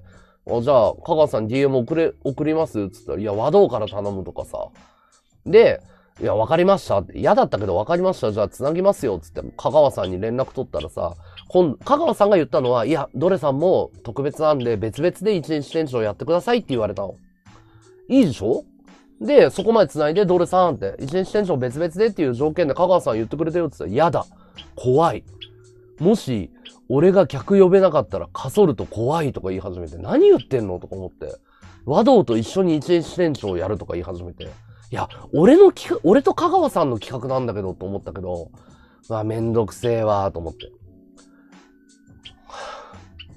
で、集客がどうのこうのとか言い始めてかっこ悪いなと思って。いや、もう大阪で10人ぐらい来るって言ってるんで、別に気にしてないっすよって。自然にやりましょうよって。自然に面白かったらお客さん来るしって。来なかったら来ないで実力じゃないですかって。それ受け入れればいいじゃないですか、また頑張る。いや、メンツがとか。メンツがって。バブル思考だよね、ちょっとね。そう。そう、逆に二人で店長やったら店がパンパンになって迷惑かかるんだよ。うん、いいんだけど、まあいいいいんだよ、別に。いいんだけど、それプラスアルファ今回みたいな連続なのもうずっと。例えばスパーリング企画の時も便所呼んでくれって。いや、ドレさん繋がってんだから連絡すればいいじゃんって。いや、俺から言うとちょっと。え？俺が言うんすかって。ドレさんの企画って言ってるじゃないですかって。いや、和道から言ってくんねって。で、便所さん、ドレさんやりたがってますって。もうね、俺、スタッフじゃないの。ドレさんの。そう、小心者っていうか、その、なんつうの？かっこつけたいんだよ、リスナーさんの前で。かっこつけたいのよ。わかるでしょ？見え。俺そういうの一番嫌いだからそういう関係嫌なの。だテルとかかっこいいんだよ。ワド、飯食わねえ。いいね、行くわ。どこ？うん、歌舞伎。かっこいいじゃん。かっこよくない？みんな。なんかシンプルで。ワド、捨て頃終わったらよ、沖縄行こうよ。なんか俺和道と行きたいんだよって。いいねつって。じゃあ飛行機いつ飛んのつって。俺何日って。あ、じゃあ俺前の日に入るわって。で、温めとくよ。かっこいいよ、よくない？なんか。気持ちいいんだよ。ヒカルくんも、和道さんどこっすか？え、マジっすか？っ家使っていいっすよ。かっこいいじゃん。金梅さんも何の前触れもなく、和道くん、放送中。いや、実は玉がさ、いや、何月何日に何々するんだろう。俺テレビ出るんだよ。聞いてねえから。いやー、俺テレビ出るんだよ。取材が来ちゃってさ。聞いてない、聞いてない。で、なんすか？って。俺も出るんすか？って。いや、いや別に。なんだよ、それ。なん、なんの電話だよ。そう。だから俺、その、そういうの萎えちゃう人なの。すげえ。萎えないなんか、そう、うまく使われてるのがもう分かっちゃうから、そう、パシリな、パシリじゃないから、俺、ドレさんの。うん、でも、まあ、世話になってっから、我慢してきたけど、そろそろなんか勘違いしてんなと思って。うん。言ってるでしょ？番組名秘密なんだよねとオンエアがあるから。だったら言うなよって。かっこ悪いから。それこそさ、黙っててさ、テレビにどれくん映ってたよの方がかっこいいじゃん。いや、前取材受けたんだよねって。かっこよくない？自然な感じ？ああ、ごめんごめん、つって。忘れてたわ、って。ってなるよね。ならない？普通に。あ、ごめんごめん、忙しくて忘れてたけど、そうなんだよって。この前テレビ来てさあの方がかっこいいじゃん。うなちゃんマンとかこういう感じなんだよ。ちゃんマンは。もう出さないの。あ、あるよ。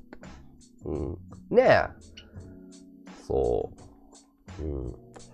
いや、別に取材が来る。いや、それは晴れ舞台だと思うからいいんだけど、自分から出ました、自分から出ました。見てください、録画してくださいじゃん、あれ。そういうことでしょいや、ステコロコーチは別にいいのよ。あの、ドレさんの一番輝く企画を考えて成功だったと思うの。あ、ピーマンいらっしゃい。俺はあの企画はドレさんのいい味が出たし、俺も強くなれたから最高だったと思ったの。俺は考えてやってんの、そういうの。うん、関係こじれるっつうかなんかちょっと勘違いしてるんだよね、ちょっと。なんか、その、なんかマウンティング仕掛けられてる感じがして。わかる？なんか俺の方が強いよ、みたいな。俺の方が稼いでるよ。俺の方が閲覧あるよ、みたいな。俺イラッとしたもんね、この前、ドレさんに。ワード最近乗ってるから。何、何が？と思って。俺ずっと普通にやってきてるだけだけどって。うん、なんでそんなこと言われないといけないんだろうと思って。ワード最近乗ってるよ、とか言って。おっすー、ゴーツーさん。あれ、久しぶりだよ、ゴーツーさん。うんあ、それはね、また別の取材なの。それとは別件。今回のは。うーん。なんかね、気持ちよくやりたいの。気持ちよく。うん。なんか、うん。ん？クモン竜に閲覧持ってかれる？あ、いいと思うよ。俺クモン竜好きだもん。あいつはいいじゃん、なんか。まっすぐで。だからほら、やから系苦手だからやから系なのかなと思ったけど、可愛いよ。俺クモン竜。今のところはね。なんか暴力とか嫌だけど、ほら、モンモン入ってるからさ、そっち系なのかなって誤解してたけど、俺、クモン竜全然来てくれるし、全然好きだよ。うん。うん。そうそうそうそう、うなちゃんマンはそういうとこ敏感だよ。自分のネームバリュー知ってるから。うん。だから必死なんだと思うよ。ゆいがさんとか、ちゃんまんに切られてるから、その、要は不安なんだよ、今。ピンの力でどこまでやってるか。だからおもちゃ探しをしてんの。もうダサい。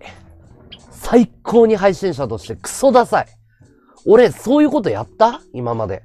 誰かを利用しておもちゃにして閲覧取るって。突発的にはあるよ。その、解放が家に来たりとか。でも、向こうから来たものを、面白おかしくするじゃん。まあ、解放を有名にしてやるか、みたいな。それはやるよ。もうやだ。もう勘弁してよ。頭下げることもあるよ。例えば関慎吾さんとかさ、新やっちょとかさ、いやー出たいっすね、みたいな。ちょっとよろしくお願いします。でも出しゃばらないもん、俺。うん、裏方に徹するもん。それが礼儀でしょ。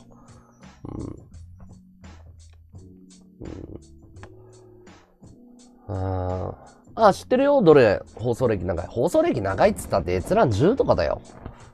そんなの放送歴に入らない。アマチュア歴が長いだけじゃん。俺現役のプロでずーっとやってるもん、閲覧3桁で。うん、ふわっち来たから閲覧200切ったことないでしょ？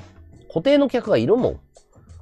だって、ドレさんなんかは、捨て頃始まる前まで20人、30人じゃん。で、ツバニャンが拾ったんだもん。あれはツバニャンの功績でしょ。うん。俺は別に今のところクモン全然嫌いじゃないけど、そう、自分の配信できないのっていう。人のネタ話してないで、人を、なんかね、俺昔のドレさんが好きだったな。正直。なんかもう人のこと小馬鹿にしたりとかさ、なんか、なんつうの、誰かを出しにしてないとダメなのかなって思っちゃうよ。うん。俺別にだってドレさんと客層被ってないもん。うん。そう思わない？あの、もちろんコラボしてるからお互い見るっていう人は、まあ、うん、どれくらい ?0.5 ぐらい？いるかもしんないけど、0.5割ぐらいいるかもしんないけど、だけど、別に向こうのリスナーを取ろうとか、花火師さん取ろうとかないじゃん。だけどね、ドレさん、すごい悪いところがあって、うちの花火師さんとか、ご飯おごってくれる人とか、お金持ちの人をディスるの。名前を出すの。俺、それね、マナー違反だと思うよ、配信者として。俺、絶対それはやっちゃダメだと思う。人のリスナーをディスるって。俺、ドレさんのリスナーディスったことなんか一回もないよ。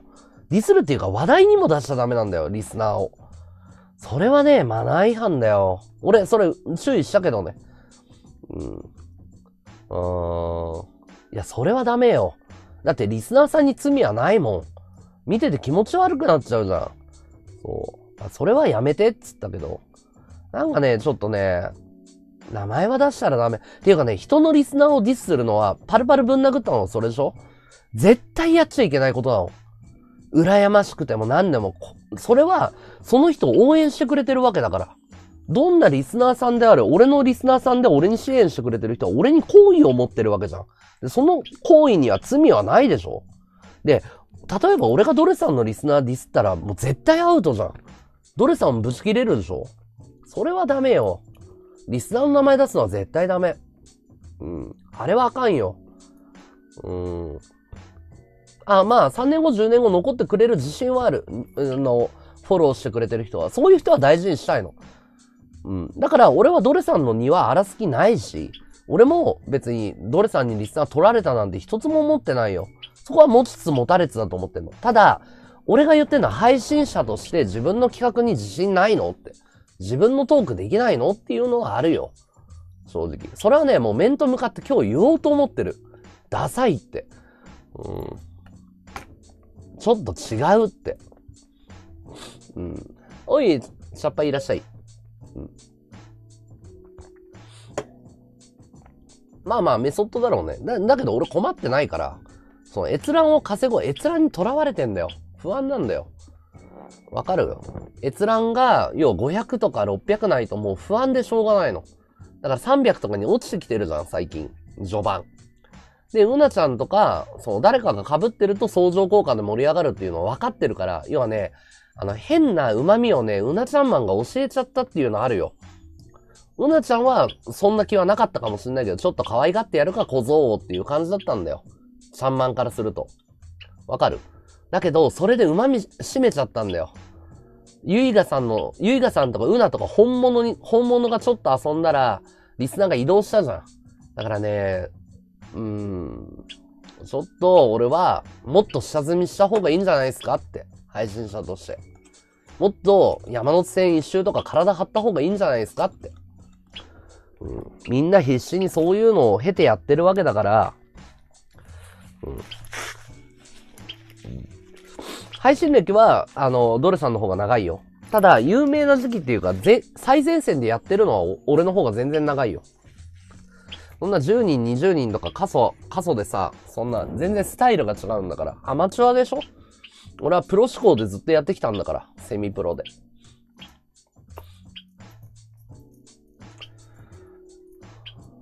正直に言うよ、それは。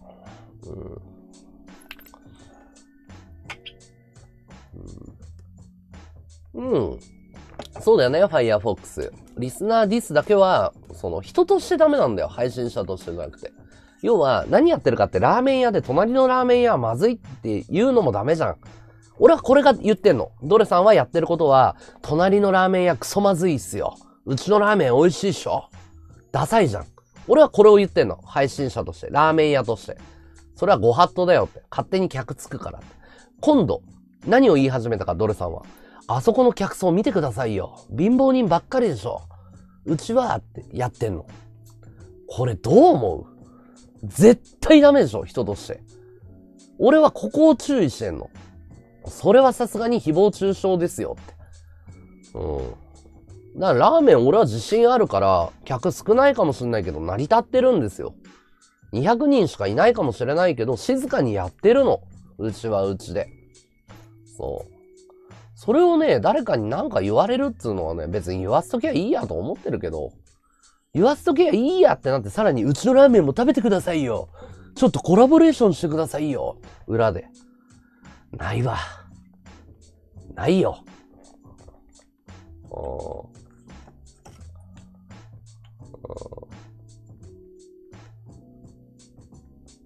どう？こう考えると分かりやすいでしょ？こう考えると分かりやすくない？あ、どれがやってることそういうことかって。ご法度でしょ、う、だから気が乗らないのよ。いや、そっちのラーメンもうまいっすね。あ、いや、お宅の方もうまいじゃないですか。ってちょっとコラボで新しいラーメン一品ずつ出しません？これ気持ちよくない？うん。ちょっと二つの店で一品出して、お互いの店で出しましょうよ。限定ラーメン1ヶ月で。気持ちいいじゃん。気持ちよくない？それみんな勝つじゃん。お客さんも楽しめるし。うん。もしくはスタンプカード共有しましょうよとか。うん。そういうのがいいんだよ、俺は。気持ちいいんだよ。仕事って感じがするじゃん。うん。お客さんも楽しめる。店同士も仲良くなる。輪が広がる。こういうのが好きだよ、俺。うん、はい。じゃあ次枠いきます。もしよかったらフォローしてください。皆さんお疲れ様です。最後のアイテムタイムです。もしよかったら、えーアイテム投げてください。えー次枠も頑張ります。フォローもよろしくお願いします。おつです。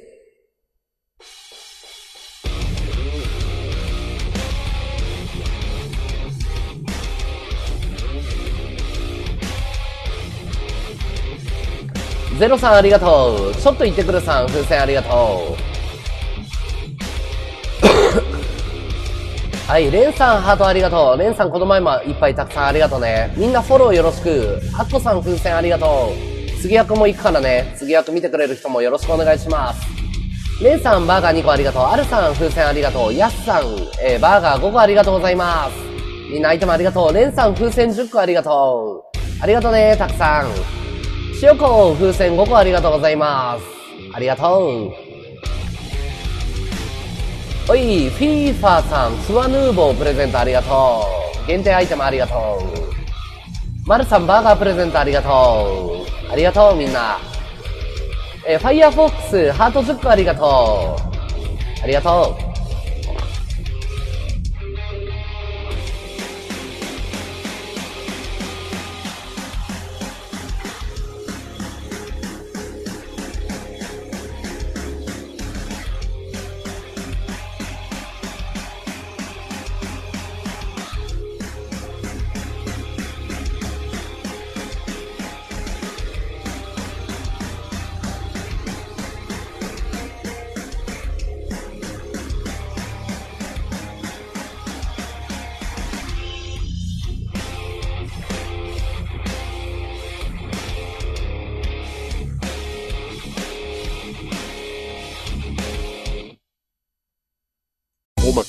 ト欄荒らすなよ。